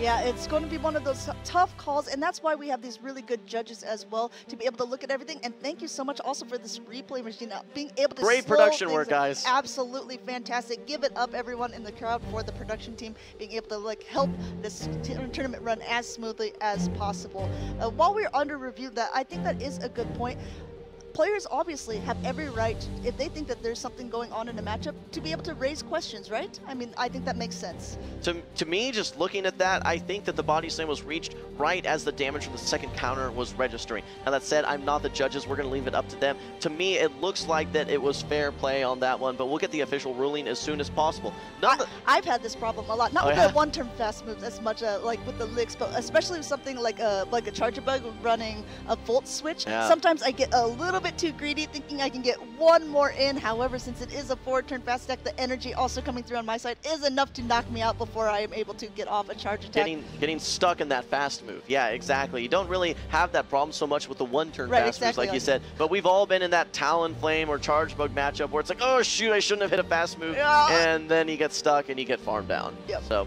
yeah, we'll have to see what the ruling is there. But like I was saying, I think that regardless of the outcome there, Nighttime Clasher has to have some positive momentum, knowing that he had a tough lead and was able to get it as close as it was. We're getting the official ruling right now, though. Amanda, and it sounds like no rematch. So as it stands, 1-0 Emilio. That will be our official confirmation. They're going to have to now recollect themselves and move into a game two. Nighttime Clash are only one game away from being knocked out of this tournament. But in the same regard, uh, Emilio has to win this next one to stay in the tournament. We have seen sweeps. We've also seen reverse sweeps today as well. We call when the, you are down, but that doesn't mean that you are out. Being able to win two games in a row to secure your spot to continue on in this bracket. So it's still anyone's game until the very end. All right. Well, Amanda, I want to specifically mention we mentioned the Gligar as one of the definite targets for that Dewgong to get lined up against, but there's also that Shadow Dragonite oh, as well. Sure. So there are two Pokemon that take double super effective damage from Ice. So I see a lot of reasons for Nighttime Clasher to bring that Dewgong again, but I think Emilio had a very nice response. Brought the Medicham the Gligar, yes, he did bring, I believe it was the Lickitung that he had as well in yep. that game one. Yeah, those are two good answers to that Dewgong. So bringing two answers to a Pokemon that you know is going to be a threat to your team, very, very smart. I am wondering if Emilio has brought this Dragonite as sheer bench pressure because he's been on stream quite a few times. We I haven't seen it. yet to see it. The Dragon's nowhere in sight, just perhaps looming from the skies uh, with its ominous shadow presence. Uh, uh, we have a shadow on the other side as well. Um, Nighttime Clasher's Shadow Charizard actually does pretty well against a Shadow Dragonite as well because of being able to reach those Dragon Claws very, very quickly, which is super effective damage. Yeah, the challenges you run into is despite being able to pace to charge attacks a little bit faster in five and then four wing attacks, unfortunately that Dragon Breath pressure is just so much more imposing than your own wing attack fast attacks. So Dragonite, if it has shields, should be able to secure that matchup without too many problems. If I'm Emilio, I'm running it back. I like that flexible team of the Medicham, Lickitung, and Gligar. I think that that was a very, very solid team. Nighttime Clasher, however, had bad alignment. While I like the team with the Serperior, I like the team with the Dewgong, maybe switching things around a bit, maybe even trying to bring in a core breaker that could potentially bust up that Medi or that Medicham Lickitung core that Emilio certainly likes to run. Yeah, I think that, that is a good point overall. Uh, like we've been talking about earlier, especially now with open team sheets where you can see what your opponent's Medicham is running. If it is not on Dynamic Punch, I think that Lickitung always makes a really nice safe swap or pivot Pokemon, especially if there's not like a Registeel or some sort of specific hard counter on the other side. So I would not be surprised to see what you were talking about, Jim, that Medicham and Lickitung core together. They have been strong. We've been seeing it throughout this Pokemon season so far. Let's go ahead and get into game two. Instead of uh, Lickitung safe swap, like we both have him in the lead. All right, well, Lickitung is just so safe for Emilio. There's really no hard answer on Nighttime Clasher's team, so you're going to be bringing that every game. Now, honestly, for Nighttime Clasher, one of the best places that you can see the Lickitung is your own Lickitung, because you don't want to see it on your Dewgong whatsoever. The challenge, though, is with this Dewgong, Emilio has brought all of his answers. Number one, he has brought his Medicham. Number two, he's brought his Lickitung. He also has his Alolan Sandslash, which will be double resisting those Ice Shards. So Emilio has a lot of advantages here, but we have to see how this plays out. I also want to point out, Jim, that this is so important to see who will actually win this portion of the matchup because whoever wins this gets to decide Pokemon come in the back because that Dewgong does not want anything to do with Emilio's Medicham and the Serperior does not want anything to do with the Alolan Sandslash. So if Emilio is able to get the right Pokemon on, it looks like it could be a very, very uphill climb for Nighttime Clasher. Yeah, this is going to be tough for sure. And, you know, it really may come down to charge attack priority on these Lickitungs. They're pacing to charged attacks at the exact same rate with these Licks getting to these body slams. I don't know that there's any reason to throw a Power Whip. Yes, it does do a bit more damage, but at this range for both of these Lickitungs, two body slams should be enough to knock out or very, very close. Let's see what it comes down to. Emilio's opted to throw a little bit later. You can see he has quite a bit more energy, but this should even things out and put us at energy parity. At second body, second going through here, Nighttime Clasher still not using a shield. Looks like neither one really wants to use a shield. Like you said, they're going to reach it at the exact same time, and it is going to be Emilio winning this. Oh, Jim, do you think that Nighttime Clasher will shield this? It doesn't look like he's going to, and this could be the turning point already in this matchup. No, he immediately lets it go. The question is, where does he want energy? Vine Whip is not going to be very hard hitting. In fact, I anticipate this Lickitung being able to get to one more body slam. Actually does. You can see that's quite a bit of meaningful chip damage. This will take this Serperior not quite down to 50%, maybe 65 or so, but that's meaningful chip damage. Now putting in a range where one charge attack from your Alolan Sandslash will knock out as opposed to needing two normally to remember since this is Powder Snow Alolan Sandslash is going to be affecting the Serperior with its fast attacks and its charge attacks. Nighttime Clasher forced to swap out into this Dewgong, and you can see Emilio already pumping his ears. He knows this is an alignment that he exactly wants. Winning that Lickitung uh, charge attack priority really set up this backline to shine. Yeah, it's really the worst case scenario with two shields. Maybe shields down, Dewgong can do a little bit of work, but you can see these counters adding up so quickly. You don't even need to use a shield. You survive two icy winds. Drill Run is the harder hitting move. You can simply just fire off these charged attacks at good timing, strip these Protect Shields away, and you're confident because you've already done all of this meaningful damage. Alolan Sandslash should have no problem cleaning things up at this point, even if your Medicham goes down at this point. Emilio does opt to use the shield, however, wants to try and diminish the HP on this Dewgong as much as possible. I do like this play from Nighttime Clasher though, just debuffing and debuffing as much as he can, trying to make sure that this Medicham is at least not doing as much damage with the counters, having uh, forcing Steel to go for the Psychic and getting that last shield from Nighttime Clasher as well. But these counters, as you can see, even though they're double debuff, they are still adding up. And now they're switching to the from the Serperior, but the, I mean, the Alolan Sandslash has still too much health. Yeah, you need to get to two moves to get that last Protect Shield, but Nighttime Clasher behind in energy. Emilio has the move ready to go. Again, after that Body Slam, this is enough damage here to knock out the Serperior. You have one HP left on your Dewgong. no Protect Shields at this point. May even be able to just powder Snow down, and that is going to be it for Nighttime Clasher. Emilio will be moving on with a 2-0 sweep. Incredible, incredible plays by Emilio. Congratulations. You can see the excitement. He is so happy about how things have been going for him so far, and so are his fans. Look at the crowd crowd all cheering for it. A Nighttime Clasher also a tremendous play, a top cut performance in almost every single tournament that he has been playing in, and today is no exception as well. Congratulations to him. And still, like I said, even though he didn't quite make it, he is only, I believe, like three points away from qualifying for Worlds. So I have a feeling with one more good tournament run, we will definitely be seeing him in Honolulu. He's definitely doing the World Tour here, attending these ICs as well as regionals. Yeah, we expect to see a lot more of Nighttime Clasher. Still, being able to top 16 outside of your region, just wow, very, very impressive. A lot of these trainers probably never battled before here in Absolutely the Play true. Pokemon format. So still a very, very impressive run. He's going to have to figure out how do I take the day one success and take that into day two to find success as well. That's going to be the story for Nighttime Clasher. Uh, for Emilio, though, again, just a continuation of that dominance. Let's see if we have some highlights for you guys. We want to take a look back at those games as well. I really think that Emilio is just consistently coming through with smart teams, smart plays. Game number one, we do see this Lickitung, or sorry, rather this Medicham shield at the body slam, and the Lickitung again was unable to reach that second counter damage registering just in time to knock out the Lickitung. Yep, but now this Frenzy Plant going through, it will be doing a lot of damage overall. I mean, but still not quite enough to take out the Lickitung, as you can see, and the Lickitung stores all of that energy for later, and this is such a crucial moment. Emilio knows it as well. The uh, Dewgong is so low here at 1 HP. Uh, Nighttime Clasher forced to shield up this aerial ace, but because it is so low and one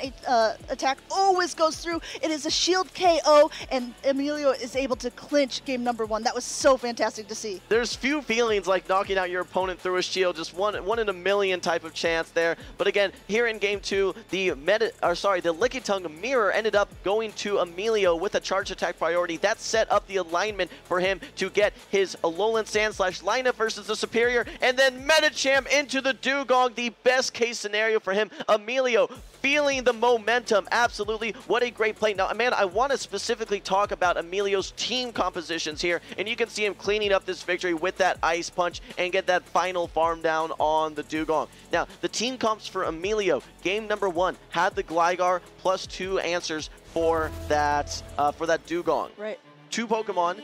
And game number three, he doubled down on that. Said, I'm going to bring bring Oh. three Pokemon that are strong versus that Dewgong. The Medicham, the Lickitung, as well as that Alolan Sandslash. And Nighttime Clasher, he's like, oh, you know, this is my this, this is my iconic Pokemon, the Dewgong. It's got me this far. I'm going to continue to embrace it. Emilio had a plan, and he executed on that plan. He looks unstoppable right now, Amanda. Yeah, he said, you know what? I don't actually care at what placement you put that Dewgong. It really has no place in this. But I do want to bring it back to that, that very, the second game because there were some pivotal moments, I think, and we caught them on the stream as well.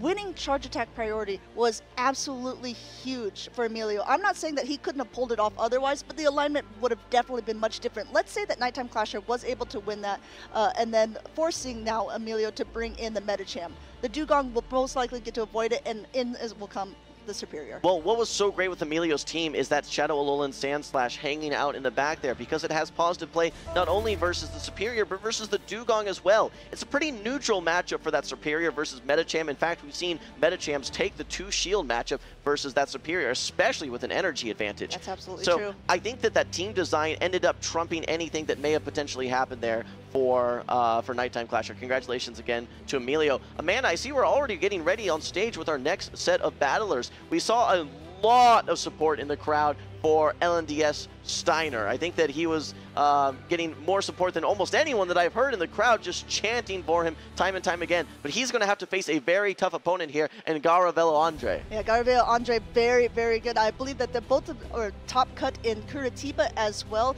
Uh, Steiner is one of the trainers who I believe actually knocked out J.W. Naldo, our last season's uh, Latin America International Champion. So for no matter what, this season we have are going to be crowning a new champion. It could be any one of these players that are left in the bracket. Look, if I'm going to be crowning someone for spiciest team, for me it has to be Garavello here. See the Clodsire, which is, it's been making some splashes here for That's sure for here sure. At, at the Latin America International Championship. But I think our sole Bastiodon that we've seen on stream, somewhere Caleb is smiling. Then we also have the Obstagoon and the Azumarill. So really, when we look at this team, when we look at the formula, as we've been saying, it seems like there's only two Pokemon that fill those those natural niches that we very regularly see. The other four Pokemon, though, again, a bit spice picks. Obstagoon, when's the last time that we've seen that, Amanda? I have not seen Obstagoon in play for quite a long time because of all the Medichams that are around. Even though it fulfills a similar role, being able to use a counter, uh, it does even better against the Lickitung because it's able to avoid uh, taking that lick damage. However, against the Medicham itself, it's so uh, much of a dominant matchup for Ma- Medicham that we really have not seen many Obstagoons. Uh, but can you uh, go ahead, Jim, and check the team sheets for me? What are the charge attacks that that Obstagoon is running? The Obstagoon's going to be running Counter, Night Slash, and Hyper Beam. Hyper Beam, everyone. This Obstagoon is running Hyper Beam, and we have seen it already being able to do rather well against teams. It's kind of a fun, uh, what we uh, joke around almost like a meme thing when people are able to land a Hyper Beam. We've actually seen it land on a couple Pokemon already, doing so much to a Lanturn in a previous matchup. Well, what's really interesting to see is the answers to the Lickitung, which has been so strong this tournament. We just saw how strong it was in that last game. The answers to Lickitung are stacked on Garavello's team. Not only the Obstagoon that we mentioned, which triple resists those licks, but also the Bastiodon as well, which is going to be resisting the body slams. And yes, you take neutral damage from those power whips, but it is a very one-sided matchups without a doubt. Now the question is, how are those Pokemon going to perform versus the rest of the team? A lot of neutral matchups, Obstagoon isn't going to be doing quite as well, and simply due to the fact that you have non-same type attack bonus counters, and then also you have to try and land that Hyper Beam, which if someone shields, really puts you at a big energy deficit as well. So things like Lanturn, things like Gligar are going to be very tough for that Obstagoon Bastiodon combo. I uh, completely agree. I mean, that two Pokemon completely weak to Medicham is very interesting. However, the rest of the team composition for Medicham, it's almost like Garabale wants to sort of scare it away. A Froslass does very well against it, especially if it is a dynamic punch Medicham. Uh, also, a Azumarill is going right. to be doing well against Medicham, and the Clodsire can go toe-to-toe -to -toe depending on what charge attack that is running. That's right. I think for Steiner, Medicham is a must-bring. I mean, I think for most trainers, Medicham feels like a must-bring, at least on your team of six, if not also your team of three. That said, Garavello, I think you have to bring some answer. I think Froslass has, has, a little bit more flexible play, especially when we look at Steiner's team. He is running the Powder Snow Alolan Sandslash, so that makes that Froslass a lot safer of a bring. It's going to have good matchups versus the Gligar. It's going to have an okay matchup versus that Lickitung. Right, you don't want to get hit by a Power Whip, but two Avalanches are quite devastating towards the Lickitung. Great matchup versus Medicham, great matchup versus Gligar, and then pretty solid versus the Alolan Ninetales. The big question mark for me is what play does this Araquanid have on Steiner's team? I was just going to ask you, Jim. I know that we've talked about Pokemon that have been continually impressing us throughout the LAIC. We've slowly shifted you over to the Steelix side. You're, you're beginning to see its power. Are you beginning to see the power of yet, or are you still a little bit less than impressed? You know what? I think that I was more, I'm more of a believer of Steelix now than I am in Araquanid. I think that there's st still too many weaknesses, and it just doesn't, to me, seem, you get stuck in so many really bad matchups. Not just bad matchups, but really bad matchups that I don't know that it's too much of a safe bring. Amanda, I want to pivot real quick here and talk about the road for both of these trainers making it to this point here. A little bit of background here for Garavello. He actually placed fourth place in the uh, the Curitiba regional, and then also also fifth place in Sao Paulo in 2023, including a victory versus Shadowband. But he did lose in that regional to Hard Jeff. So that's uh, you know a lot of history with some of these trainers. Um, his path today, he actually had a 2-1 victory versus Jimenez, uh, Paulinho Tad, and then lost 2-0 also to Hard Jeff. That is going to be his sole loss here. Steiner, on the other hand, was knocked into the losers by, I believe, from Mexico, Iomero. He also beat, however, LNDS Diego, Fem Martoni, Iomero again, I believe, in a rubber match, and then knocked out most recently the 2023 LAIC champion, JW Naldo. Yeah. So he's taken down the champ already. That is absolutely incredible. I cannot believe that these trainers are still like going at with such I don't want to say like spicy teams. One of these teams is definitely a spicy team, but uh, like I, I know that you don't think that Araquanid has had a lot of uh, places to go, but we have seen it brought to so many teams, way more teams here in LAIC that I've seen in pretty much probably all of the other regionals around the globe combined. Well, what's interesting is when you look at the placement of that Araquanid, it's kind of taking place of that of like an Umbreon or maybe a Sableye. We'll have to see if it can perform similarly. That said, let's move into game number one here. Steiner getting a positive lead with the Lickitung into the Froslass. Now that said, Froslass is able to tank one charge attack, no problem. We're going to have to see how this very bulky backlight performs as well with the Azumarill and Bastiodon for Garavello. Yeah, like you said, I mean, it is more in favor of that Lickitung, but this Avalanche is going to hit hard, and the Lickitung is not able to pretty much take two as the Powder Snows will continue to add up as well. Garavello knows it and going ahead and swapping into the Zoomer. We've seen this before, but this is not a very positive matchup for Zoomer either, especially when Lickitung has so much energy on it. Being this Power Whip is going to be a super effective. Even though it's not same type attack bonus, it is still going to be hitting for heavy, heavy damage. Okay, well, you got to feel pretty happy if you're Steiner here because your Lickitung is right where you want to see it. Yes, it does have good play versus that Froslass, but it has probably even better play versus this Azumarill. I think Steiner recognizing the importance of this Azumarill, wanting to save it for later in the game, probably as his sole answer to that Froslass. While you want to have it on that Azumarill for sure, it is your only answer to Froslass. Good choice in preserving it for later in the game. Yeah, going ahead and possibly having to take this play rough. It will not be enough to knock out the Medicham, but it is super effective, and it knocks it down all the way to the yellow. Meanwhile, Steiner just going ahead and getting up a lot more energy, trying to get this Azumarill as low as possible, doing the proper counts and going right at charge attack priority, throwing off this Psychic. The Psychic is kind of almost overkill at this point, of being definitely being able to faint the Azumarill. You know, it's really interesting, Amanda, because this is now two times that we've seen someone swap in a Pokemon weak to your opponent's Pokemon. We saw the Lickitung being, or sorry, we saw the Azumarill being swapped into a Lickitung. We saw Medicham being swapped into an Azumarill. Very interesting. We actually see a shield here now on the Psychic. Yeah, uh, Andre's showing ahead and shielding up the Psychic. This would be doing a lot of damage to the Froslass, and now Froslass is actually loaded with energy. I think it believes it has an Avalanche stored, which would be able to knock out the Lickitung. However, that Gligar doesn't want anything to do with the Froslass at all. All right. Well, what's really interesting to see is how the Gligar is going to be oh. performing here. Yes, in Gligar, it does take neutral damage from these smackdowns. Meanwhile, its wing attacks are double resisted. Dig is going to be double super effective, however, and you can tank one. That's the nice thing. This is not an Earthquake. This is not an Earth Power. It's a Dig, but it's going to be do some, doing some very significant damage. At this point, it's so risky to bait, though, so you really do need to land these Digs. Yeah, I need to be able to land these as well. For sure, but I know that Bastiodon charges very, very slowly, but it is able to get to this move now, and there's no Protect Shield, or no Protect Shield at least used on this. Already up to another dig, just charging up a lot more energy. As we said, the Stone Edge takes forever to get to for the Bastiodon, counting precisely, doing it right before he's able to get to it. Uh, will uh, Andre choose to shield this up? No, choosing to let that Bastiodon go down. All right. Well, I you really have to like a Steiner, the alignment that you were able to get. You had your while oh, you even get this dig off as well. That is so huge. Having the back-to-back -back there and it being no shielded by the Bastiodon, you now have to shield it anyway on your Froslass. You do get a nice Powder Snow down. I think you're still out of range where a Power Whip will knock out, but you are down shield at this point, and you need to get to two Avalanches. These licks are super effective. They're going to be adding up very, very quickly. I don't know if it, you actually need to, Jim. We'll have to see for sure. Uh, well, we might not even get a chance to see because this Power Whip is going to be connecting. I guess it will be enough to see, will this Froslass be able to hang on? Will it be able to survive uh, on by just a thread? Will it be able to reach Avalanche? No, look down. All right, well, Steiner continuing that momentum again. He had, I believe, a 2-0 victory versus the champ here, and channeling that momentum here in this next game as well. Now, what's really interesting is how versatile that Lickitung was. Yes, it was your answer to the Froslass, but it got a lot of work in versus that Azumarill as well. Now, I really have to commend Steiner for the presence of mind to recognize, oh shoot, I'm weak in the back to this Froslass. I need to preserve this Lickitung and actually swap out. You gave me such a juicy, juicy counter switch with that Azumarill, but no, let me swap out and bring in my weak Pokemon to this Azumarill, my Medicham. It's going to be able to do just enough to take it out so I can maintain alignment and neutralize that Froslass in the back matchup. I really like that play as well because what it did was it did not allow a lot of farm down potential for that Froslass either on that Medicham because that uh, play rough was able to connect with the Medicham. It was brought down so low that even though um, uh, Andre had to go ahead and shield that Psychic up. They was able to get a lot of Powder Snows and then be able to have enough uh, for an Avalanche to be stored to be thrown later at that Lickitung.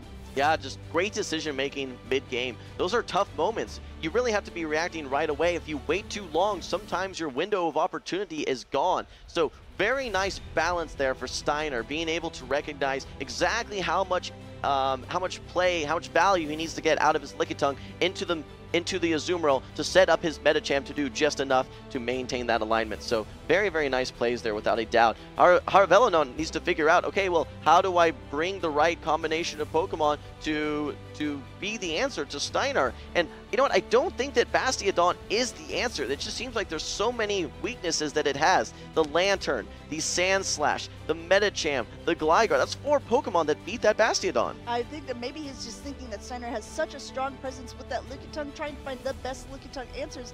Uh, Bastiodon might be one of them, but Obstagoon would be even better if you're looking for that specific target. So you're absolutely right there, Jim. We'll have to see if maybe uh, it will be benched by Andre for game number two. Uh, it looks like we probably are getting right into these matches. Now, one more win away for Steiner to be able to be to keep going in this matchup. We have an Araquanid versus a Froslass. All right, well, these Powder Snows are going to be resisted. Meanwhile, the Bug Bites are also resisted. You pace at the exact same rate to the Bubble Beam as well as to the Shadow Ball. We might just see as charge attack priority, but no, opting to try and build up instead to this Bug Buzz. Steiner knows that this is going to be the hardest hitting move. It's going to be the Shadow Ball. Not resisted. It is completely neutral damage. May opt to actually go for this Bubble Beam with a bait. Maybe try and go for a catch potentially as well. But this Froslass is actually a bit of a menace for the team of Steiner.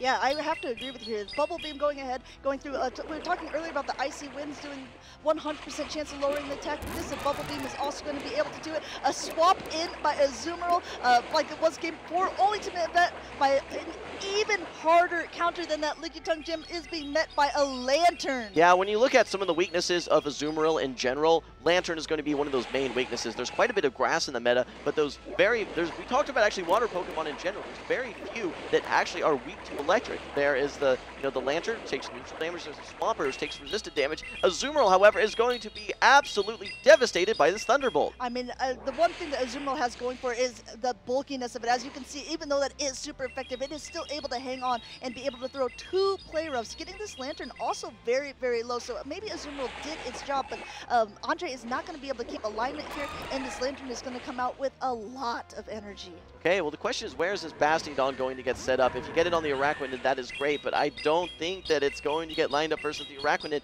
There is a Medicham hanging out in the back there with double super effective counters. Like I said, four Pokemon on the side of Steiner can answer that Bastiodon. In fact, Lanturn's a solid one here too, able to get two serves into this Bastiodon. This is going to chunk it, getting close maybe to 50% HP, Amanda. Yeah, definitely looks like that. Meanwhile, just going ahead and keep on fast attacking down, We'll be able to knock out this Lanturn. And you can see uh, uh, he's going to immediately swap to the Froslass, met back again by the Araquanid for yet another Bubble Beam. So now whatever attacks that the Froslass will be doing are going to be debuffed and getting a shield as well. Yeah, what's really challenging here is that there's really nothing that you want to shield. There's Bubble Beams coming from the Araquanid, and then there's resistant moves on your Bastiodon versus the Medicham. So Steiner actually with a really great play being able to maintain that alignment. And yes, you can take one Shadow Ball, and th these Bug Bites, despite being resisted, do still add up. Being a one-turn fast attack. Now get your second uh, your, your, second Bubble Beam through. Really, Medicham can probably sweep the matchup at this point with single resisted counters into the Froslass and double super effective counters into the Bastiodon. I completely agree. We don't see it very often in play Pokemon. We see it a lot in the Go Battle League, the Medicham versus Bastiodon matchup. I have a feeling we're going to see that ending for us here in game number two. A Shadow Ball does connect, but it is double debuffed and not enough to take out this Araquanid. Araquanid is putting in work despite your thoughts on it, Jim. Three Bubble Beams now going through, enough to now knock out this Froslass and not a lot of farm for the Bastiodon in the back. No, Amanda, Araquanid did exactly what it needed to do here, and that is spam Bubble Beam. And you can see Steiner, he is trying to channel his energy into the crowd. He beckons them, please support me, cheer me on here. I have my Medicham into the Bastiodon. This is the best possible outcome for him. He is only a few counters away from locking in his ticket to the next round. A clean 2-0 sweep for Steiner. Steiner being able to completely counter down with that Medicham onto the Bastiodon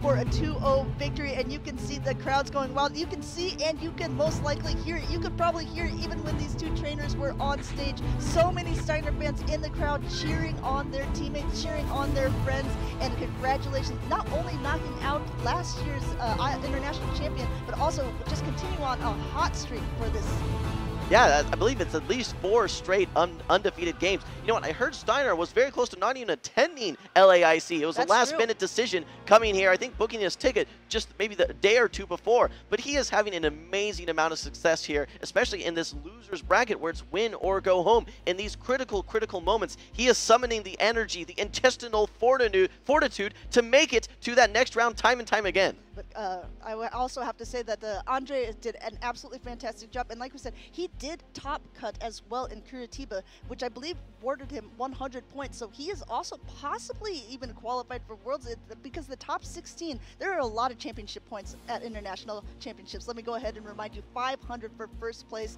And I believe fourth place even gets 320. Uh, I believe the top 16 gets 200 points. So if we add that up, that is a 300 point total. Well, if you remember in our previous system, system, I believe the top four all qualify for Worlds. So that's, that's, that's, that's, that's, roughly similar, yeah, yeah. Still consistent there, so you love to see that. But I just very, very impressed in these key critical moments when these trainers have their backs up against the wall. They know that one loss can send them home, and they're continuing to persevere. But I mean, when we look at this here, we had 256 trainers. This was a yes. capped tournament. We're down to the top 16. Even though, yes, you know, uh, Garavella Andre is going home, top 16 is yeah. no no small achievement whatsoever. I would gladly take that any day, and I hope that he is proud of his accomplishments. I hope that all the trainers are, because obviously it takes a lot of skill. It takes a lot of determination to get to this point as well. Let's go ahead and look at these highlights here. The Psychic being able to take out this Azumarill, both really low. Um, with the Azumarill was a safe spot for game one and game two, but now this Froslass was able to come in, properly shield up the Psychic, and uh, Andre had a lot of energy stored, but unfortunately for him, the Bastiodon versus Gligar matchup just didn't go in his favor able to come out of this with a dig for the Froslass as well, stripping away that last shield. Yeah, unfortunately there, there's just that Bastia Bastiodon really didn't have much play. It kept getting lined up versus things like Lanturn, Gligar, and eventually the Medicham in game number two as well. Let's actually fast forward to game number two. You can see that this Araquanid, despite not having great matchups, really only throwing either resisted or very soft hitting attacks like Bubble Beam into this Froslass, had just enough to take out and neutralize that Froslass and then set up this matchup for Steiner, the Medicham into the Bastiodon. You can see him channeling his energy into the crowd. Give me your energy He's as he so secured happy. his win. Yes, it's a Stone Edge. I don't even mind. I'll go ahead and not shield that. My Medicham is fully healthy, and nothing uh, Medicham loves more than a fully, like, not healthy Bastiodon. Just being able to, you know, barely even put, he's not even putting any arm muscle into those counters, I think, at that point, being able to counter it down. You know what? I just want to re-emphasize. So the Bastiodon, I, I, I actually was going to ask you a question. What defines a good go battle league Pokemon versus a good play Pokemon type of Pokemon for the for these uh, Show 6 Pick 3 tournaments? For me, Bastiodon is more in the category of a go battle league Pokemon because you don't know what your opponent's going to be running. It's blind three type of format. You can get locked in in those very one-sided matchups, and you know you can feel really good in those scenarios. Now in play Pokemon, there's a lot more team building that goes into it, a lot more prediction, where if you have a team of four that can all do neutral to positive against that Bastiodon, it makes it a you cannot bring it. It has so many double weaknesses, both to ground as well as to fighting. And ground and fighting are everywhere in the meta right now. So, well, I'm very, very impressed by the success of the Bastiodon to this point. I really, really struggle to see it making it making it all the way as a grand champion, just due just due to some of the limitations of it as a Pokemon. I think you're going to have to have a talk with Caleb Pang after this. I'm I sure hope he's not listening I'm right now. He's listening, and he's already just grinding his fist saying, Jim, I completely disagree. Um, I don't know. What do you guys think in the chat? Let us know. Is Bastiodon a viable Pokemon in this Show 6 Pick 3 format? And while you guys are watching, we also want to reward you guys for participating in this, for participating with us at the LAIC. We have some Twitch drops for you guys. That's right. Make sure you guys are following along with, I believe, 30 minutes of watch time. There are specific Twitch drops that you guys can earn. There's some, uh, I believe, different tiers of prizes as well. I think there's a grand prize with, I think, a, hun- a thousand different options, or a thousand different codes that you can actually have a huge, huge collection of rewards cascading down from there. So make sure that you guys are tuning in all three days here so that you can earn those Twitch drops, not only for Go, but also for TCG. Yeah, but we're going to go ahead and show you as well the ones that you can be getting for the video game. You can win Alex Gomez Berna's Dragapult here by using this code on the screen. You can redeem once per account to get this mystery gift in the Scarlet Pokemon or Pokemon Scarlet and Pokemon Violet game. All right. Well, um, I believe here that you can also, yeah, get the rare Iron Valiant EX for our trading card game here. Again, it's a redeem once per account on the TCG Live account. Make sure that you guys use the Paradox LAIC code to redeem that incredibly great looking card. All right, guys, well, we're going to be coming back here. You know, I wanted to mention one more thing here. I'm actually already getting a little bit of flack here, uh, here just coming from our producers and saying, wait, didn't Caleb qualify for Worlds with Bastiodon? He did. I want to talk about the meta changes here. In the previous meta, we had Noctowl, we had Altaria, Flyers all abound. You know what the flyer that we see now is? It's the Gligar. right. So Bastiodon, its its pathways for success are continuing to narrow and narrow and narrow. Maybe there'll be a meta that it comes back in, but I'm not feeling confident about his chances right now. You know, Jim, that is a really good point because also it is one of the major reasons that Registeel has also fallen off because uh, the, the Zap Cannons are not being able to do as much damage. The Focus Blasts are not being able to do much damage to Gligar overall. Registeel used to be one of the best counters to Flyer users, but since Gligar is that part ground typing, able to hit back with those digs against Registeel as well, that's the main reason we've seen a lot of those drop off the meta. I will agree with you. I, I personally wouldn't bring it. I personally didn't really like playing Bastiodon up until actually this Go Battle League Look, season. this is a judgment-free zone, okay? We're not going to try and, you know, throw too much flack here. I'm giving my own personal opinion here on the Bastiodon. All right, well, we're going to be bringing our next battlers Wow, on screen this is here. a bit retro. We talked about Bastiodon and some of the, its uh, harder counters. Maybe Andre was been better off playing against the Destroyer because there is a Noctowl on this team. There is a Dragonair and there is a Carbink. One of the things that uh, Bastiodon does the best against. Yeah, Carbink is going to be doing resisted rock throws, resisted rock slide, resisted moonblast into that Bastiodon. is definitely the dream matchup for the Bastiodon. Again, Noctowl is going to be something that we really haven't seen too much lately. It was that primary answer to Trevenant. I think that was the main reason that Noctowl was so, so good, is that it beat Trevenant, which was one of the most meta Pokemon that we had in our previous season's meta. Nowadays, when we look at some of these matchups here, yes, it's still going to perform very nicely versus all of the grasses, the Venusaurs, the Serperiors, things like that. But outside of the grasses, there's really a lot of struggles. Doesn't do as well into Lickitung, doesn't do as well into Medicham. He's going to struggle versus things like that um, Registeel, any steals in general, Alolan Sandslash, Froslass. So there's definitely more threats and also fewer targets for that Noctowl. You know, Jim, I actually want to slightly disagree with you here, so maybe we Hit can me. have a little bit of a debate. I think that Noctowl is actually a great core breaker for the Medicham Lickitung core that is being seen because of the fast attack, being able to do a lot to the fighter of the Medicham, and the Licks being able to not do very much at all to Noctowl because it is that normal typing. Yes, no, no, I'm not arguing that it's not a core breaker It's that. I'm saying it is worse than previous season Sure, because of bet. the Okay. Sky Attack nerf. We It can now go ahead and agree on It now gets their one wing attack later so that it has a worse matchup versus Medicham than it used to and a worse matchup versus Lickitung than it used Okay, to. Okay, all is forgiven. All right, well, these trainers are getting locked in here. I want to talk about a couple key Pokemon. We talked about the Noctowl, a little bit about the Carbink as well,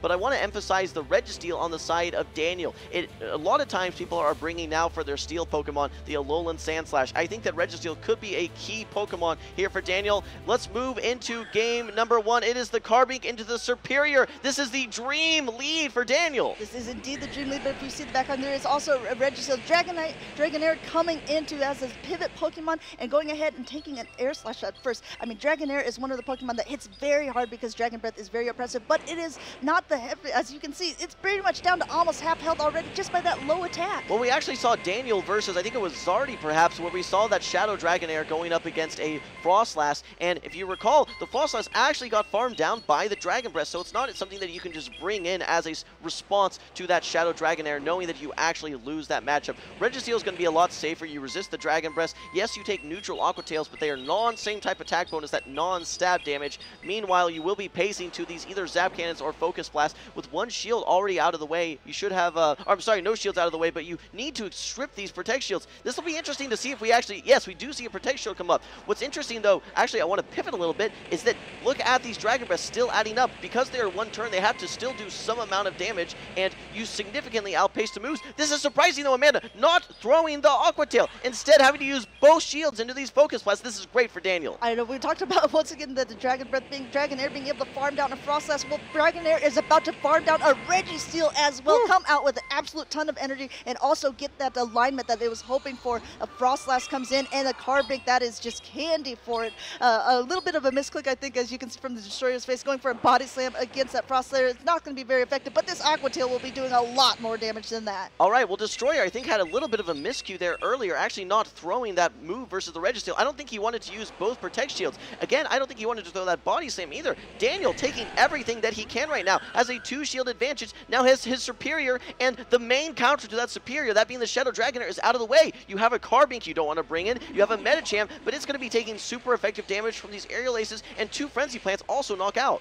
Uh, yeah, absolutely. Still countering away here. Now at a friend or an area or air slash, going to go ahead and go. This will not be enough to knock out, but you do need two attacks anyway at this range. Going opting for the one that takes a little bit less energy to be able to get to. Meanwhile, an ice punch now is being thrown by the destroyer. No, I actually love this play from Daniel because you get the aerial ace out of the way. You need one aerial ace and one frenzy plant. Now you can safely throw frenzy plant no matter what. Even if there's a catch, you're catching a super effective frenzy plant on your carbink. So great, great plays here without a doubt from Daniel. He has he has a shield advantage. He has the alignment where he wants. Yes, yes, your Froslass is at risk from that Carbink, and one Frenzy Plant isn't going to be enough to knock out. But I think the Frenzy Plant will put this in range where this Froslass has an opportunity to clean up. Yeah, so we have to remember that there is a shield left on Daniel's side as well. This Frenzy Plant at least doing some heavy chip damage to this Carbink. Carbink is one of the tankier Pokemon, but it is super effective as you can see. Almost at a Shadow Ball. Uh, Rock Slide is already there, but there is a shield left. Will this be enough to knock out? We did see this before. Uh, again, because the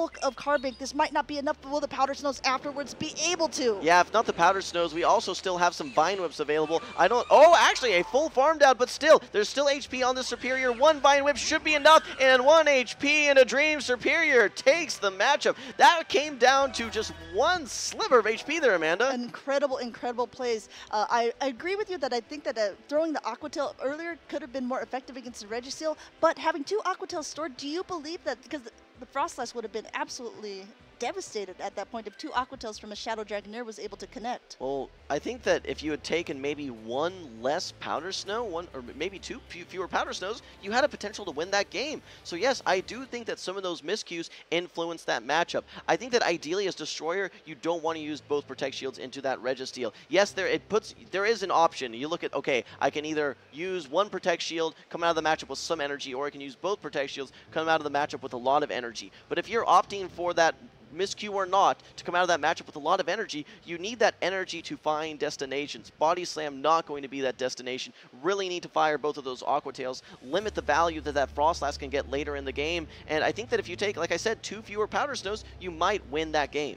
Yeah, I think that was, it's so hard to tell at this stage though, because when you are up on the big screen, you know, you see a lot of players, I was talking with some of the players yesterday who was saying like, this was my first time ever playing on stream. This is my first tournament and being able to go so far. There are a lot of nerves and oh, things yeah. that people don't expect, especially, I mean, sitting back here behind the booth, being able to see the whole teams, being able to see exactly how much energy is left on Pokemon uh, from both sides, uh, and same for the people at home, is much different than when you're sitting in the seat and you're like, oh, what were they actually at for a count? Oh, what is my wind condition here? I'm on the back foot. You know what's interesting to me actually is just seeing some of the pressure that is involved with making quick decisions, right? I think that being on stage, I think that you feel like an extra pressure to always make the best play. Sometimes you just need to make good plays though, and that's mm -hmm. what mm-hmm. Daniel did, I think, in game number one. I think actually the most optimal play may have been getting some chip damage on with that aerial ace and then bringing in the Froslass that would have aligned your Registeel into that Carbink later on. So I think that there was even some more optimal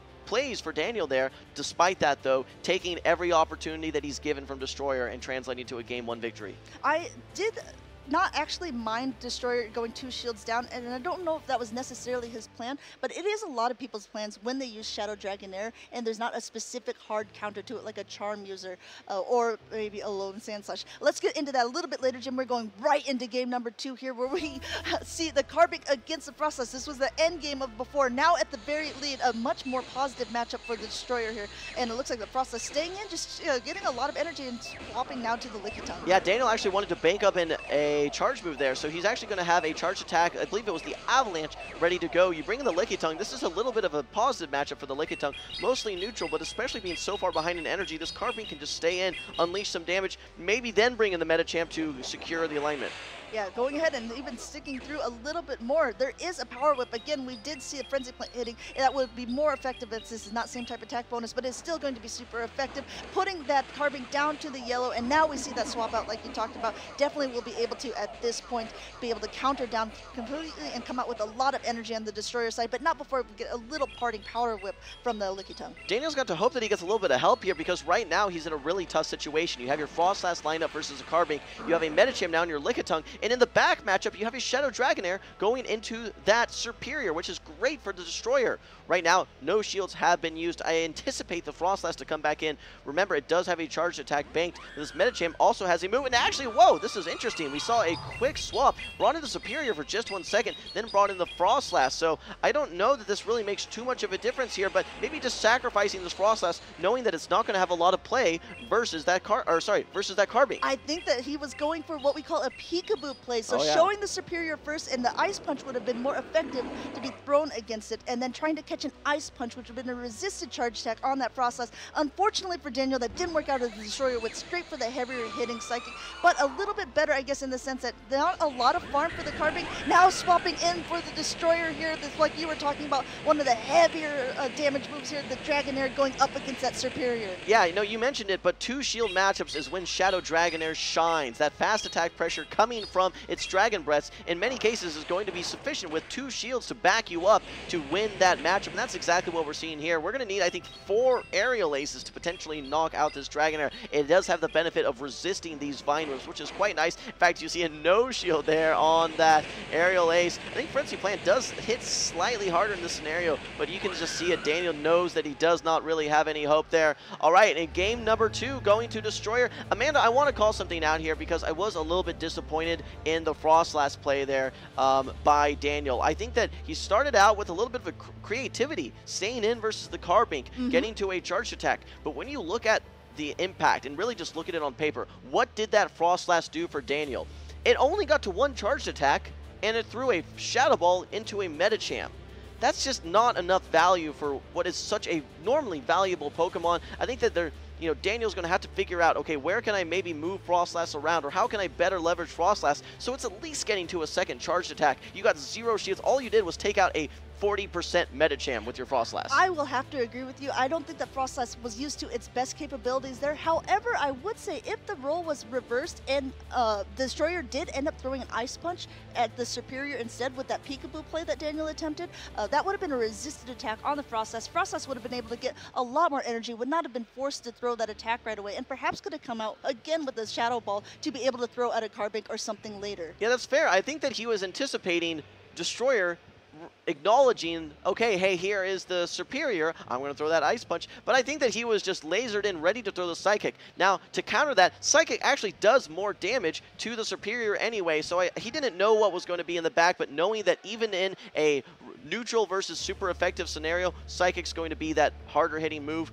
plus the chance at a defense drop. Yeah, I mean, I think that while there's definitely some logic to it, it's just really, really hard when your Froslass, which is typically going to be one of your most valuable Pokemon, really is diminished in its value. I think his back was up against the wall there for a lot of it, especially because that Lickitung was so low by the time the Medicham had got in. This is a decisive game three that we are getting into right now. The winner of this will continue on in the Latin American International Championships, and we have a Registeel against a Carbink and an immediate swap out to that Dragonair. As I said before, Jim, I believe Dragonair can win any um, Pokemon matchup in this in the two shields, so maybe Destroyer will get back alignment, but at what cost? Daniel has to do some sort of chip and dip. You either have to strip a shield here with your Registeel and then maybe swap in your Lickitung. Okay, that's exactly what's happening, but keep in mind the energy counts. Right now, this this Dragonair is absolutely loaded on energy. These are non-same type attack bonus body slams, though. You can easily tank one, probably tank two. You need to get to probably two body slams to knock this out, at least at this HP versus this Dragonair. Maybe these licks can add up and put it in single body slam range. We'll have to see. Will Daniel decide he wants to use a shield on this body slam, it will be putting the Lickitung down into the yellow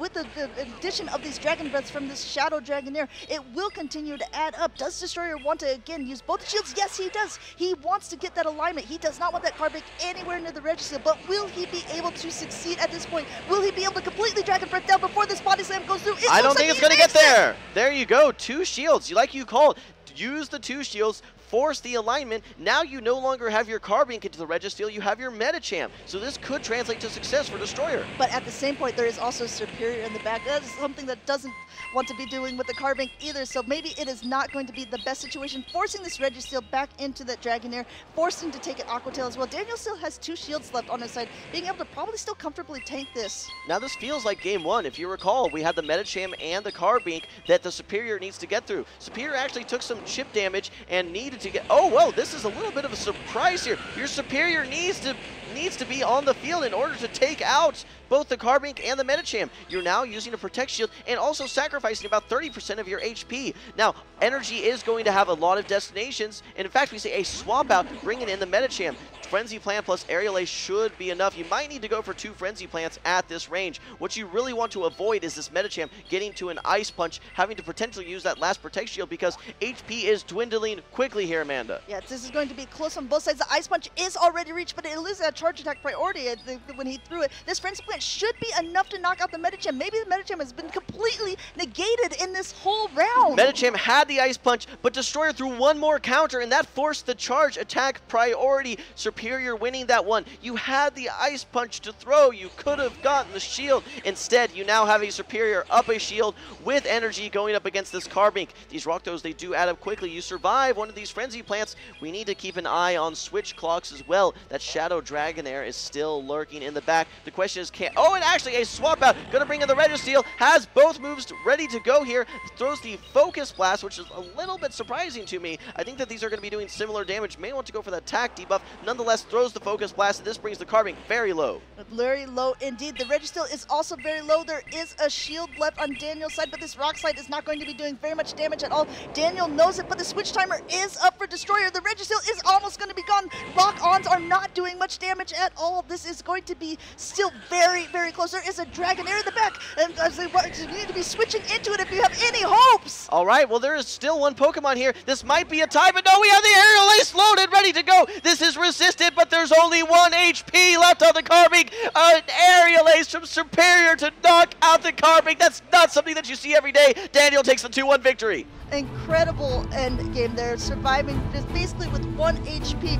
Uh, Daniel being able to go on through this bracket destroyer, doing wonderful up until this point, being able to get into the top 16 really incredible plays overall, but I have to wonder if he would have just switched in that Dragonair a little bit quicker, if he would have been able to get that Dragon Breath damage on that Serperior before it got all of that energy, if that would have been flipped. Yeah, Amanda, I'm, I know I'm being hypercritical here, but that is my job here to really analyze and break down every play. For me, the most impactful moment in Game 3 was not throwing the Ice Punch. We saw Destroyer have the Ice Punch loaded, up to throw one more counter, which forced a charge attack priority, which is Medicham lost, shields down that second Frenzy Plant, negated like you said, zero value out of the Medicham. You needed it to take that shield. You saw how close that matchup was. You asked me in game one, would it have mattered if you throw the Aqua Tail rather than the Body Slam? In game three, it certainly would have mattered. Getting that Ice Punch, I think, would have turned the tides there for Destroyer to take the 2-1. But like I said, what makes a very good trainer is capitalizing wherever you can. Capitalizing on those miscues, Daniel absolutely did, and he took the 2-1 victory. Let's take a look at some highlights here. Amanda, take it away. And so we talked about earlier, Dragonair is able to win most two-shield scenarios if there's not a very, very hard counter for it, and it looks like he's able to do this. This is game one, going both shields down, not throwing this Aqua Tail, and completely able to Dragon Breath down the Registeel, coming out with a lot of energy. And now we see the, Froslass, again, one of the harder counters in that Carbink, but being able to throw that Shadow Ball, not quite enough to take it out, but it is a team effort here for Daniel's team. All right, well, let's take a look at game number two here. Actually, this was right at the end of game number one. This was so, so close. You see that almost almost knocked out that Serperior. All right, moving over to game number two here. We had great alignment for Destroyer. Everything that he wanted. He had the uh, Carbink into the Froslass. He had the Medicham into the Lickitung, and then you have that Shadow Dragonair into the Serperior. Two shields up even, and like he mentioned, that is when that Shadow Dragonair is going to be thriving in those two shield matchups. While you did tank that Psychic, I think that was the Peekaboo play like we mentioned, that Shadow Dragonair can easily tank one Frenzy Plant, and those oppressive, oppressive Dragon Breaths will do the rest. Yeah, being able to even save two shields to this round Destroyer, handily taking this, but this is the decisive game three. This is where things start to get even more crazy and wild.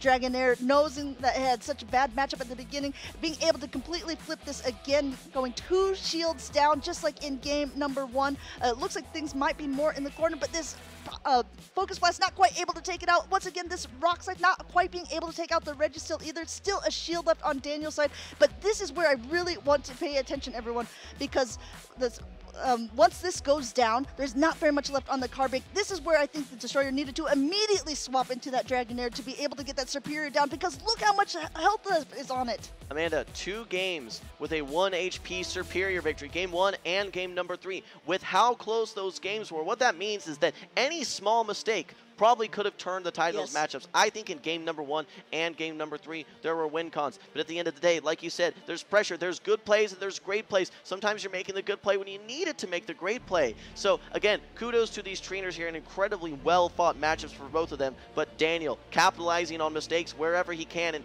on the back of that Serperior, able to take the 2-1 victory. Yeah, like we say a lot of times, it's like it's not that you need to not make any mistakes, uh, but your opponent needs to make more. That's right. All right. Well, guys, we just had some great battles. Really not seeing too many sweeps there. Seen a lot of very, very close matchups. It's great to see. We've got more battles for you guys. We're going to be taking a break, but let's take a look at our LAIC event experience. We'll be back shortly.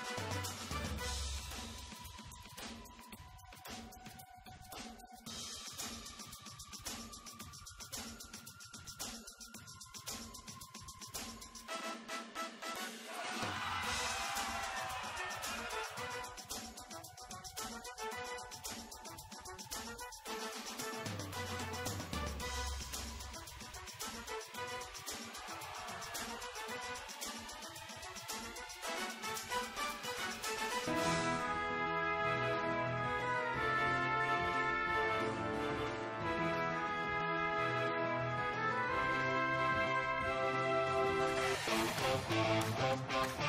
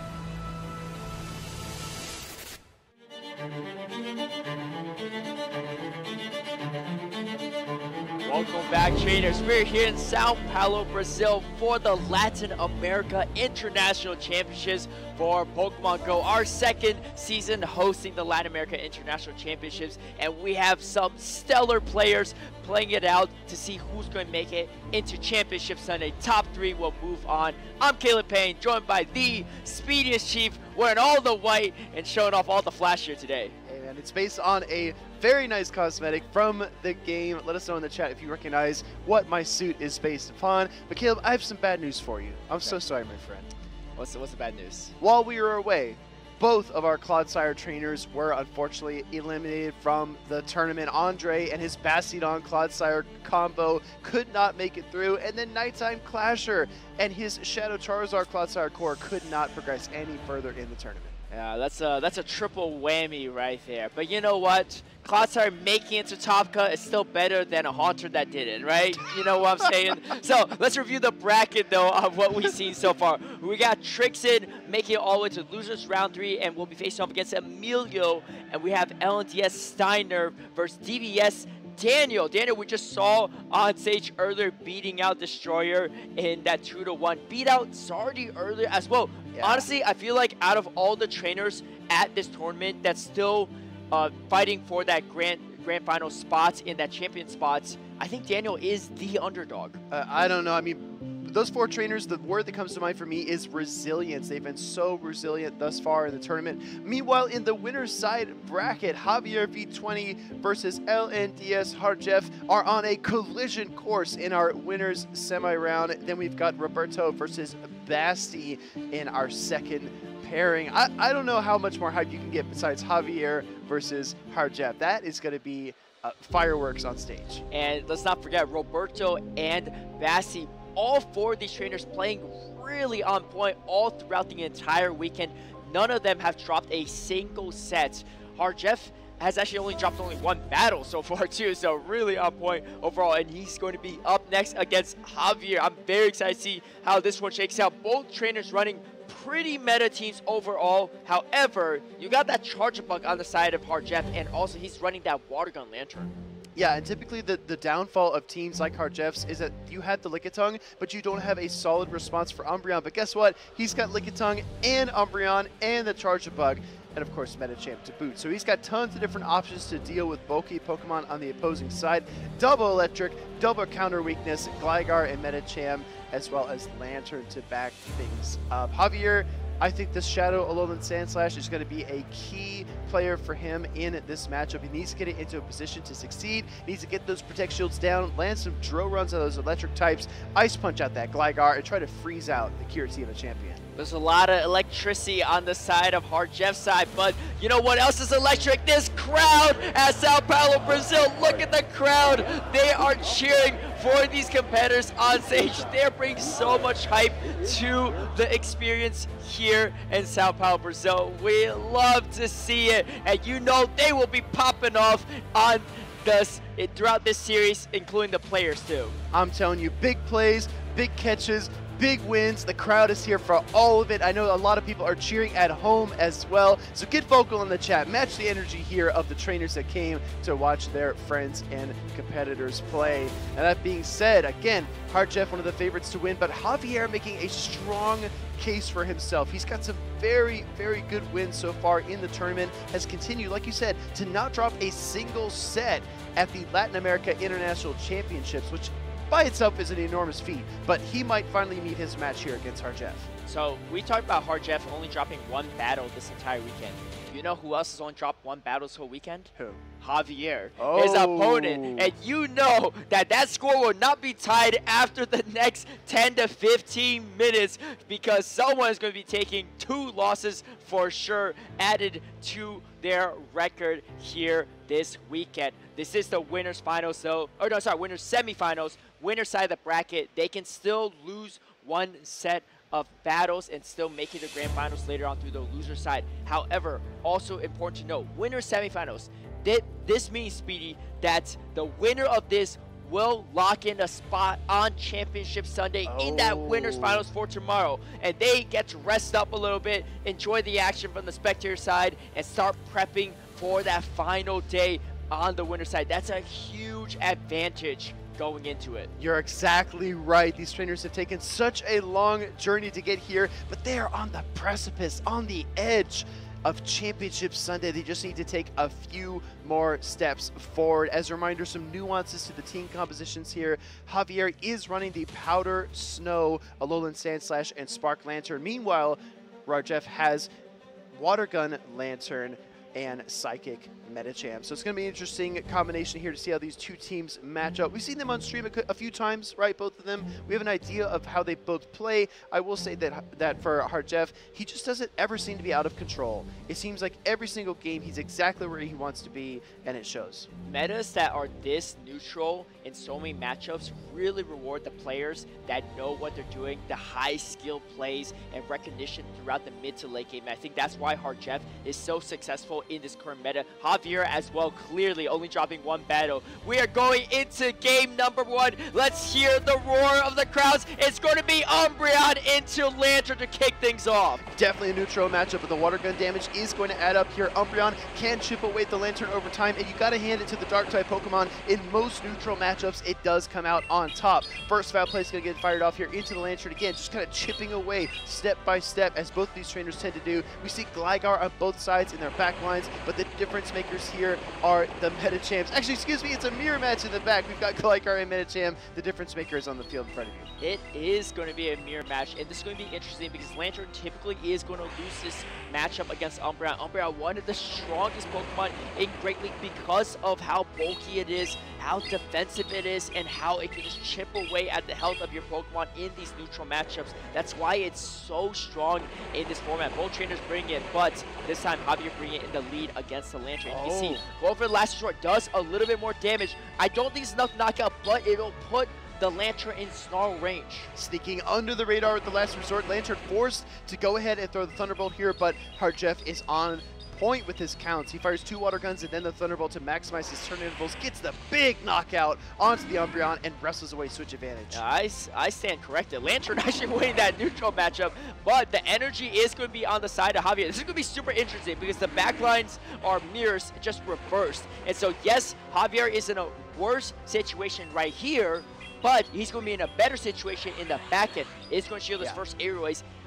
Getting that extra counter against the Lanturn actually proved to be really helpful because now he's going to charge attack priority against the Gligar instead of get outpaced to that Ice Punch compared to the aerial ace. Exactly right. If two trainers are running at the same pace, getting one step ahead could make all the difference. Now we're in the Gligar mirror match. Both Gligars pacing at exactly the same rate, but the wing attack does come through there for Javier. We're going to see an aerial ace get fired off here by Harjev. Gonna try to chip down this Gligar. I gotta tell you, this match is not gonna have a lot of flashy finish, a lot of flashy maneuvers until maybe the very end. It's gonna be just piece by piece, brick by brick. And I don't know which brick is stacking up faster. Aerial Ace being thrown around back and forth. You can't really even catch this because it's going to be super effective damage if you catch it. It looks like Harjeff's Gligar is going to win charge attack priority. That is crucial information for this matchup and for the future battles in this series. Javier going to shield, and that's actually a big shield to grab off of that Gligar because Javier doesn't even know the third Pokemon from Harjeff yet, and that is the advantage of Harjeff winning that switch advantage. Yeah, avoiding the wing attack down, we see a nice swap by Harjeff to bring in his own Medicham, trying to gear for an Ice Punch, but this Gligar is going to interrupt that flow with the Aerial Ace. The Protect Shield getting used by here by Harjeff. That's his final Protect Shield in the game. There are no more shields for either trainer. Do we see a catch coming? Not going to be able to catch the Ice Punch, but still saving the Gligar with a little bit energy for later. I think the Gligar had two or three wing attack worth of energy on that. Important to note for the end game. Psychic is going to connect. This Medicham was chipped down from the Gligar earlier on the Hard Jeff side. Psychic is going to be reached first though on Javier's side before the other Psychic on Hard Jeff side. This is not enough to knock out. However, if Hard Jeff can throw a move and maybe even counter down. Oh! Oh, we get the defense drop though. I don't know if it's going to matter. Jeff is going to throw the Ice Punch. Really great timing, making sure that not another Ice Punch is going to come through. I think, Speedy, he's close to the Ice Punch He's got than this. Gligar is to the Aerial Ace. Here goes two counters. Oh, and he CMP ties with the Ace. He's going to go for the Ice Punch right here. Harjeff going to get the knockout against Javier in game number one. Our Jeff completely on point this entire weekend, this entire season. One of the best trainers to do it, not in just this region, but the entire world. And you can see why he has so many fans, so many friends and teammates supporting his success. I mean, look at that backline too. It was it was what I thought Javier had the slight advantage with that counter advantage there, but pre- preventing the information, not showing that third Pokemon from Hard Jeff until Javier spent both shields proved to be super valuable. And uh, Javier trying to even catch the energy on the Ice Punch on the Medicham, but Hard Jeff patient, Yeah. not throwing the move, not giving Javier the advantage there, and throwing a harder hitting Psychic to finish off the Medicham really spelled the success for Hard Jeff. Exactly, he didn't fall for it, right? All, all the typical plays that a trainer that's not at Harjeff's level would fall for, he just doesn't let it happen. He's patient, he guards against impulses, he controls the tempo of the game. No matter how much Javier tried to move the tempo of that game around, tried to switch the pieces into different places, Ha- Harjeff just found ways to control the tempo and wrestle that away from him. Very, very well played by him. I just want to make another point about the crowd too. You saw how he fed off that energy. It makes a difference. When you win a big game like this and you hear people that care about you and support you cheering in the crowd, it makes a huge difference about how you play. It helps you with your confidence. It's going to help Harjeff quite a bit. Javier, though, against the ropes. That is a game one loss. He's one game away from being sent to that loser's bracket.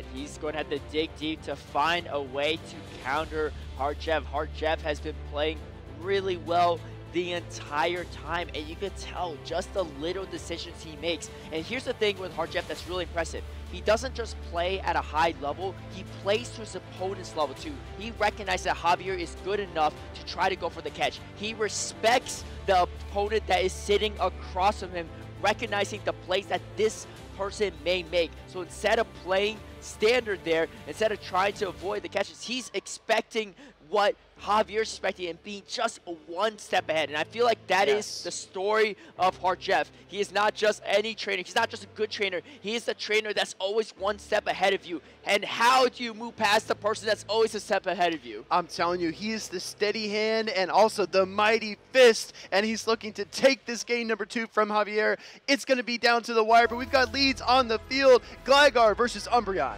And Umbreon, again, really bulky, going to do quite well in these neutral matchups. Gligar, though, got some bulk of its own, and the hard-hitting Dig is going to start adding up in damage. Dig got above the CSID and is really what made Gligar so strong. I mean, Aerial got buffed too, so, you know, just a total revamp in package for that Gligar. And now swapping over to the Medicham, but met by the Charjabug, and Charjabug is going to thrive in this environment. I'm pretty certain this is the first time we've seen Charjabug on stream today, maybe the entire weekend. X's are going to come through there and deal some neutral damage, significant damage to that Medicham Psychic in return, but this is the difference of Charjabug, right? Even if you don't use Protect Shield here, which you actually do at the final moment. Even if you don't protect shield, you can still withstand the psychic, and these counters are resisted. That bug typing coming in handy. And I think this is where matchup knowledge comes in handy. Hard Jeff recognizes that the psychic would put the Charjabug quite low to the point where Javier might be able to counter down and shield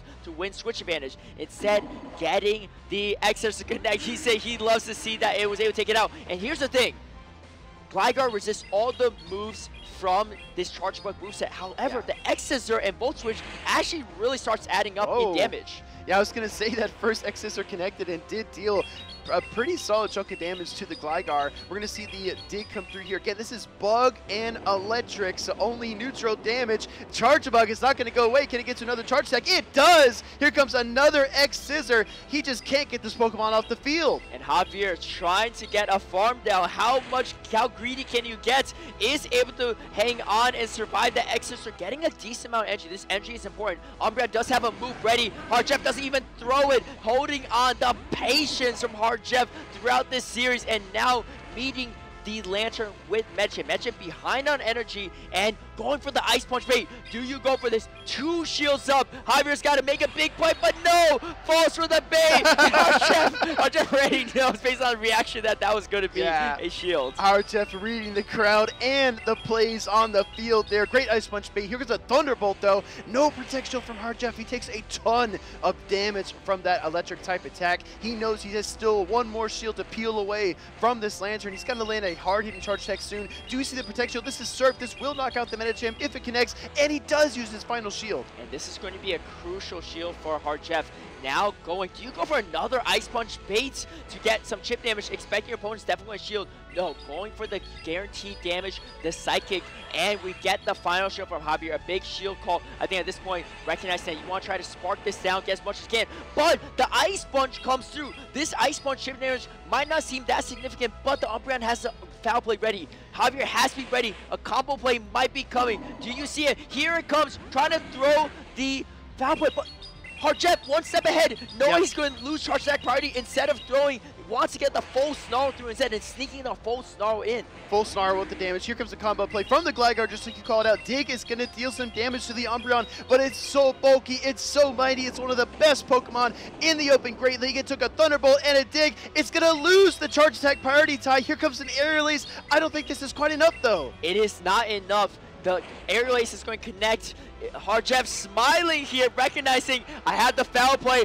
I'm one snow away for Championship Sunday. Can he get there before the Lanturn finishes off the Umbreon? Umbreon has a decent amount of health left. You're not going to be able to down. You're not going to be able to beat Hardjeff. You're not going to be, take a game off of him. Here he goes, 2 to 0 in the winning summer semifinals. He is going to punch his ticket to Championship Sunday.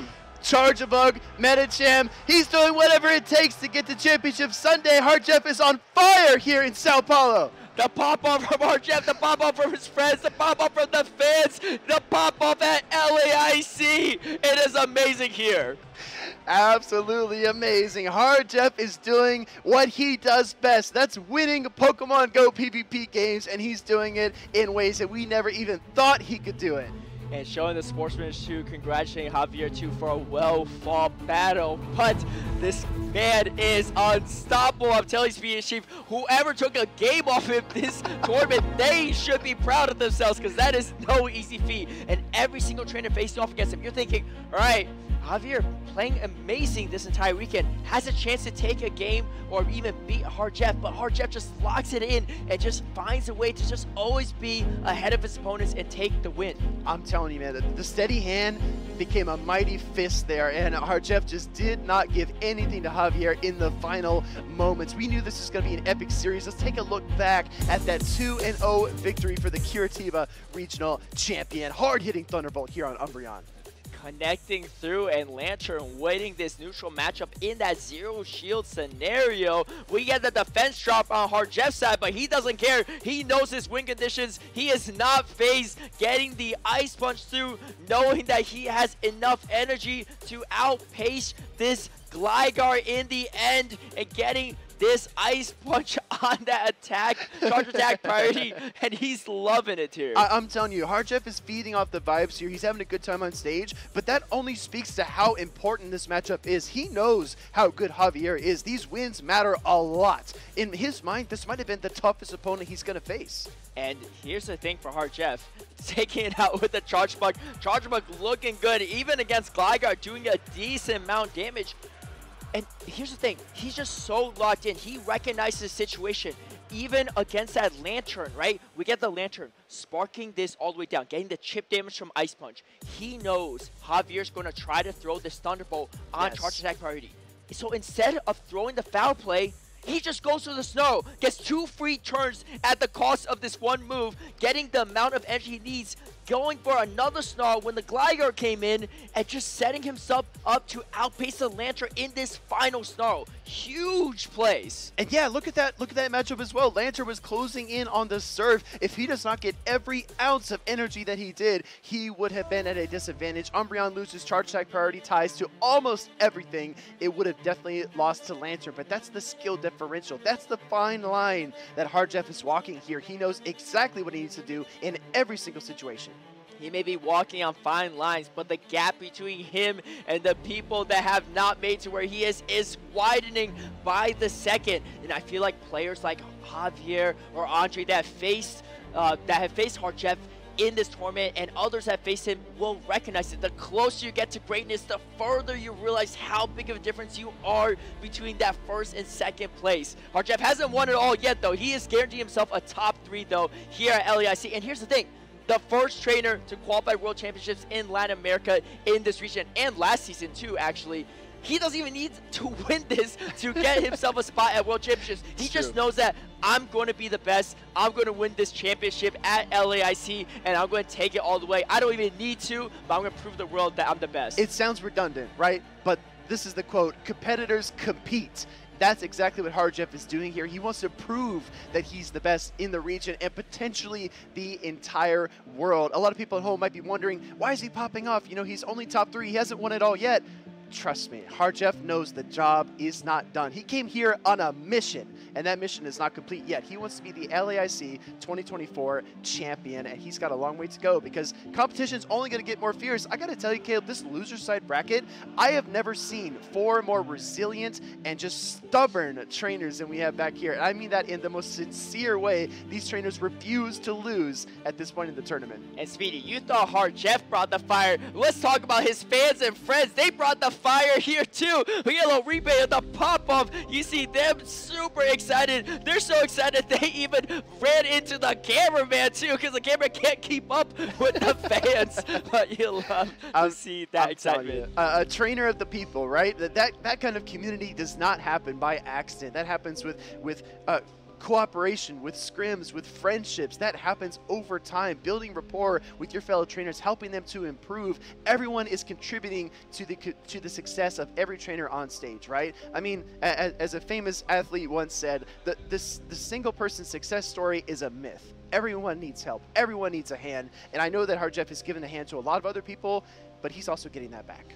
You know it. I mean, you don't get this good without scrim partners, without teammates, without friends willing to put in the hours on the receiving end and battling with you. I mean, I'm sure those friends took a lot of L's in those practice battles, so they know what to expect. They've seen it happen on their own phone screens, and now they're in the crowd saying, you know what? Hey, I've been there, Javier. I've been there, Andre. I've been there all of LAIC. I've taken my own losses against Hard Jeff, and it's only inevitable. Yeah, I think uh, I think there's a lot to say about Javier as well. Those, uh, like I said before, those wins meant so much to Hard Jeff. We have not seen him that emotional on stage. That's because he knew that it would be a hard-fought series. He had a good feeling. If he could get past Javier, he had a good shot to win it all. But I got to tell you, Javier dropped to that losers bracket. He's not done either. All these trainers are fighters, and he's definitely going to keep pushing through the competition. I don't know if anyone can take down Jeff. It looked like Javier. He was close, not quite, but he might get another shot. He just has to keep fighting through that loser's bracket. Javier will be moved to loser's bracket, but the next competitor against Hard Jeff is coming up soon. It's going to be the other winner semifinals. The winner of this series will also go on to Championship Sunday to lock in the opposing spot against Hard Jeff in that winner's finals. A lot to fight for on the line, and these both trainers have been playing really well this entire weekend to Roberto versus Basti. And Roberto running that Medicham, Purified Sableye, Carbink, Lickitung, Gligar, and uh, Alolan Sandslash. Yeah, exactly. Well, we, we don't have to wait very long. We're jumping right into the matchups here. We had a Medicham into Umbreon lead, a counter swap by Basti into that Spark, a Lanturn. He's got double, uh, I guess, a, a Purified Sableye and a Shadow Alolan Sandslash in the back. I was going to say double Shadow Claw, Caleb. You almost tripped me up there, but I'm pretty sure it's Powder Snow Alolan Sandslash. It is, but hey, you know, if, if you're coming over to Shadow Claw side, I, I'll take it. You know, it's better into the Lanturn for sure. Roberto is going to throw a Psychic. It's going to be shield, an early shield from Basti, a big shield though. Most people won't bait in that situation. Now, the Safe Swap Sableye, one of the premier Safe Swap Pokemon in all of Great League. Basti going to throw a Surf first before potentially swapping over. I would say probably to Umbreon, but maybe going to be Serperior, a little chip and dip action. Yeah, oh, wait, no, no, the, the Lanturn was actually a safe swap actually. Now It was safe swap out of the yeah. Umbreon. So, so two things are happening here, right? First, a great bait call. Secondly, the Purified Sableye switch. I guess thirdly, you're keeping your Purified Sableye away from that Umbreon. Roberto's playing a game of keep away from that Dark type. I would not be shocked at all if he lets this go, but he's actually going to go ahead and Protect Shield here. Umbreon left with no energy at all, so I think he's confident he could try to get some Shadow Claws and maybe reach the return against that Umbreon and get more value from this Purified Sableye. I like this play a lot from Roberto. You know why? Actually is going to do less damage with charge attacks than the Sableye is. Return's going to hit a lot harder, so you're actually going to take a sizable amount of health off this Umbreon, and Umbreon can't really snarl down the Sableye at this health range, so you still have to commit energy on top of that. Yeah, absolutely. I think this is looking pretty good for Roberto, though. He's managed to control the tempo of this matchup. But the switch out changes things a little bit here because you're going to see the foul play from Umbreon. But what I suspect we'll see next is that swap into Serperior because you don't want to take too much counter damage on Umbreon. Actually going to go for the double foul play, excuse me. This might actually work out in Roberto's favor. Let's see how Roberto is going to play this out. Is going to spend that uh, shield on the foul play. The lineup for Roberto is actually a hard counter for Basti, but, ba uh, but obviously Roberto doesn't know that because, you know, you can't see the exact back lines. However, this Serperior is still going to really struggle, especially against that Powder Snow uh, uh, Alolan Sandslash. Yeah, swap into the Serperior, looking for the big Vine Whip down, but the Medicham can't get to the Ice Punch, and Roberto's chance to freeze out the Serperior is gone, but not forgotten because he's got a Shadow Hold up, Alolan Speedy, this is a Leaf. Tornado Serperior here. Oh goodness, we see Powder Snow's adding up already. Shadow Alolan Sandslash desperately wants the fr the Frenzy Plants, and the Ice Punches are going to fly the other direction. And you're right, this is Leaf Tornado. I thought you were messing with me. No, It no, really is yeah, it really is. Yeah, we didn't get to commentate any of Basti's matchups until now, but this is one of the few, if not the only Leaf Tornado here in the Latium region. And maybe taking some inspiration from Galaxia Bolton. Oh, a huge combo play though from Roberto, throwing the foul play. Was this? Was this a charge attack priority swap tie? That would be absolutely massive. Oh, no, not quite. Trying to get the Vine Whip down, but not able to do it. And Roberto is going to be able to hang out here. Foul play almost coming through, but not quite. Roberto closing it out with that Alolan Sand Slash. Only win condition for Basti there is to fast attack down the opponent's Pokemon and then load that Frenzy Plant for the Shadow Alolan Sandslash, but he couldn't quite get it done. We know the Powder Snow is going to deal super effective damage. He can't throw the charge attack because then, then as soon as the Shadow Alolan Sandslash comes in, he just gets Powder Snow down. So the only win condition he had, he could not execute on, and that is a result of Roberto kind of building such a tough box for Basti to find his way out of. He boxed him in on all sides, and there was just nothing he could do. Yeah, tough matchup for sure. I mean, it's a tough alignment situation overall for Basti. Like, he just lost the lead. The counter swap was a little bit more neutral, but the great plays from Roberto ensure that he can maintain switch advantage. Gave away switch advantage, but because the Umbreon was so low on health at that point, it was in Ice Punch range. And I gotta say, Shadow Claw, yes, better against Lanturn, but the Powder Snow, way better into Serperior. Powder Snow, better into Umbreon too. So Powder Snow coming out on top yet again for Alolan Sandslash. We've seen a lot of Umbreon here at LAIC, the prominent, most prominent Dark type Pokemon in the meta. It's reliable, it's bulky, it's sturdy, it can dish out damage consistently do we see Carbink rise to meet it? Heading into game number two here of our winner's side bracket, we have Roberto on the left and Basti on the right. Leads on the field, Gligar and Lanturn respectively. It's going to be a solid lead for overall for Roberto, but Lanturn just so bulky, such a nuisance, so hard to take out. The Surf super effective is going to start adding up.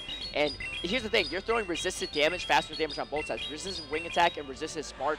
And we see an early shield from Basti. We saw early shield from Basti earlier, and I think a good one for sure here again. You're going to outpace the Gligar on the first Surf, but afterward, the Gligar is going to reach and dig at the same rate the surface reach as we look at, as we look at these back lines as well, we see Medicham and Sableye on opposing sides, Carbink and Umbreon on opposing sides, but the switch here changes things. It allows Basti to respond and potentially bring in his Umbreon here against the Sableye. He might even gather some extra energy before making a switch. Speedy, you see what I see in the back? Yes. It's that Carbink. Oh, a huge catch, so catching a resistant foul play and getting a full snarl through against the Sableye. That is big, building Basti a little bit advantage. But here's the thing, there's nothing that resists the move set of Carbink on the side of Basti, and you can get a big farm down against his Umbreon. Well, I think the switch in here is actually pretty solid for Basti because as soon as he KOs this Purified Sableye, obviously the Carbink will probably come out and then you can respond, right? He put himself in a position to actually answer back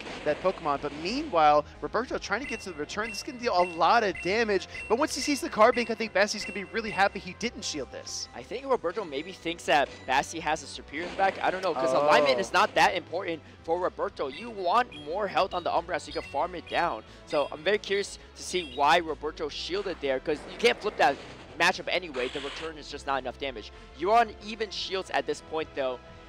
I mean, I feel like you got to come in Carbink, right? Yeah, uh, Roberto's in a bit of a tough spot. Comes in Gligar, about to throw the charge attack, but the Lanturn gets to the Surf first. This will absolutely knock out. So Roberto is forced to use Protect Shield. I got to suspect he's going to try to throw the dig, get that Protect Shield back. Because Basti hard swapped in, he actually can't switch out.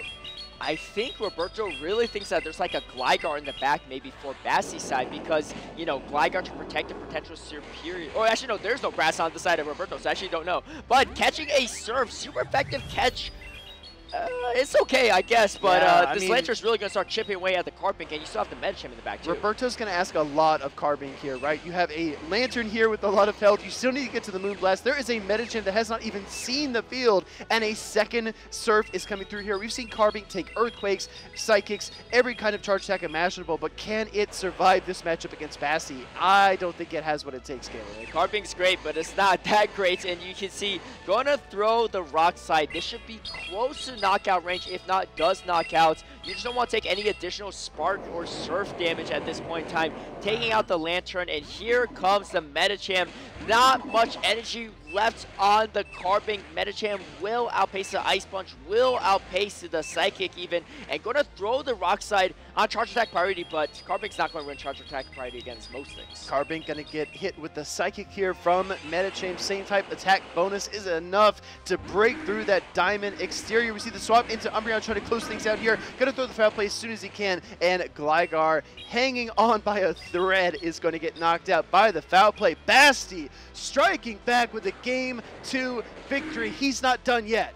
Basti looking really relaxed in that game too, finding the adjustment needed to stay in the winner semifinals. We are on to a game number three. There's so much on like winner of this meets Harjev in the winners finals on Championship Sunday. They can rest up. They are done for the day. The loser has to still battle through the losers bracket then and fight your way for that losers final spots.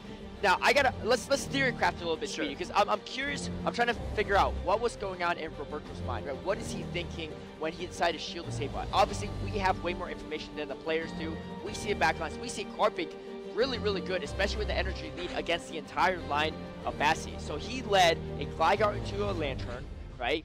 And so, and Basti already showed the Umbreon. So in the back, he's thinking, I need alignment somehow, right? Maybe he's thinking that I don't, I don't know. What do you think it is? It, do you think that he tough. thought there's a Froslass in the back, it, maybe? It's tough, right? But but if you look at the team composition in general, well, Basti's Umbreon is the only direct answer to that Sableye. So maybe Roberto thought Sableye had flex play, whether it was Serperior, whether it was Froslass, even, you know, Medicham, for example, he had a lot of flex play, and he wanted to value that Pokemon. However, at the point in which he switched it into Lanturn, he didn't really have a lot of options. So maybe a little bit of an awkward play there, but Roberto versus Basti is going to a game number three. We've got Serperior on the field, but guess what? Roberto's got something for that. Here comes Shadow, Alolan, Sandslash. And here we go. Shadow Alolan Sandslash not as good into the Lanturn, but this Drill Run is still gonna hurt. Do we see an early shield from Basti yet again? And yes, this, I feel like this is happening in all three games in a row. Early shields from the Lanturn on all three games. And now swapping into the Medicham,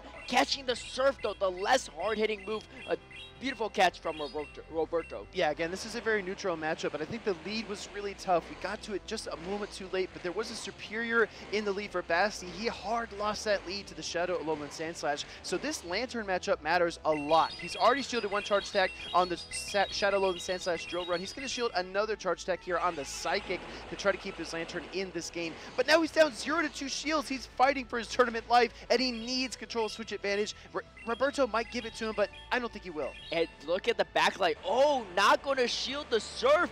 Maybe is going to give the switch advantage. Going for another Surf. Do you shield this? I don't think it's worth the shield. I don't think you can actually even make it to the psychic time. Roberto giving up switch advantage. This changes, this changes everything. This changes everything, right? Because you have your Shadow Alolan Sandslash, you have your Sableye, but now Basti is controlling the tempo of the game. He can keep his Serperior away from the Ice and Steel type. Huge play for Roberto. Roberto recognizes that there's almost definitely a Medicham in the back. I need to utilize his Alolan Sandslash against the Lanturn. I can't show the Sableye. Sableye is fantastic against the Medicham in the back. Up a shield, it can do some damage into Serperior. Going to charge up as much energy as possible. Throw the Drill Run. I think he's probably going to instantly pivot, expecting the Medicham in the back. I think you're right, but giving up control switch advantage was critical. Shadow Alolan Sandslash is so polarizing. Here comes Medicham, its worst nightmare. He's to throw some fast attacks, try to get to the Ice Punch, and he can't do it! Roberto gets knocked out, and here comes Purified Sableye, the counter swap into Serperior. That was a crucial uh, counter down. Getting maybe a little bit greedy, trying to get the Ice Punch off, but just was not able to, just giving more energy to Medicham, and that's exactly what Basti was. Here's the thing, you got Leaf Tornado now speeding. Do you shield the Leaf Tornado? No! Oh, a huge no shield. Recognize there's Leaf Tornado. It's not going to shield a potential Frenzy Plant. Doesn't Oh, it doesn't debuff either. A huge no debuff. Whatever Basti's selling, Roberto ain't buying. Here comes a foul play to knock out the Serperior. Roberto made the call of his tournament life. It's going to keep him in the winner's side bracket. That's a knockout. Here comes the Medicham. He's got one protection left. Going to look for a charge attack here. I think you go straight for the return. Oh, and not able to get to return. Go for the foul play. This is not enough to knock out. Basti's still in this. You get to back-to-back -back Ice Punch. You can pull this off. Can Basti get there? Gets to the first Ice Punch. Has the second Ice Punch loaded. You see Roberto shaking his head. He knows this Medicham has so much energy. He knows he should have swapped out the Alolan Sandslash, but gave away too much energy to the Medicham. And Basti knows that he's going to lock in his spot on Championship Sunday in the top three. Roberto making all the calls, but just can't get it right. Basti outlasts his opponent, punches his ticket to the winners finals against Hardjev off the back of some incredible plays. He isn't phased. He's calm, cool, collected all the way through. No Leaf Tornado debuff needed. Even that huge no shield call from Roberto, but Medicham just had too much energy there. And look at the team alignment, right? Alolas is such a Serperior, and you got a Sable on the back for the Medicham, but giving up that switch advantage was what spelled disaster for Roberto, and that's what gave Basti a chance to come back and win it all it's so tough, right? Because Shadow Alolan Sandslash can be safe switched into certain matchups. A lot of trainers don't expect that. They don't know what to do against that Pokemon. But I always say this, Caleb. I'm sure you've heard me say this a dozen times. When you play Shadow Alolan Sandslash, it's the same principle with Obstagoon. You need to control switch advantage. When Medicham is nearly ubiquitous in the top meta, you have to be prepared for that Pokemon. You have to control the tempo of the matchup. Like you pointed out, Roberto doesn't do that at the midway point in the game. And somehow Basti finds that win condition in the final moment moments. Breathing a sigh of relief, getting his spot in that winner's finals tomorrow. He's got time to rest up before he has to face a Goliath and hard Jeff, but he's proven that he can stand against the best of the best here in Latin America international championships. I'm telling you, it's not the flashy plays, it's not the spicy picks we thought, it's the calm, cool, collected execution by trainers like Basti. That's what's sending these trainers to the very pinnacle of competition here at LAIC. Ice Punch into Umbreon, the fast off into Serperior, looking for the big blind whip down. Does he get it? That's right, Basti gets it. Basti and that Leaf Tornado Serperior doing what it can. You can see Roberto throwing that foul play though should be quite enough to knock out Serperior. Not quite actually, but the Serperior just did not have enough play and the combo play from Roberto to come away with an early one game lead. Basti back against the wall has to go 2-0 now. No mistakes here, and he pulls it off. Yeah, not easy to reverse sweep, especially a competitor at this level. The simultaneous KO led to that game one victory for Roberto, and the Shadows Alolan Sandslash finish it out. Here in game number two, Basti was able to make the adjustment. Umbreon looking pretty strong. There was a Carbink on the field, but Carbink never even saw that Dark Pokemon in this matchup. Exactly. Surf was protected up by the Gligar, but that critical dig he was able to reach. Now we see the Surf connecting into the Carbink. Again, we asked a lot of Carbink. It's taken a lot of charge tags this entire weekend, but it could not take this victory for Roberto in game number two. This is the beginning of the comeback for Basti.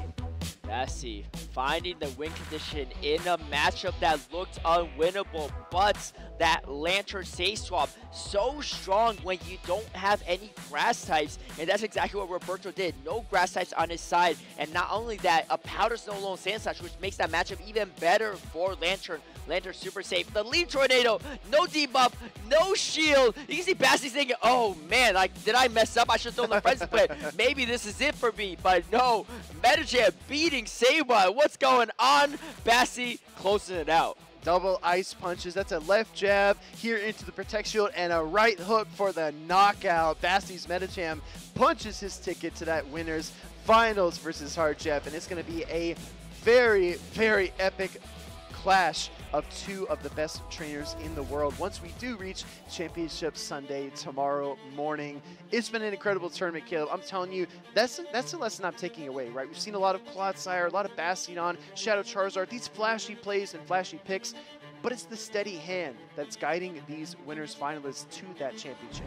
Yeah, it sounds like the steady hand with a meta team too, I gotta say. But, you know, meta is meta for a reason. Everyone running a little bit, I feel like everyone's running a little bit spicy here and there, but we have our next set of battles on stage. Let's take it over and go through this loser's bracket. We got Trixen on the left-hand side, probably one of the last Carbink available. Man, I, I got all, all hands on deck for the Carbink believers here. Carbink, Gligar, Medicham, Shadow Alolan Sandslash, Swampert, and Superior. Emilio on the opposing side with Lickitung, Medicham, Lanturn, Gligar, non-Shadow Alolan, Sandslash, as well as Shadow Dragonite. That Pokemon is so elusive. I mean, a lot of trainers thought it was a legendary Pokemon because it's so hard to find.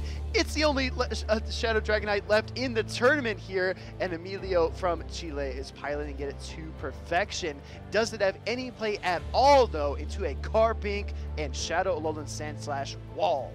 I mean, one of the only Shadow Dragonites left. I, I, think it's like the only Shadow Dragonite in the whole tournament. It seems like we rarely see that. We saw Wadach win Pittsburgh, the first tournament of this season with that Shadow Dragonite, but after that, really no one really piloted it to much success until Emilio here in this losers round number three. Shadow Dragonite walling off the Swampert, walling off the Serperior.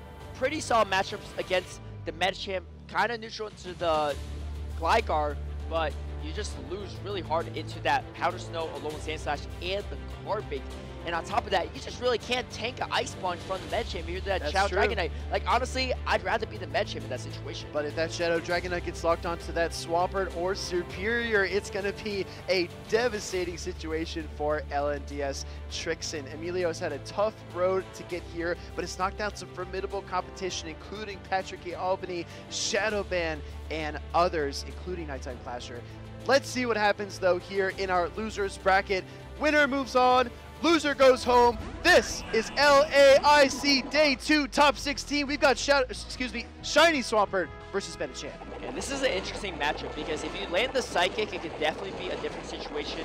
But the Hydro Cannons are going to outpace all the moves here. We see the first Hydro Cannon being thrown on charge attack priority. Emilio with the patience not throwing the Psychic I think you gotta throw Psychic Praise too, because you're about to get outpaced in charge attack priority on the next Hydro Cannon, and throwing Ice Punch bait do we see a shield? We do see a shield from Trixen. Now Emilio is ahead in this situation, but you really need to take out this Medicham because you have the lone Sandslash in the back and you don't want any business of the Medicham on that matchup. Here comes the first Protect Shield for Emilio. We've seen a lot of Ice Punch baits in the Medicham versus Swampert Mirror because Psychic can be so devastating. Goes for another Ice Punch here. Emilio being cool, calm, and collected as he moves his way through this matchup. Trying to get the knockout onto the Shiny Swampert. Doesn't quite get it though. There's the second Protect Shield from LNDS Trixen. Gonna look for a big charge stack here against Lickitung. First Hydro Cannon gets fired off. Might even get a second one before it gets knocked out here.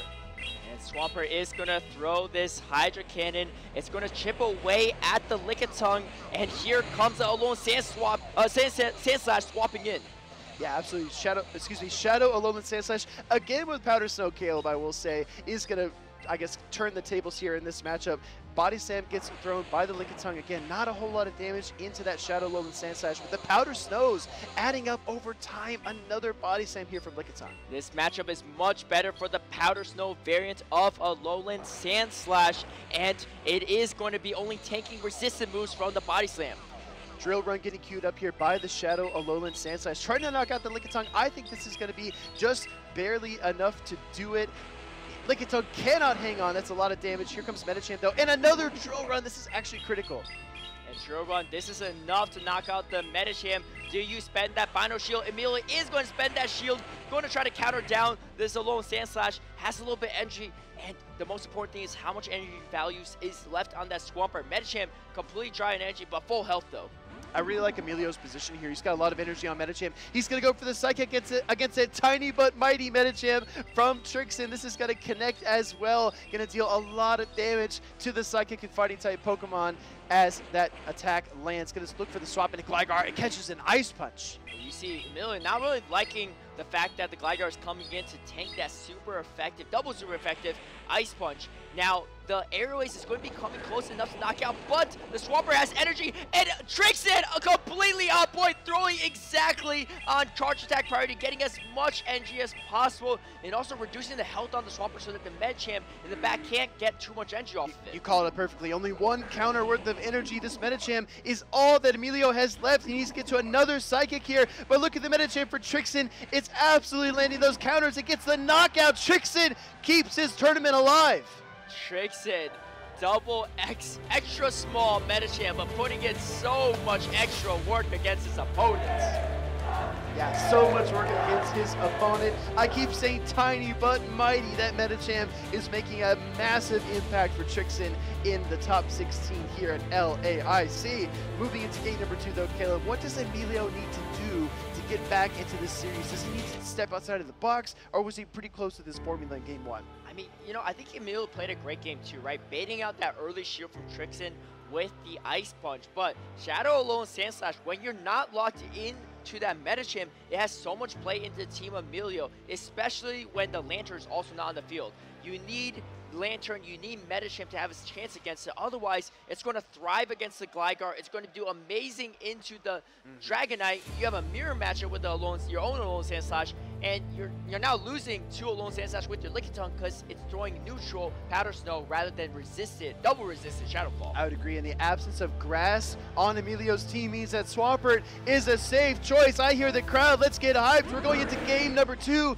Trixen's trying to keep his tournament alive. He's going to lead his Gligar into Lickitung. And here we go. Gligar and Lickitung both fairly bulky. The dig is going to do a lot more damage than the body slam. Let's see if either trainer are going to go for a catch or not. No Alolan Sandslash though on the side of Trixen this time around. A lot of pink Pokemon on your screen, but Lickitung is slightly superior in terms of bulk, absorbs that dig, no problem. Gonna look for a body slam here, one single lick, so Emilio is optimizing his fast attack timing, throws this neutral body slam into Gligar, trying to chip it down gradually over time. But meanwhile, Gligar's gonna pace pretty quickly, is closing in on another dig here. And throwing the aerial ace before the body slam is thrown. Emilio really good on the counts, knowing that it's not Dig, not going to shield up the aerial ace, going to be doing less damage. I think Trixen might be conceding the switch advantage, is going to just let it go. And you can see the perfect time for Emilio throwing this body slam right before the aerial ace is reached. Does the Gligar hang out? It's it might. Close. It might. Oh, it, it does. does. It does. Looking for another aerial ace. Trixen's Gligar absolutely optimizing here, and Emilio does not like that. This is going to deal a lot of damage, knocking out the Lickitung. It is not over yet, though. Just because Trixen has the lead, getting that spark advantage is going to be nice. Now, here's the thing. You got Swampert pretty solid into Lanturn, but you gotta land the Earthquake. This is going to be huge shield calls, bait calls on both sides. Who's going to be shielding what and throwing what is going to be massive here. You can see Lanturn throwing that first surf to start chipping down this Swampert. Trixen just got to the Earthquake as that surf was fired off. He's got it right here. He's going to go straight for it. This is the biggest shield call of Emilio's tournament. If he does not get this right, he's probably out of the tournament. He uses the shield. A last second shield and a huge shield call. Now this matchup is much more in favor of Lanturn. Going for another surf, you have to shield this if you're Trixen. But the thing is, if you shield this, isn't it almost obvious you're going for another Earthquake? Go for another Earthquake, take away that final shield, try to break down the barriers and clear the runway for the Medicham. Here comes a second Earthquake from Trixen. Emilio has a decision to make. He was in a similar position just a second ago. Does he shield? Yes! Two Earthquakes, protect shielded. Back-to-back -back shields, and that's going to be huge for Emilio, especially looking at the back end. Oh, a huge charge attack priority from Trixen, though, recognizing that Emilio is going to throw it before he gets the Earthquake. So instead, they're saying, you know what? I'm going to take some chip damage, weaken the Lanturn. I'll take my shield advantage, and I'm going to try to sweep with the Medicham in the back. It's so clever. The word for it, very, very clever to do that because it makes this so much more palatable, palatable for the Medicham. He's going to bring it in with one Protect Shield. His tiny Medicham has been his key all tournament long. It's got to defeat Lanturn and Emilio's Medicham in the back. And this tiny Medicham has put it in so much work for Trixen all tournament long. Here comes Emilio with his own Medicham. I mean, this looks like the size difference is just cracking me up. But the spark damage did start adding up against Trixen. So Trixen's Medicham, although has an entry lead, is starting to get chipped away from the damage. Hey, I'm telling you, it's tiny, but that Psychic hurt as it landed into Emilio's Medicham. We're going to see a Psychic here from Emilio going as soon as he can possibly get it. Looking for a defense fall, that would definitely be the icing on the cake here, but there's only a slight chance that that will happen. Psychic connects, Medicham takes a huge loss of HP. Now it's almost within Ice Punch range, but he's going to KO Emilio's Medicham. Trixen wants to take out this Medicham as soon as possible. You don't want to take any additional counter damage because it's really a race now. Who's going to counter first, or are you going to spark down? No energy on both sides. Trixen countering down. The tiny Medicham is going to win it 2 to 0 for Trixen. He's going to continue moving forward in this loser's bracket. Emilio and his Lanturn can't quite get it done, but Trixen advances in the tournament. Like I said, Brazilian, stubborn, refuses to lose. Trixen is still in our loser's side bracket. Emilio, what a performance all weekend long, but unfortunately not able to overcome the plays of Trixen, not able to overcome that meta champ, and unfortunately will be leaving the tournament bracket. However, still walking away with a sizable amount of championship points and an incredible performance still. I'm telling you, when you see the extra, extra small Medicham, it might give you like a false sense of confidence, right? Like, oh yeah, I can take down this Medicham. But Trixen's meta champ, its impact is completely outsized compared to its stature. It has carried him through so many close matchups. We saw that Medicham close out not game one, uh, not just game one, but game two as well for Trixen, and it's done that for him all day today, all day yesterday. He's definitely, I don't know, he's got a best buddy as Medicham or something. maybe, maybe it is. It's probably his best buddy. He also got that Carbink on his team too, so That's for true. the Carbink lovers, there's still some hope here in this tournament at LAIC. Incredible series by two incredibly resilient trainers. Trixen's Shadow Alolan Sandslash getting out that key drill run to take away that final Protect Shield from Emilio. Swampert on the charge attack priority tie with the Hydro Cannon. This, this shows just incredible execution at a high level deep into the game to recognize that charge attack priority tie, to allow his Swampert to get weaker and not give Emilio any energy at all. I mean, that just speaks to the skill ceiling here. I gotta say, too, Emilio had quite the performance in this tournament. He ran a Gligar and a Shadow Dragonite. You got two Pokemon that are double weak to ice in a meta where Alolan Sandslash is the most popular steel type Pokemon and ice type mm -hmm. Pokemon in the whole tournament. So making even this far is incredible. Huge shield calls in game number two, shielding two back to back Earthquake, but Trixen just one step ahead, throwing the resisted Hydrogen even for that chip damage. And that chip damage was so important as you see in the back end matchup. Without that chip damage, the Lanturn would have won here. You're but right. that extra chip damage allowed Trixen to counter down.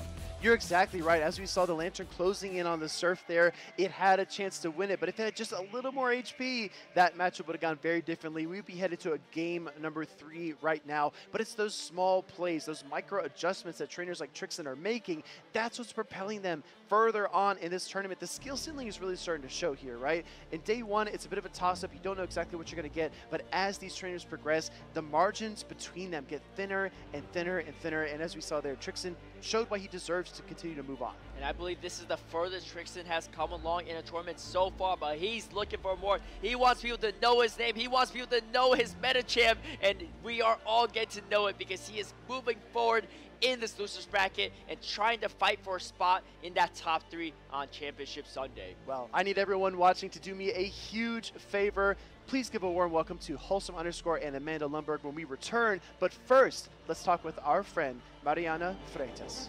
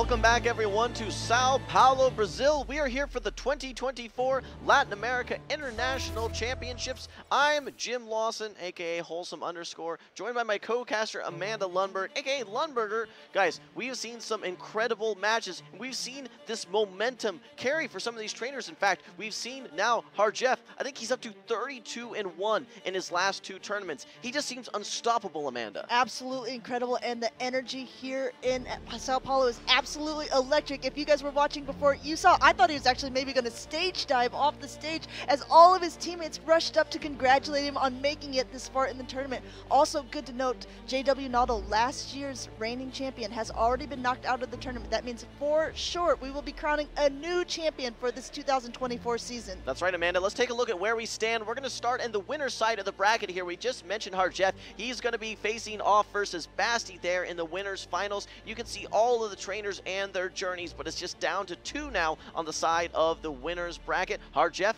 and Basti. Moving over to the loser's side of the bracket here, we've had a much longer journey. It's been, like we said, if you get knocked down to the loser side, you got to go through one, two, three, four, five, six losers matches just here in day two. Yes, that, that's exactly right, Jim. Just day two alone, and we just got done seeing uh, Javier play against Trixen, and now up next we're going to be able to see uh, Steiner up against Daniel. These two competitors have been going very, very well all day. You can see all the competitors that have been making it to round two. These are the top 16 competitors as well, so that means no matter what, these 16 people are taking home at least 200 championship points for LAIC. Yeah, that's right, and I think that at this point, if you've made it this far, you've got to be feeling very good with your performance, without a doubt. I mean, we're down to maybe just fewer than a dozen trainers, I think, at this point. So, yes, lots of championship points will be awarded to all of these trainers. But let's go ahead and introduce our next matchup here. We've seen both these individuals on stream already. We're going to be having LNDS Steiner facing off versus Daniel SMB. And this, again, is a good point to point out. Earlier, we talked about how Steiner wasn't even sure he was going to be able to make it to LAIC. In fact, he just booked his tickets one or two days before. Look how far he has made it into losers round three, running a pretty conventional team, except for I see a kind of that spicy pickup, that Araquanid on his side of following with that Alolan Sandslash, Medicham, Lickitung, Gligar, and Lanturn. You know, both of these trainers actually have one Pokemon that I think sticks out from the formula as I've been calling it. That being the Araquanid on the side of Steiner, filling that role of what I think was more of like the dark Pokemon with an Umbreon or Sableye. Looking at Daniel's team, though, very conventional team as well with the Serperior Froslass, Medicham, Lickitung, and then the water Pokemon, probably the, the second pick with that Swampert rather than the Lanturn. But the Steel, rather than the Shadow Alolan Sandslash, it's going to be the Registeel. Can't wait to see how these slightly unconventional picks will adapt here in this current meta. There's only one way to find out, though, Amanda. Let's go ahead and move into game number one. We're here in losers round three. Take it away, Amanda. Well, only if you insist, Jim. We have a Froslass against a Gligar lead. A wonderful lead for Daniel here as this Gligar wants nothing to do with it. An immediate swap out into that safe swap Lickitung, only to be met by Medicham. And again, this is a Medicham with dynamic punch, so its charge attacks will be doing much more damage against the Lickitung. Okay, well, this is interesting because Daniel swapped right away. Instead of opting to get a charged attack off, going for that chip and dip strategy, this does open up a door for Steiner to actually potentially flip switch here. It's going to depend on if a dynamic punch is able to land or not. Actually, maybe could have thrown the body slam a little bit earlier to avoid this charge attack priority. Steiner does is is willing to invest this protect shield and will be firing off this body slam on charge attack priority. And now it's Daniel's turn to see if he also wants to invest in protect shield because this Medicham will get desperately low and the licks could be enough to end up flipping it again should he not choose to do so. Looks like he is not going to do that. He will be able, no, not even to get to an ice punch, completely licked down and Steiner has regained control of this uh, sort of alignment of these three Pokemon. Now, good news for Steiner is that he no longer has to have his Froslass lined up versus, or sorry, his Gligar lined up versus that Froslass. He now gets to have his Lickitung. An interesting swap in right here. Registeel is actually going to be the more dominant matchup. But I think what Daniel is trying to do here is preserve that Registeel, knowing that it may have some good play in the back, not just versus this Lickitung. He doesn't know it, but there's actually a Shadow Alolan Sandslash hanging out in the back where one Focus Blast could threaten to completely knock out. And this is a Powder Snow Alolan Sandslash too, not a Shadow Claw, so will not be doing so much damage from the fast attacks, relying on these charge attacks only. Uh, Daniel going for what is a big bait here, and called by Steiner, not shielding up this Avalanche, which will not be doing as much damage as his Shadow Ball. This is huge for Steiner. This is far too risky in my book, Amanda. There's only one Protect Shield remaining at this point. You want to hang on to those shields. You're less likely to shield a charge attack, especially if it doesn't knock out like a Shadow Ball. That bait is double resistant, and that could be devastating here for Daniel. Yeah, Daniel going ahead and now throwing the Shadow Ball, which is getting properly shielded up by the Alolan Sandslash, which would have been maybe enough to even knock it out at this point. So great job there. And also, again, a ton of more. But look at this, all this energy now saved on the Sandslash, and we have the Gligar against the Registeel. The Registeel does have a shield, but the, neither one of these attacks are going to be doing that much damage. Going to need at least two to knock out the Gligar. Yeah, that is the thing that you have to have to look at is how impactful can this Registeel be up against this Medicham. You do get the attack drop, that's definitely going to help. These digs are super effective. I don't think that there's any reason why you bait at this point as Steiner, right? That could be your lose condition at this point. Here comes the Protect Shield. It will hit the dig. This is a single attack drop. You don't have the move stored, and in fact, even if you did, the dig is going to be charge attack priority. Interesting, though. Opti did not throw the dig right away. Now the Zap Cannon is going to come through and have potential to debuff a second time this Gligar. Yes, it's a 66% chance. Let's see if he's able to get it. Get a double deep. Oh, I wonder Steiner is really wishing he would have thrown that dig first. However, at 100 energy now, going to be able to throw back-to-back -back digs should he want to. I don't know if this will be enough with the double attack buff, though, Jim. Amanda, watch out for switch clocks here. This Froslass is just coming up right now. We could see a quick pivot trying to catch the second move. No, I don't know that this next dig is going to be knocking out either. Froslass, I believe, actually has some energy as well. This is going to be interesting. Daniel, again, threw that avalanche into the Shadow Alolan Sandslash. Its Sandslash is absolutely juiced on energy, though. Throws the Drillbur. How much energy will this Froslass be coming back in with? Will it be able to get to a Shadow Ball to knock out this um, this Shadow Alolan Sandslash, and then can it Powder Snow down? Oh, it is almost energy dry. Meanwhile, this Alolan Sandslash is here. Have a dig. Here it comes. You are unprotected, Froslass. I want to give this to you. And it looks like LNDS Steiner is able to take game number one in this losers round three. All right, well, Daniel's going to have to find a way to recover. It's not often that you have a lead as good as Froslass into Gligar. That is a terrible lead for Steiner. Steiner finding a way to come back, though. Actually going down a shield, if you recall, using that Lickitung to go up against the Medicham. I want to be a little critical here. I want to see Daniel next time stay in with that Froslass, throw an Avalanche into that Lickitung, then swap into the Medicham. That will preserve that alignment a lot safer, and you don't have to worry about any charge attacks coming from that Lickitung initially, right? Because it pace a lot slower to that Power Whip. If they throw a Body Slam, so be it. It's double resisted. But throw that Avalanche, then come in with the Medicham, shore up that matchup. It's a lot safer, and that'll guarantee that you have the alignment that you want. I would have also liked to see Daniel maybe come in with that Registeel into the yeah. Tongue instead of the Froslass. I know that he was thinking he could get a lot of energy. Char um, Froslass wins charge attack priority against almost anything on the um, Steiner's team. However, the Registeel could have also stored up a lot of extra energy. It would only take one charge attack at that time, a Focus Blast, and it still would be ahead on energy to throw a charge attack at whatever came in afterwards. Still keeping that alignment for the process and the Shield. Yeah, no, that's a much tougher matchup now having that Registeel instead of versus the Lickitung and maybe versus the Shadow Alolan Nine Slash. That Lickit, or sorry,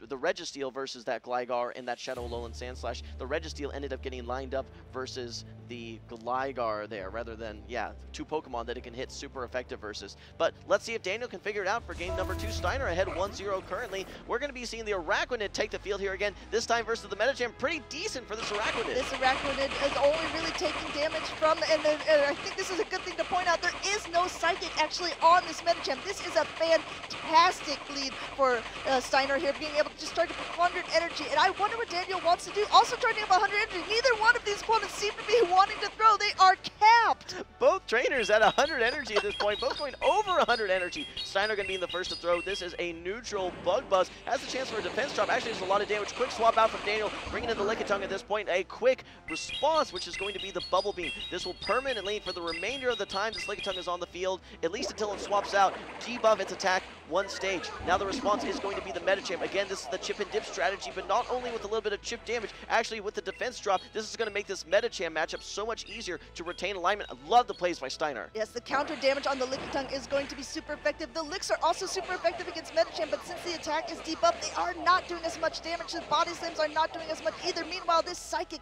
should be enough to knock out the Lickitung. And Daniel, once again, not using shields, very, it's going to keep it very low, if not knock out this Lickitung. And we have a very low health Medicham also in the back. Now, but the one thing to keep in mind is that back matchup. Gligar does not want to see that Swampert. Steiner's going to need a lot of work from that uh, from that Araquanid. It is a perfect answer to that Swampert. Not only does it hard wall the Medicham, it hard walls the Swampert as well. So it's a little interesting now that Daniel has had his Lickitung removed from the field, this Araquanid looks unstoppable. Yeah, I think that this was a pretty dangerous game. Uh, Steiner really called it perfectly. Going to go ahead and go for an ice punch here from Daniel's side. Not enough to take it out. Hoping to get maybe get a couple more counters in, but no, in comes that Swampert just to gain a little bit of an energy advantage. Medicham's going to give a little parting gift of this ice punch before it goes away. All right, well, Medicham is now down, and I think that this Gligar is going to have some play. Oh, actually, a quick swap, bringing in the uh, Araquanid right away. You want to start landing these bubble beams immediately. Both of these charge attacks from Swampert are going to be resisted, but still, Hydro Cannon, incredibly efficient move from an attack-weighted Pokemon. These attacks will start adding up, and look at all the chip damage that the Medicham was able to do. You have to start throwing these moves right away and figure out a way to remove this Araquanid.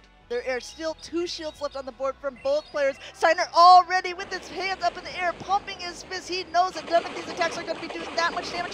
Earthquake is going to go through at this point, and I think, yes, Steiner's still choosing not to go ahead and shield to say, okay, Araquanid, you have definitely done your job. He knows that his Gligar can wing attack down at this point. He knows there's barely any HP remaining, and look, he actually oh takes oh my the move, goodness. no problem. Four shields left in play at this point, Amanda, and this Araquanid, we said, will it have an impact? The answer is yes. Steiner going to be taking the 2-0 victory versus Daniel and moving on to the next round of Wow. the loser's bracket. Two shield victory, two game victory, three Pokemon in the last matchup victory. This was a very decisive win for Steiner, and you can see the Brazilians just going crazy in the crowd for their teammate and friend. Congratulations for making it so far. This is the LNDS crew, the Lindos as they're called, and they are so happy for their friend.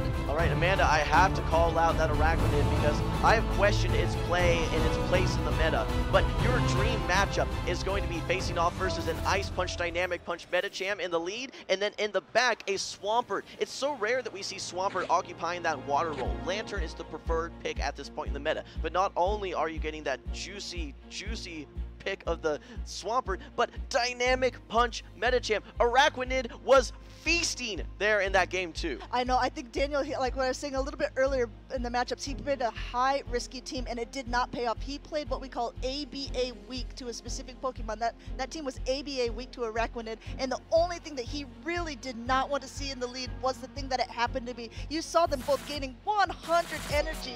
And let's go ahead and look at a little bit of these highlights. Uh, Steiner being able to sh shield up that dynamic punch, and like you said, Jim, because there was no chip and dip strategy, but because this Lickitung was actually so healthy at this point, being able to shield this was actually put the alignment back in Steiner's favor. That's right, going down one shield, but you do come out with some energy and you have alignment. You no longer have your Gligar up against that Froslass. That proved to be incredibly impactful. Daniel, I think a little bit of a miscue here. Only one Protect Shield remaining. A Shadow Ball doesn't knock out. You probably want to go for what's likely going to be landing and for neutral damage, the Shadow Ball. Instead, the double resisted Avalanche. That was incredibly detrimental to his chance of victory. Daniel had a little bit of a chance left here. This was a double debuff Gligar, being able to not quite to knock it out with the dig. However, this Bulldoze would be enough to do it. This Sandslash also will have another one stored already pretty much for the Froslass, securing up game number one. You can see it come in here. Here's the Froslass, and here is that drill run that we were talking about, being able to successfully take it out. Despite not having the Shadow Claw, that Shadow Alolan Sandslash did prove to be incredibly impactful in that game one, knocking out the Registeel and the Froslass as well. Let's move over to game number two, though. We saw this Lickitung lined up versus the Medicham, able to get off a body slam at very low HP, but keep in mind this Lickitung was the main answer to that Araquanid. So once that Lickitung is off the field, that Araquanid has so much play, able to easily take an Earthquake that is resisted damage, and then Bug Bites down. The Swampert has a move ready to go. We didn't even see the Gligar there, Amanda. You only needed two Pokemon. You really only needed that Araquanid to take that Game 2 matchup. Steiner now won his last six consecutive games on an absolute tear through this loser's bracket. He is trying to find his way to the grand finals. I think he's well on his way by the looks of how he has been playing. And let's go back a little bit to the team composition because we actually didn't really call out too much ahead of time that the Araquanid would have such incredible plays. But again, this is the very first tournament in the 2024 season where we have open team sheets. So I'm sure Steiner had a look at that and said, wait a minute, this is a dynamic punch Medicham. Wait a minute, this is a Swampert. Well, it's really There's so many things on this team that I can play against, and I think that Daniel was just playing a risk scenarios when he's registering his team, saying, "What are the odds that I'm going to see an Araquanid that I'm going to be facing that in this tournament?" You know, we've seen quite a few, so he somehow must have danced around the rest of them. But here in this matchup, you're absolutely right, Amanda. The Araquanid just proved to be so, so imposing. If you're going up against the water, it's normally going to be that Lanturn, which is a terrible matchup for the Araquanid. The Psychic Medicham is a little bit more neutral as well, still good for that Araquanid, but like you said, Dynamic Punch Medicham the Swampert instead of the Lanturn. That is the dream, dream matchup. And kudos to Steiner for capitalizing, without a doubt. Yes, and Daniel had a very incredible run. Uh, yesterday, he was knocked down to the losers bracket by Nighttime Clasher, but he is uh, basically now knocked completely out of the tournament, but had a very successful run of day two, making it this far into losers round three. Incredible, incredible job. All right, well, we are feeling the energy in the crowd, but let's get some maybe some energy from social media as well. We're going to be doing a quick check-in here and seeing what some of the uh, kind of what the litmus test here is there. Give How us are they your feeling? energy. We'll get a temperature check here from social. Uh, actually, no, sorry, we're just going to be plugging our socials here, Okay. guys. Make sure you follow us and we'll get them featured next time on stream. Hashtag play Pokemon on X slash Twitter. You can also follow us on YouTube as well as on Instagram or on Facebook at play Pokemon, or sorry, hashtag poke backslash Pokemon. Nailed it. He's got it. Nail- at this point. nail- nail that we'll one, be we'll be here all weekend, guys. That's right. All right, well, I think we're still getting our next battles queued up here, but I do want to go real quick back to some of the game changers so far that we've seen in today's tournament. I think that most recently, Araquanid was going to be that game changer without a doubt. Froslass, for me, has been one that's been very pivotal as well. In fact, we've seen it taking out things like Carbink as well, That's being very versatile. One of the critical moments that I actually had, Amanda, was when I was saying, hey, you only got one charged attack off on your Froslass. When it has been so, so impactful, you really need to find a way to squeeze every bit of value out of the Froslass there. So I don't think the trainers that are able to do that, I think, are the ones that we're seeing have success. I think you're absolutely right here, and we are seeing a lot of trainers. Uh, but I mean, most of them from this region, a lot of them from Brazil. Uh, once again, if you see L and DS at the beginning of, of one of the team names, that's it's because they're part of this Lindos team. You probably hear them in the crowd, but they are not the only people who are there cheering on their teammates, cheering on their opponents. Uh, Javier has been doing absolutely fantastic in this tournament so far. He had only dropped one game before his last matchup, who he played against. Um, what was it? Uh, Hardship, I believe, knocking down now to this to be able to play against Trixie.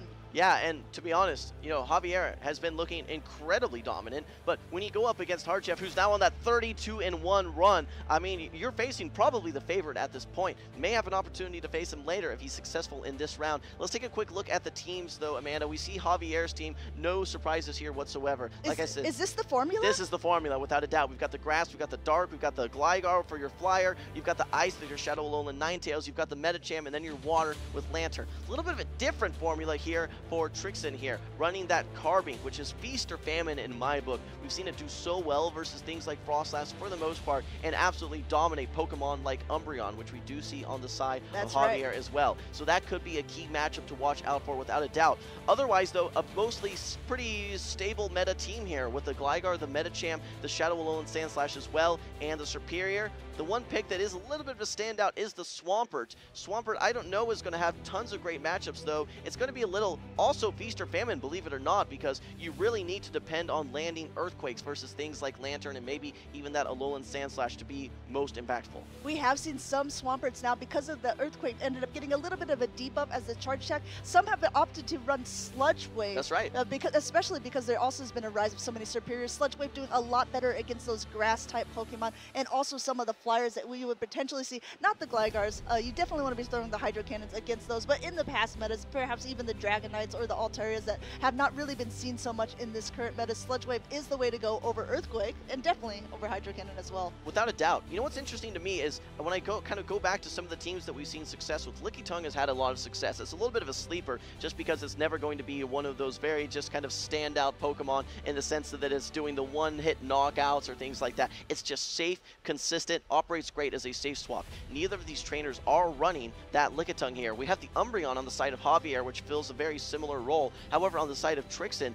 that Dark or Lickitung that we would very often see in these team compositions is actually replaced with the Carbink. So it's interesting when you start to tip the scales, tip the balance towards one direction or the other, you might have more favorable matchups versus certain types of teams or very unfavorable matchups towards other types of teams. But nonetheless, Trixen has had lots of success here as well as Javier. Yeah, completely agree with you here, Jim. And overall, I think I think that a lot of these teams, we've seen these team competitions, we've actually seen these exact trainers play the Pokemon a lot so far this day. And you know what? They're about to get kicked off into the next round as well. They're locking in as we speak. We're about to get into game number one. All right, well, this is our first matchup, I believe, of losers round four. One of the hardest, hardest counters that you can possibly have is Gligar. That is that Shadow Alolan Sandslash. And, oh, immediately brings in the Medicham. I don't know what you really do here because you don't have a great response. You have to get this chip damage. If you bring in your own Medicham, you actually end up losing that matchup being behind in energy. And if I take a look, actually, Trixen does have the Psychic Medicham, so I'm, I'm maybe a little surprised you maybe didn't try to go for some baits because you've mostly lost, what, two-thirds of your Sandslash at this point. Yeah, that was a very bold call to automatically just swip into the Medicham, and you can see a little bit of not sure what to do because they saw the hardest counter, wondering, is there an even harder counter in the back? Why are they swapping in? This Psychic is able to connect no debuff, and it is now Trixen's turn to throw a Psychic. This will put it very, very low, and it looks like Javier is choosing not to shield up his Medicham. Okay, well, this could be big. Yeah, lets the Medicham go, so even shields. Oh, actually hangs on with a sliver of HP. We'll get a little bit of chip damage here in the form of this Ice Punch. So, yes, that Ice Punch from the Alolan Sandslash did end up allowing you to maintain your alignment, but at what cost? Your Medicham is mostly taken out. Your Shadow Lone Sandslash has zero energy, and it's mostly taken out as well. You're going to see a big, big farm down. This Gligar can hang. Oh, and a catch with the Umbreon as well. What a creative play from Javier. Yeah, creative play. Indeed, this Ice Punch is not going to be doing much damage at all because this Medicham is running Ice Punch and Psychic. It is only going to be the counters that are really going to be doing much to the Umbreon, but countering it will as the Medicham just continues to completely counter down, store an Ice Punch, and now swap into Swampert. Umbreon, however, has a lot of energy now, and Swampert is not the bulkiest of Pokemon in the Great League. Okay, what's interesting now is how this Gligar is going to be able to squeeze into this matchup here because you have lots of answers to it now. You have a Swampert, although we're going to have to see how much shielding you're willing to invest into it. You still have your Alolan Sandslash, which still can get to an Ice Punch, and you also have that banked Ice Punch as well. So you have at least three different possible outcomes that can be that answer to that Gligar now. I think the play on the Swampert is going to be key for Javier, though, how he protects it, how he's able to neutralize this Umbreon. One Earthquake might be enough to knock out, but certainly two Hydro Cannons will do it, and the first one is let go. Great timing getting the second Hydro Cannon just before the foul play. Yeah, forcing that first shield out of Javier as well because the foul play is ready, and the Swampert probably does not want to be taking this at this point. We have a lot of low health Pokemon on Trixie's side in the meanwhile, this uh, going for the actual last resort, this will be the heavier hitting charge attack, and this would be probably enough to knock out the Swampert at this stage. Looks like it is going to connect. It is not even close. I take it all back. In comes the Gligar, and a quick swap out by Trixie right back into that Alolan Sandslash. But you're behind in energy in this point, and you're even close to an Aerial Ace knocking out. This would be an hugely, hugely impactful no shield, but no, gets the final protect shield from Trixen. Needs to get to this area, or sorry, needs to get to this Ice Punch to to get this last protect shield. You could even potentially let that Gligar go, but no, does not want to. Yeah, Umbreon, oh, there's still the Medicham as well that has a little bit of HP. Don't think you can put it all on the Umbreon at this point, but you're so far behind in energy now as Trixen, and an Aerial Ace comes through. Despite this being resisted, I don't think the Sandslash has enough HP that it can tank this move. This is a really good play by Javier. As you see, he has two aerial aces stores, and he does win that charge attack priority over Medicham. They're both releasing it at the same no, time. No, no, no, Medicham. Medicham, Medicham does win this charge attack priority. You're absolutely right, Jim. Yes, and this is going to be knocking out. So despite banking that second charge attack, Gligar will be going down here. Medicham just a sliver of HP. This will give one snarl to the Umbreon here. Umbreon needs to get to one more foul play. The Swampert has some energy, and oh, it now wow. gets to the Hydro Cannon. This will be enough to knock out LNDS. Trixen raises his fist in the air. He is now one game away from moving on to the next round of losers bracket. And this is why Trixen is on the field and I am behind the desk. You know, you absolutely know it when you're playing it. Which one wins charge attack priority? For those at home or maybe wondering why I miscalled that as well, it is the one with the higher attack overall, and that was definitely the Medicham in that scenario. You can see the crowd going crazy for Trixen as he's able to take game number one off of Javier in a very, very close matchup. That's right. When you think about it, you know, Gligar, you see it landing those digs. They seem to be doing a lot of damage, but it is a very bulky, non-attack weighted Pokemon. So there's very few things that it actually beats in charge attack priority. It's going to be things probably like Umbreon for one, mm-hmm. probably going to be things like maybe Lickitung as well. But yeah, Medicham has just enough attack there to win that charge attack priority, which proved to be pivotal for that game without a doubt. I said, though, throughout that matchup, I think that the energy management on the Swampert is going to be the key for Trixen in that game one. Those Hydro Cannons back to back to back against two against the Umbreon, and then forcing the shield, doing a lot of chip damage, and then saving all of that energy for the end game. Yeah, getting that Umbreon off the field was key, and the Swampert was that answer for Trixen. Umbreon acted almost for Javier like a third and fourth shield often in that scenario. I had a lot of bulk behind this Pokemon, able to catch an Ice Punch early on. The counter damage was doing a lot for the Medicham, but it was really wonderful play, very smart controlled play by Trixen, being able to store that Ice Punch for later usage. That really proved crucial. And then, of course, like you said, Jim, getting all that extra energy on Swampert to be able to release that Hydro Cannon. Even though it doesn't seem like it's going to be doing that much to an Umbreon, it was definitely enough at that late game stage. Well, a question I'm sure a lot of folks are asking at home is, are we going to be seeing the Carbink? Can we have to take a look at Javier's team. I honestly think there's four, four and a half answers to that Carbink. Medicham, pretty neutral. It can definitely lose, but it's not terrible. Serperior, good answer. The Gligar, solid answer. The Shadow Alone Sandslash, solid answer. Lanturn, great answer as well. I don't know that this I mean, we did see the Umbreon in game one. If you can't get it aligned versus that Umbreon, though, that Carbink, I think, is a little bit of a too risky pick to bring. I, I do have to agree with you there. However, I mean, despite Javier losing that by narrow margins, I must add, though, the Umbreon put in a lot of work for him as well. It has pretty positive matchups overall against all of Trixen's team, except for that Carbink. It was really a team effort to take out the Umbreon.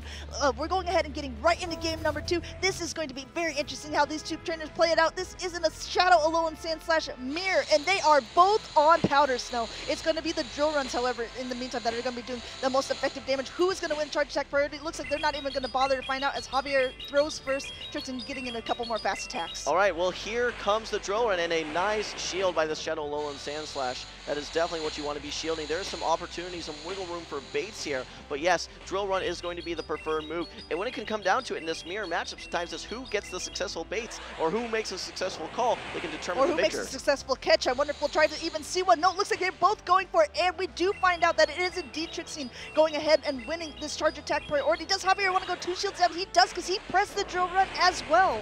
All right, well, taking a look here, it seems as though that was, yes, the charge attack priority, no moves going through. This would be a huge, huge no shield to eliminate that Shadow Lone Sandslash, but it seems like these trainers want to be investing all the shield. Oh, a quick swap to the Medicham. This is interesting now because this Medicham actually has no Protect Shields remaining. This Gligar is going to have to quickly respond and get to two Aerial Aces. You do hang on versus one Aerial Ace as the Medicham, but these Ice Punches are still devastating. And it's very dangerous actually in the back as well because with a Powder Snow alone and Sandslash uh, being able to take this one Ice Punch, but the Powder Snow alone and Sandslash is going to come back in against this Gligar and get a ton of energy should it ends up, uh, Trixie end up knocking out that Medicham too soon. So you don't want to give too much farm. You're going to go ahead and go straight away for this Aerial Ace. This will be enough to knock out the Medicham. And like I think we're going to go ahead and see that alone Sandslash come back in. You know what's interesting? So I'm going to have to bring this back up at the break here, but I want to go back to that Gligar versus Medicham charge attack priority. Remind me after we get out of this game, because that's a very, very interesting spot. Look at this farm down, there. perfect farm down by the Alone Sandslash. Shields are down at this point. You're so far ahead in energy, but now you're lined up versus this Medicham. I love Trixon not coming in with his own Medicham as as a response to the Medicham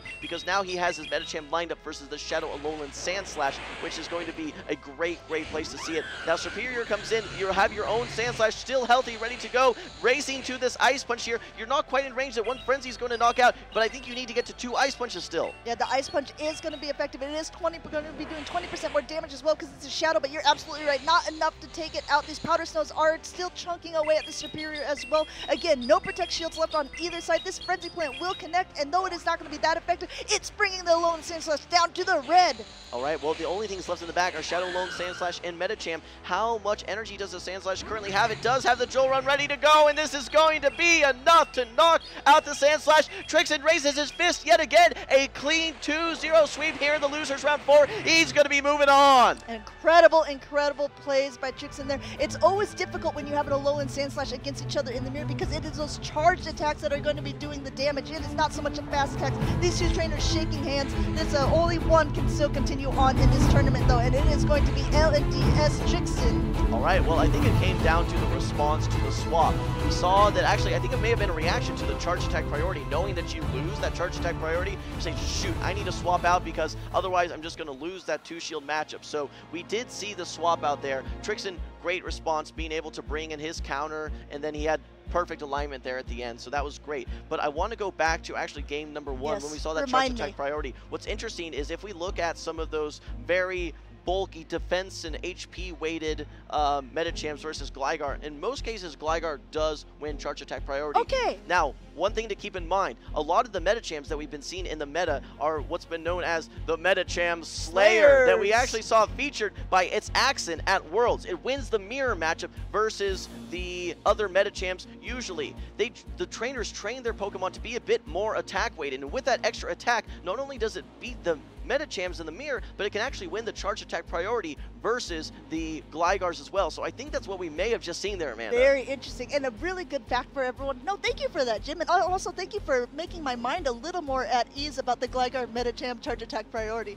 That's right. I think it's more uncommon that that actually occurred. Let's take a look at the highlights, Amanda. Again, game number one, we had the Medicham versus Medicham there, getting a little bit of chip damage at the end at 1 HP, so that could be some meaningful chip damage. We had the Umbreon in the team as well in game one, but no Carbink. A nice catch there on that Ice Punch. That's going to be non-stab damage. Medicham mostly neutralized, freed up a lot of play for that Umbreon. Like I said, it had to be the Swampert that was going to be the answer. And this is what we were exactly talking about before, uh, Jim, that Trixen was able to win that charge attack priority and able to throw that before they aerialized, knocking out the Gligar and basically securing the win here. A Hydro Cannon is coming through from that Swampert and that Umbreon is going down. A little bit of teamwork and making dream work on Trixen's side. That's right. Swampert, again, not something that we see all the time in the meta, but one thing that it does very nicely is pace to charge attacks, and that was hugely impactful in game one. Moving to game number two, a lot of action here from this Gligar, without a doubt, able to knock out that Medicham, which was the main risk to your Shadow Alolan Sandslash. Once that was out of the way, it was able to sweep the rest of the team, not only the Serperior, but also the Shadow Alolan Sandslash as well. You got to give it up to Trixen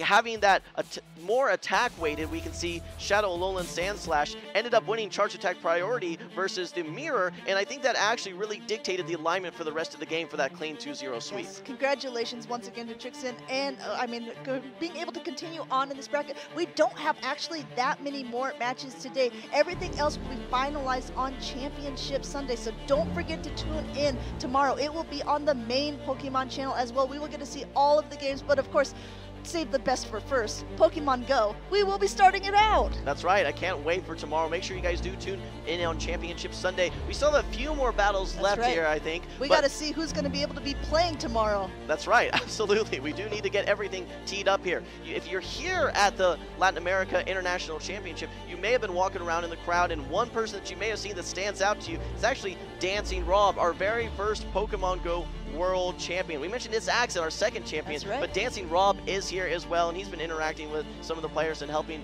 work on some of the stuff uh, off stream here. But we do want to do a quick highlight here. He was our very first champion. If, you, if you're not familiar with Pokemon Go history, this is one of the most meaningful moments here. Let's turn it over to Dancing Rob, our very first Pokemon Go champion.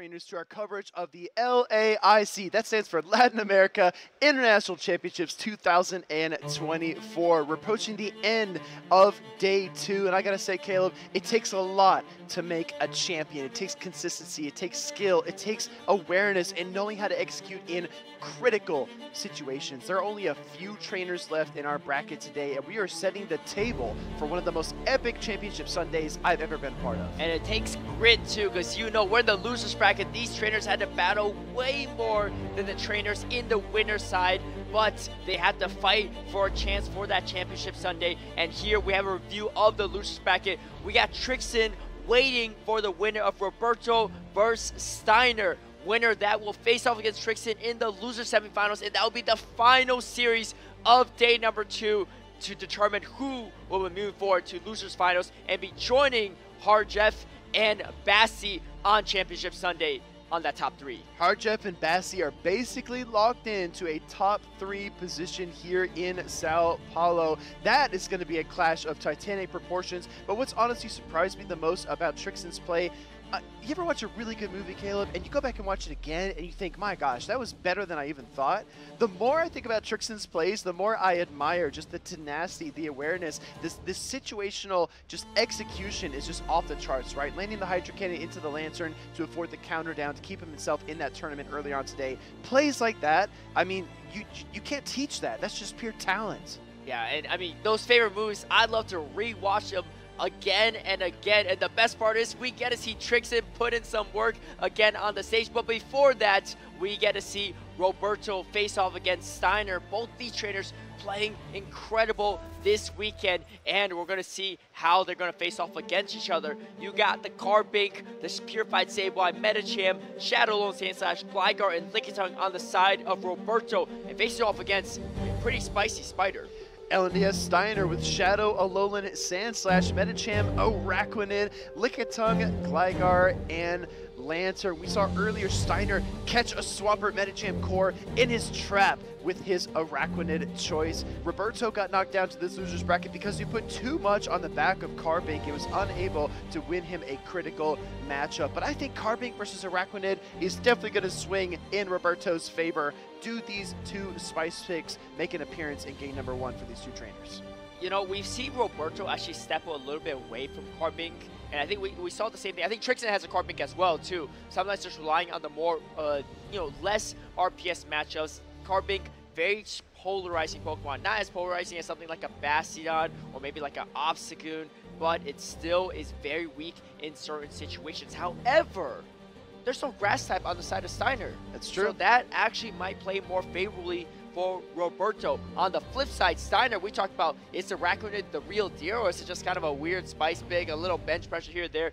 But Steiner making it look pretty good in the previous round, and also really tough to run into Lanturn, but no Lanturn on the side of Roberto. Exactly. There are some holes, some gaps, some weaknesses between these two teams that these trainers will look to exploit. Steiner has really been at the top of his game too, executing exactly how he needs to, knowing the position he needs to be in in order to succeed, making the right choices and taking risks, right? Bringing Araquanid into a Lanturn heavy meta is a risk. Bringing it against a Carbink team is a risk, but Steiner has rolled the dice and he has found the combination to win those close matchups. Roberto needs to dig deep here. Both trainers fighting for their tournament lives, and Roberto does not want to repeat mistakes of the past. I expect very calculated, judicious play from him, and Steiner has been on a heater lately, just rolling through this loser's bracket since we started day two. Steiner's running that Spark Lanturn, so that is going to be a little bit worse into the Carbink on the side of Roberto. I do think Roberto might leverage that Carbink at least once in this series, but here we go. We are in the loser, I believe quarterfinals, round number four, and it's going to be Lickitung the lead into Medicham, Carbink, and Lanturn in the back. We've seen just how close this matchup is. The shielding decisions matter a lot in Medicham versus Lickitung. If Medicham uses Protect Shield, it can't stay in this matchup, but the swap into Carbink, safe switch Carbink is met by Lanturn. Honestly, Safe Switch Carbink is kind of solid in this situation. Typically, if you have a Swampert, a Registeel, a Grass type, it's not great, but you don't have any of those Pokemon on the side of Steiner. Yes, you're probably going to lose this match against Lanturn, but it's kind of a soft loss and you can do quite a bit of damage. You land a Moonblast, that's a whole different situation. You get an attack drop, even better for Roberto. Yeah, there's a slim chance, so let's see if Roberto can land on the money. Moonblast lands onto the Lanturn, but no attack drop occurs. Gonna look for a Surf here. You saw Steiner looking at the team sheets earlier, trying to figure out what could possibly be in the back for Roberto. Surf's gonna get fired up. This is not quite enough to KO, so Lanturn needs to go for another Surf if it's going to get the knockout against Carbink, especially with the shield. This means that a second Surf won't do it either We get a shield, but Steiner recognizing that he can still charge attack priority. Maybe a slight misstep from Roberto, because Roberto could have probably just rock thrown down after, instead forced to throw the rock slide. And this is pretty good for Steiner because, yes, he doesn't have switch advantage, but neutral matchups on both ends in the back, and now he can come away with energy advantage. Yeah, you can tell Steiner's very content with that. He comes with Medicham, looks for a full counter down. Medicham gets so much energy on, off of that Carbink. Here comes a Lickitung, gonna throw the body slam into Medicham. This is not quite enough to KO. Medicham does have a Psychic and an Ice Punch loaded. No Protect Shield from Steiner. And letting a counter through, going, not even trying to optimize the lick there too. So coming away uh, a little bit better for Steiner, getting that one turn advantage, going straight away for Psychic. You're already down a shield on Roberto's side. He doesn't want to be down two shields, and now going to be met by the Lincoln But Lincoln up a shield is fantastic in this situation. You need Power Punch to bustle through this, but unfortunately, no power punch up in sight. Yeah, Steiner's Lickitung up two to one shields versus Roberto's Medicham. Gonna look for the first Body Slam here. What's really critical is the fast attack timing. We need to see those licks come through on Lickitung. One lick and then the Body Slam. That is the formula here for LNDS Steiner as he looks to optimize this matchup. Yes, you have the Protect Shield advantage, but these counters still add up. There's still a lot of gameplay left as that Swiss Chimer for Roberto hits about the 30 second mark. He's gonna need to hang in this matchup to give himself a chance. I think you have to shield. I mean, otherwise there's no way taking out this Lickitung. Your own Lickitung way too low. And at this point, forced to spend that final shield. Still a shield on the side of Steiner. And the thing is, Ice Punch not enough. But Steiner to play it safe. Want to get as much leg damage off as possible against the Medicham. And is being whittled down by the Lickitung. Lickitung is going to reach surprise him. Thrown right before the Ice Punch. I love this play. It doesn't matter if you take extra counter or not. The lick damage from the posting links are not enough to take it out. They have to still throw a body slam. Big knockout into the Medicham. Here comes the Medicham. Counter swap and the Ice Punch into Roberto's Lickitung. You can hear the crowd. They know it. Steiner knows it. This is a game one victory over Roberto. He just needs one more counter to wrap things up. Steiner on point in this losers round four really played well in those neutral situations. I mean, looking at the matchups there, right? Lickitung Medicham on both ends on opposing lead and back end matchups. And then you have the Carbink really neutral in the team of Steiner. You got Lanturn also neutral in the side of Roberto. Roberto. So you got to say that overall the matchup is pretty even on, across the board in terms of on paper. But the difference is Steiner choosing to throw that surf on charge attack priority, getting the shield advantage against Roberto, forcing him to shield and forcing him to throw the energy without coming with any extra energy, getting the counter down on the matchup, coming away with even more energy. Yeah. And that really was what Steiner built upon the lead and just kept on extending it. That's the thing, right? When you find these windows of opportunity, you can really execute at a high level if you have the talent that trainers like Steiner and Roberto have. I'm just curious more about the fundamentals, though. The safe swap Carbink was a bit of a question mark in my mind. Yes, there's a Gligar on the opposing side and a Lanturn. Yes, the Lanturn's running Spark, but at the same time, I mean, Carbink had a tough time in that matchup, and uh, triggering that charge attack party tied with the double surf was really tough for it in those final moments. But even if you get the rock throw down, Caleb, I mean, maybe you get off, you know, a, a, almost a moon blast into something else. That could have helped quite a bit, but I don't know if, if safe switch, safe switch Carbink comes back in game number two is what I'm trying to say.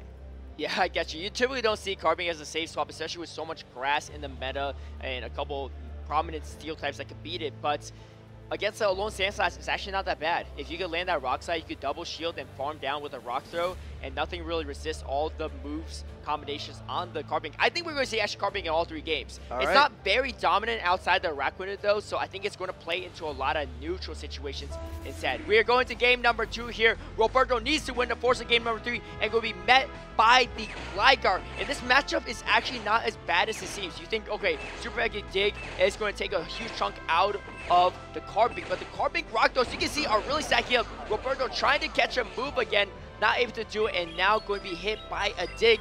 I think we're going to see an instant counter swap from the opposing Lickitung. Uh, this does two things, right? First, you avoid the dig on the Carbink, but secondly, you probably pull out Medicham if it's back there. And it's actually not. We're going to get a Lickitung response, just like you called out, Caleb. But that tells Roberto that there is not a Medicham in the back, which means his Shadow, Alolan, Sandslash could be the key to winning this game number two.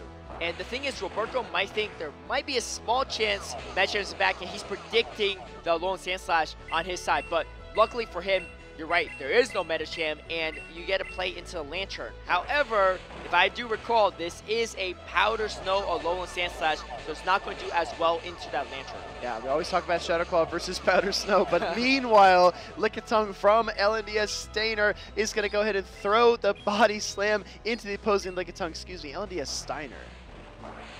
And Steiner is going to continue to widen the advantage, having that energy advantage. Oh, Roberto going for the Power Whip. This is actually pretty big. Because yes, it does more damage, but this allows Steiner to come away with even more energy. This means to Steiner, I don't have to throw my body slam yet. I can just hold on to it. And now, trying to surprise Steiner with the Carbink, not able to catch a slam, and here comes a super effective Power Whip. There's just not as much pressure, right? You have the Lickitung with a lot of HP, you switch it in, you switch in the Carbink, excuse me, and the Lickitung can still take a couple licks and get to the Power Whip, and now Gligar with the combo play, just decimating this Carbink. It's such a powerful Pokemon, but it has no chance against all these hard counters. And you can see Steiner weaving in and out of these matchups, throwing one Power Whip combo, playing with the dig, and throws up a shield. This could be the advantage Roberto needs. Steiner going to definitely overfarm here, but throwing on charge attack priority again. Really great timing from Steiner. And you see Roberto shielding this up. This is going to be huge. Do you see a second shield from Steiner at this point in time? I think Steiner might be content. And a huge no shield call from Steiner. You need at least shields on the land. You have a chance against this alone Sand Slash in the back. Yeah, going with the flow of the game, using the wing attacks, doesn't quite get the knockout into the Carbink, but he allows his Lanturn to come in and get a couple of sparks, a little bit of energy advantage. The only Pokemon left with full health for Roberto is that Shadow, Alolan, Sandslash, because he's going to bring in the Lickitung first here, look for a charge attack, potentially the Power Whip. Does he have time to get it off? Yes, he does, and Steiner lets him. Steiner getting a little greedy, going for some energy. I think it still might pay off though, because you're shielding the Power Whip, and you're not in drill run range of being knocked out. Now this Lander has a ton of energy, and you still have to lick it on the back to potentially catch energy. Go straight for the Thunderbolt. This is a harder hitting charge attack. This will deal a lot of damage. Oh! No shield from the Shadow Alolan Sandslash on Roberto's side. That takes so much HP away from that Pokemon. And now you are just straight up in fast move territory. No! Trying to catch it, catching the drill run. Insult to injury. Steiner catching all the energy. You see Roberto smiling, nodding, saying, you know what? Well done. I got outplayed. I can only do so much in that situation. And here, going to throw the trail run. Not enough to knock out. It's going to do a decent amount of damage, but you saw the spark come through. Yeah, super effective drill run connects. Lanturn takes a hit, but keeps on swimming. Here comes Lickitung in the serve. Steiner keeps on swimming. He's got one protection Wait. left. He's going to make this matchup pretty close. Is there a chance for Roberto? I think there is, and I think everyone forgot the Lickitung has a decent amount of health. Can't get to it, but he gets to the serve. Steiner playing ahead of Roberto, inches away, but finding the victory 2 to 0. The hardest matchup of his tournament. Steiner barely edges out Roberto to win that game number two and continue on in the losers bracket. Look at the crowd. Look at the support.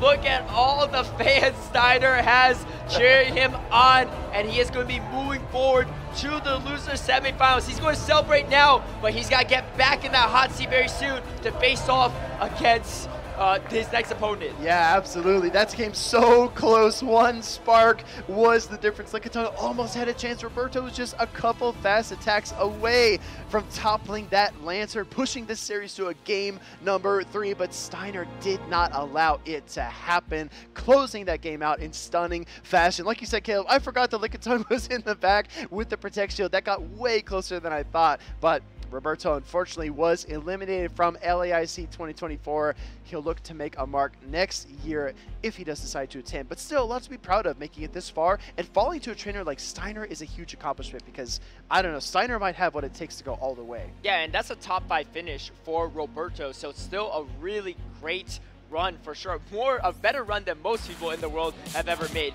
And here we see the highlights from that matchup. The Lanturn, the neutral matchups. Yes, a fairly close neutral matchup, but Lanturn able to take the advantage. You can see that crucial charge attack priority was what spelled disaster for Roberto. You can see him shaking his head too. He knows at that point, did not really want to throw that move and then to come with energy. Steiner having the energy lead.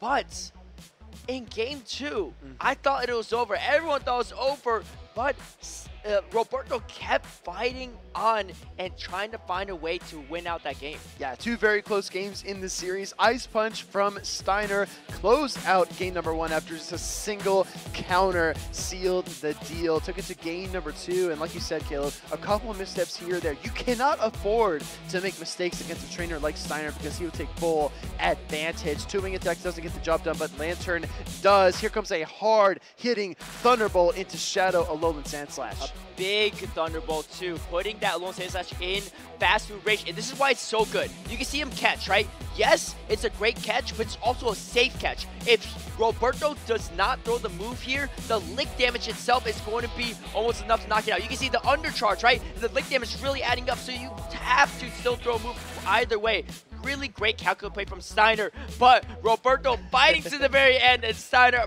hanging on one HP in a dream is going to bring him on to loser semifinals against Trixen. Yeah, like you pointed out, that Lanturn was just one spark away. It would not have gotten to the back-to-back -back serves to win that game number two for Steiner. Incredibly well played. I definitely think that we saw a couple of like kind of cheeky maneuvers by Roberto there. Some switches, trying to catch a body slam on Carbink, trying to switch into another charge attack.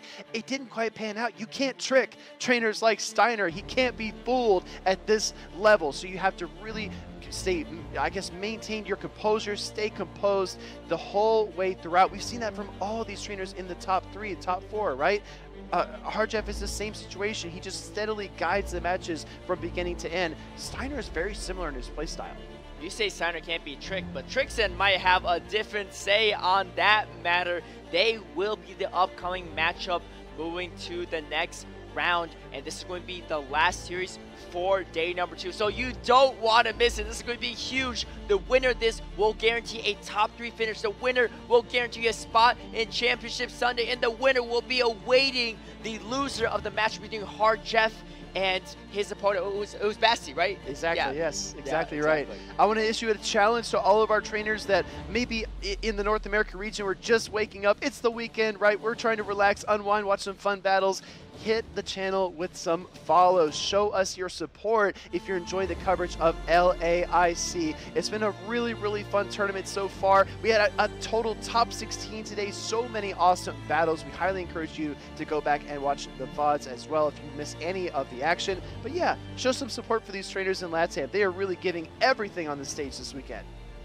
the battles have been incredible to watch. Just so hype on the stage, off the stage, in the spectator area. And this next one, I'm pretty sure we're going to hear a lot of noise because right. not only is it LNDS Steiner, it's LNDS Trixen. For those that don't know what LNDS stands for, it stands for GBL Lindos, a group of trainers, a team of players that support each other, encouraging each other to battle and make the best of it. And you can see they definitely are some of the best of the best in this region three out of the top four from GBL Lindos. Yeah, absolutely. It stands for beautiful or pretty, right? And speaking of beautiful, pretty, and aesthetic, let's take a look here at Fashion Week going on in Pokemon Go. So many awesome costume Pokemon are spawning around the world, so make sure to catch some of these. Our Dandy Knight, the Wooper with the hat which evolves into Quagsire, even our Pikachu with sunglasses and a safari hat. Uh, have you got any of these shiny Speedy? I did actually. Oh. Yeah, I, I, can show it on camera when we come back, but okay. I actually managed to find. I, I won't spoil it, but before that, I think we also need to talk about our Twitch promotions. You can get so much just from watching the stream, but there's so much more content coming up as well. Tuesday, Wednesday, Thursday, we've even got Saturday and Sunday of next week, the Gdansk Regional Championships in Poland after all the hype we've seen here in LAIC, Caleb, I cannot wait to see what our EU trainers bring to Poland next week. And we talked about this many times. The meta has really shifted back and forth to so many different iterations despite that, despite the fact that no real updates has been introduced outside of Charjabug and Clodsire. So very interesting to see how that's going to shake down in Poland. But before we get all there, we are ready on stage. So let's head down over to see the loser semifinals between Trixton and Steiner. This is the last matchup of the day. I need everyone in the arena to summon all the energy they've got left. Everyone watching in the chat to get hyped. Let us know which trainer you think is going to win. Trixton versus Steiner, two of the most elite trainers, not only here, but also in their entire region, are throwing down in Sao Paulo today. Carbink versus Araquanid. We've got Gligar on either side. We've got Lanturn versus Swampert. Medicham on both sides. We've got Serperior for Trixton and Lickitung for Steiner.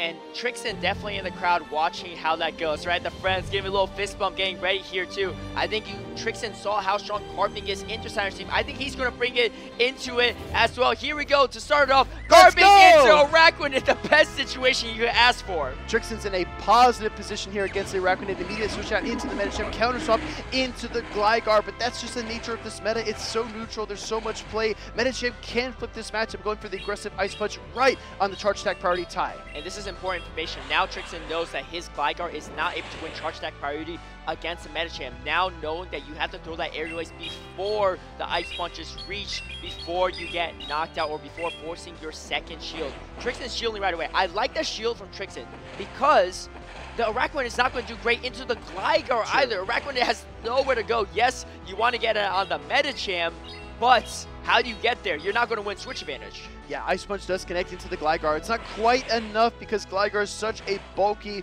ground and fly type Pokemon. Looking for the next Ice Punch Medicham. Can't quite get there, and Gligar wing attacks all the way down. Here comes Araquanid, and the Aerial Aces are going to start raining down on the Bug and Water type. And this is the tough part with Araquanid in a Gligar meta, in a sometimes Carbink meta. It doesn't have a lot of places to go. Steiner really wants this on the Medicham in the back, but how do you get it to that point? You don't have switch advantage now. You're not going to have it later either. Yeah, exactly right. Double aerial aces send that Araquanid down into the yellow. The bug bites are resisted. And guess what? Gligar gets a third charge attack, and Steiner knows it. He's forced to send in the Lickitung. Trixton is in complete control of this matchup. And he's going to continue to hold on to the control. Here comes Medicham. And typically speaking, sometimes Lickitung could beat Medicham, but you took an aerial away, so you took some extra damage. And you can see Steiner kind of rolling his eyes saying, man, I'm going to start brainstorming for game number two. I don't think it's a way out of this one. Yeah, this one did not start well for Steiner, and it's not going well now. Counter damage adding up quickly. No charge attacks being thrown by Steiner. He's got all the energy in the world, but he knows it won't be enough to topple Medicham and beat the Carbink in the back. Here comes Psychic from Trixton. Steiner has the decision to make. Does he even use a Protect Shield here? No, he lets it through. Trixton is going to absolutely dominate game number one versus Steiner. Carbink saw a half second of action in that battle, not even needed. But I love the team from Trixton. Bring that Carbink because he, he was just watching that previous set, right? Roberto did get beat 2 to 0. However, I think he had the right formula. Yeah. He might have not executed exactly how he wanted to, but Trixton said, you know what? I like what you did there. I'm take some stress and try to do it better myself, and already proven to be a pretty good spot. I mean, part of it is also leading leading the Araquanid into a Carbink with Yes. a Gligar counter swap. Like that's a really tough spot for to go. I'm telling you, I think Steiner saw the Serperior, the Swampert, and the Medicham for Trixton. He said, Araquanid's got a ton of play. I can definitely make it work, but just could not find the right position. That was a couple of bold leads from a couple of bold trainers. The Carbink lead into the Arachnid just did not go Steiner's way. And like you pointed out, Caleb, when you safe switch Gligar and you can't get out of that position, it just doesn't get any easier for Steiner on the right. And Steiner pretty much almost got taken out by the Gligar by itself with so little health. It had to even catch the energy on the Licta. We're going into game number two. It's going to be the Swampert lead into the Gligar for Steiner. A fantastic lead yet again for Trixton. Yeah, Trixton is really flowing here. The Medicham safe switch from Steiner yet again, but it's in a tough position because Gligar can absorb the Ice Punch. It can get to these aerial aces. The Medicham does win the charge tech party tie, like you pointed out in game one, Caleb, but this Gligar can deal so much damage in the meantime, especially if it shields. And this time around, you don't see Trixton shielding right away because the thing is, you don't have as strong of a lead in that matchup into the opposing Gligar, so you don't really want to preserve that much health on the Gligar. I think you're going to just wing attack down. I like this play. Don't even go for charge attack priority. Trixton knows his counts. We've seen it time and time again this entire weekend, and he's going to continue to assert his dominance in this matchup. We see in the back the Rakuten again, but the the Carbink is there waiting. Yeah, there's just really no place for that Pokemon to go. Steiner basically playing, playing two versus three. And I want to remind everybody at home, if Steiner loses this game right here and right now, he's out of the tournament. And Trixton trying to make quick work of Steiner. Steiner's not out of it yet. You have a shield advantage, and you resist the Mud Shot from Swampert. That much, that Swampert Gligar matchup is not as clear cut as possible. Yes, Trixton got a decent amount of chip damage on the Gligar, but at this point, like, one Hydro Cannon is enough anyway, so it doesn't really matter if you take any additional damage. But bringing the Rakuten in, is the worst case scenario, because now it's going to be pet by the Carbink. You can see Steiner not happy seeing this bulky little rock. Yeah, all these bug bites are resistant. The bubble beam will be super effective, but it's so disappointing how much damage it doesn't do. Attack falls for the Carbink there, but the Rock Slide gets queued up, and the first Protect Shield for Steiner. I like this play from Trixton. Throw before you get further debuffed, and at the same time, too, you want to just get rid of this Araquanid. You don't want to give Steiner the opportunity to swap out and have it aligned with a Swampert eventually, because you wall off the entire moveset of Swampert. Carbink coming in and putting in the work, but the Bowman just not enough. The Bug Bite just not enough. Meanwhile, the Rock Throw and the Rock Slide are really adding up. You can see Trixton again throwing another Rock Slide. At this point, too, I don't know if it's enough to knock out the Raccoon. It's very bulky, but at the same time, too, you have to commit so much energy to take out the Carbink with even the Gligar. Yeah, double debuff, looking for the switch out, going for the combo play into the dig. That keeps Steiner in this game a little while longer, but the dig is not quite enough to KO either. Carbink wobbles, but it stays afloat, and we see the counter swap into the Swampert and a great no-shield from Trixton, recognizing that it is not enough to take it out. And here's the thing, you still have a shield. This is such good position. Yes, Steiner's going to shield, but you can get outpaced before you get to double airways, double dig. You just don't have enough tank juice left in the tank. Yeah, exactly. Dig coming through. No Protect Shield oh. from Trixton. He knows that the Carbink has enough to beat the Araquanid, so he's okay taking this damage onto the Swampert. He's going to go ahead and fire up the Hydro Cannon, try to pace to another Hydro Cannon. At this juncture, the Araquanid is so weak, I think a Hydro Cannon might actually be enough to KO it. Yeah, I think so. I mean, you got to commit convince him. Maybe going for the aggressive Bug Bite down not able to do it. Hydro Cannon coming through. Trixton is going to be going on to Championship Sunday in the top three. Steiner's Araquanid just can't quite get it done here in Sao Paulo, but Carbink is rising. Trixton continues to rise through the bracket as he punches his ticket to Championship Sunday at the biggest Latin America International Championship ever. Incredible battles from Trixton, having the lead, having the backline, and not giving an inch to his opponent, Steiner. Steiner did everything he could, but unfortunately in those matchups, the alignment was just so tough for Steiner. And this is the difference between the previous matchup and this matchup against Trixton. Steiner had to bring Araquanid to check that Swampert. Yes, Because he didn't have a grass type. And the yeah. problem is, you know, there was no Swampert in the previous set of battles against Roberto, but this time around, that Swampert is unchecked if you don't bring that Raccoon. So forced to bring the Water Spider, but Unfortunately, Carbink already looking pretty good. Looks even better when Araquanid is on your team every single time. There's such depth uh, in, in prediction, in team analysis, and that's definitely what Trixen exhibited here in this series. Let's take a look back at some of the key moments of his key victory to get to Championship Sunday here in Sao Paulo. Incredible plays, incredible picks. Carbink and Gligar, unbreakable. Absolutely trapped that spider, and he spun a web of his own. He did, and that Carbink didn't care about no webs, throwing rocks all over the place, rocking that Araquanid. And here we go. The Gligar counter swap into Medicham in both back-to-back -back games but getting so much value. A great catch from Steiner, but unfortunately a little too late on that. Just nowhere to go.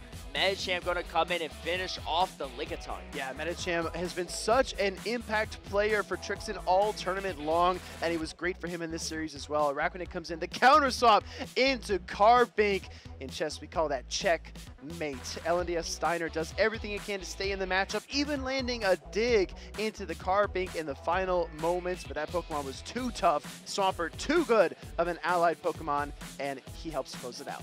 not only landing a dig on the Carbink, landing a dig on the Swampert too, but just was not worried at all, recognizing that he had the lead all the way throughout. And here, the Swampert even closing it out against the Araquanid. Yeah, very nice plays. It came down to the wire, but there was still a Carbink in reserve for Trixen. He could have come in, thrown a couple of rock throws, and gotten the KO either way. But the result stands for itself, right? We've got Trixen, we've got Harjeff, and the final trainer on that list. I'm trying to remember.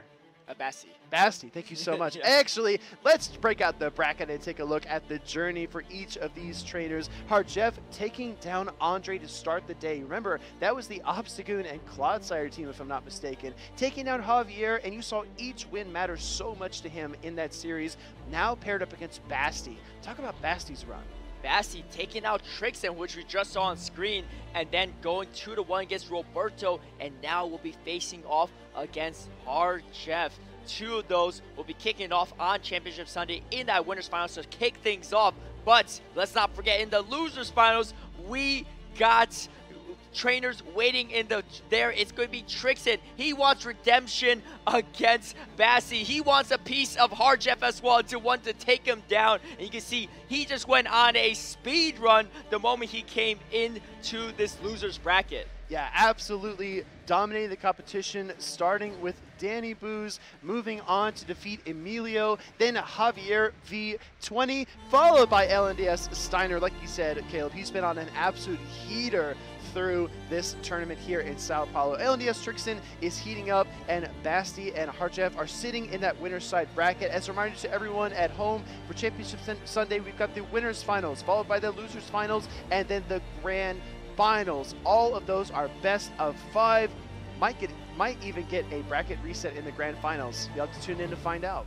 Uh, we might even get a tie on a game five. Maybe, maybe. I'm, I'm hoping for it, but we'll see. Either way, be sure to tune in and be sure to follow us on our socials as well to stay up to date on all the news from Pokemon Go and all things Pokemon related at Play Pokemon on X, hash, uh, youtube.com slash Pokemon, facebook.com slash Pokemon, and instagram.com slash Pokemon. Do Caleb and I a huge favor here. Hit that follow button on the stream as well. It doesn't cost you anything. You get notified when the broadcasts go live. It's a little bit of an early show tomorrow, Caleb, especially for our Pacific time uh, North Americans, right? So you definitely want to make sure that you tune in to the stream. Don't miss any of the action because we're starting bright and early to kick off the tournament on the main channel. Yes, it will be starting at 9 a.m. local Brazilian time or 4 a.m. if you're Pacific. And yes, I know it's a little early, but you don't want to miss any of the action. We have so many incredible battles to go, and it's all going to start on Championship Sunday. Let us know in the chat. You got two options. Wake up early or stay up late. Let us know how you're going to watch the grand finals. And while we do that, check out what you can get just for watching the stream this weekend. We've got awesome Twitch drops that have been activated for viewers no matter where you are. You can get charge TMs, rare candy, star pieces, equipment that you need to build your own Carbink, your own Araquanid, your own Medicham to come here and compete at regional and international championships no matter where you are. And let's not forget, you could get rewards for walking, watching Pokemon TCG as well and Pokemon Go VGC. And here you could get that coveted Dragapult from Alex Gomez's team. Make sure to redeem that code in Scarlet and Violet to get a Champions Pokemon, which can definitely step up the caliber of your own team, help you win some battles, and maybe some future tournaments as well. I cannot wait for Dragon Dragapult to come to Pokemon Go, but also Iron Valiant would be a huge addition to Pokemon Go. Yeah, we see some other Paradox Pokemon in the background that card too. A lot of exciting things to come for Pokemon Go, for Pokemon in general. And that does it for us. Day number two, top 16 whittled down to the top three, the best of the best in Latin America, the best of the best in the world and definitely the best audience I've ever been a part of. Absolutely. It's it's an honor, it's a pleasure, but there's still more work to do. There's a mission to accomplish and three trainers stand on the precipice of becoming a champion. They just have to get it done tomorrow. Everything hinges on the next few battles, so you don't want to miss any of that action. All right. Well, stay safe and be sure to set your alarms and we'll catch you on Championship Sunday.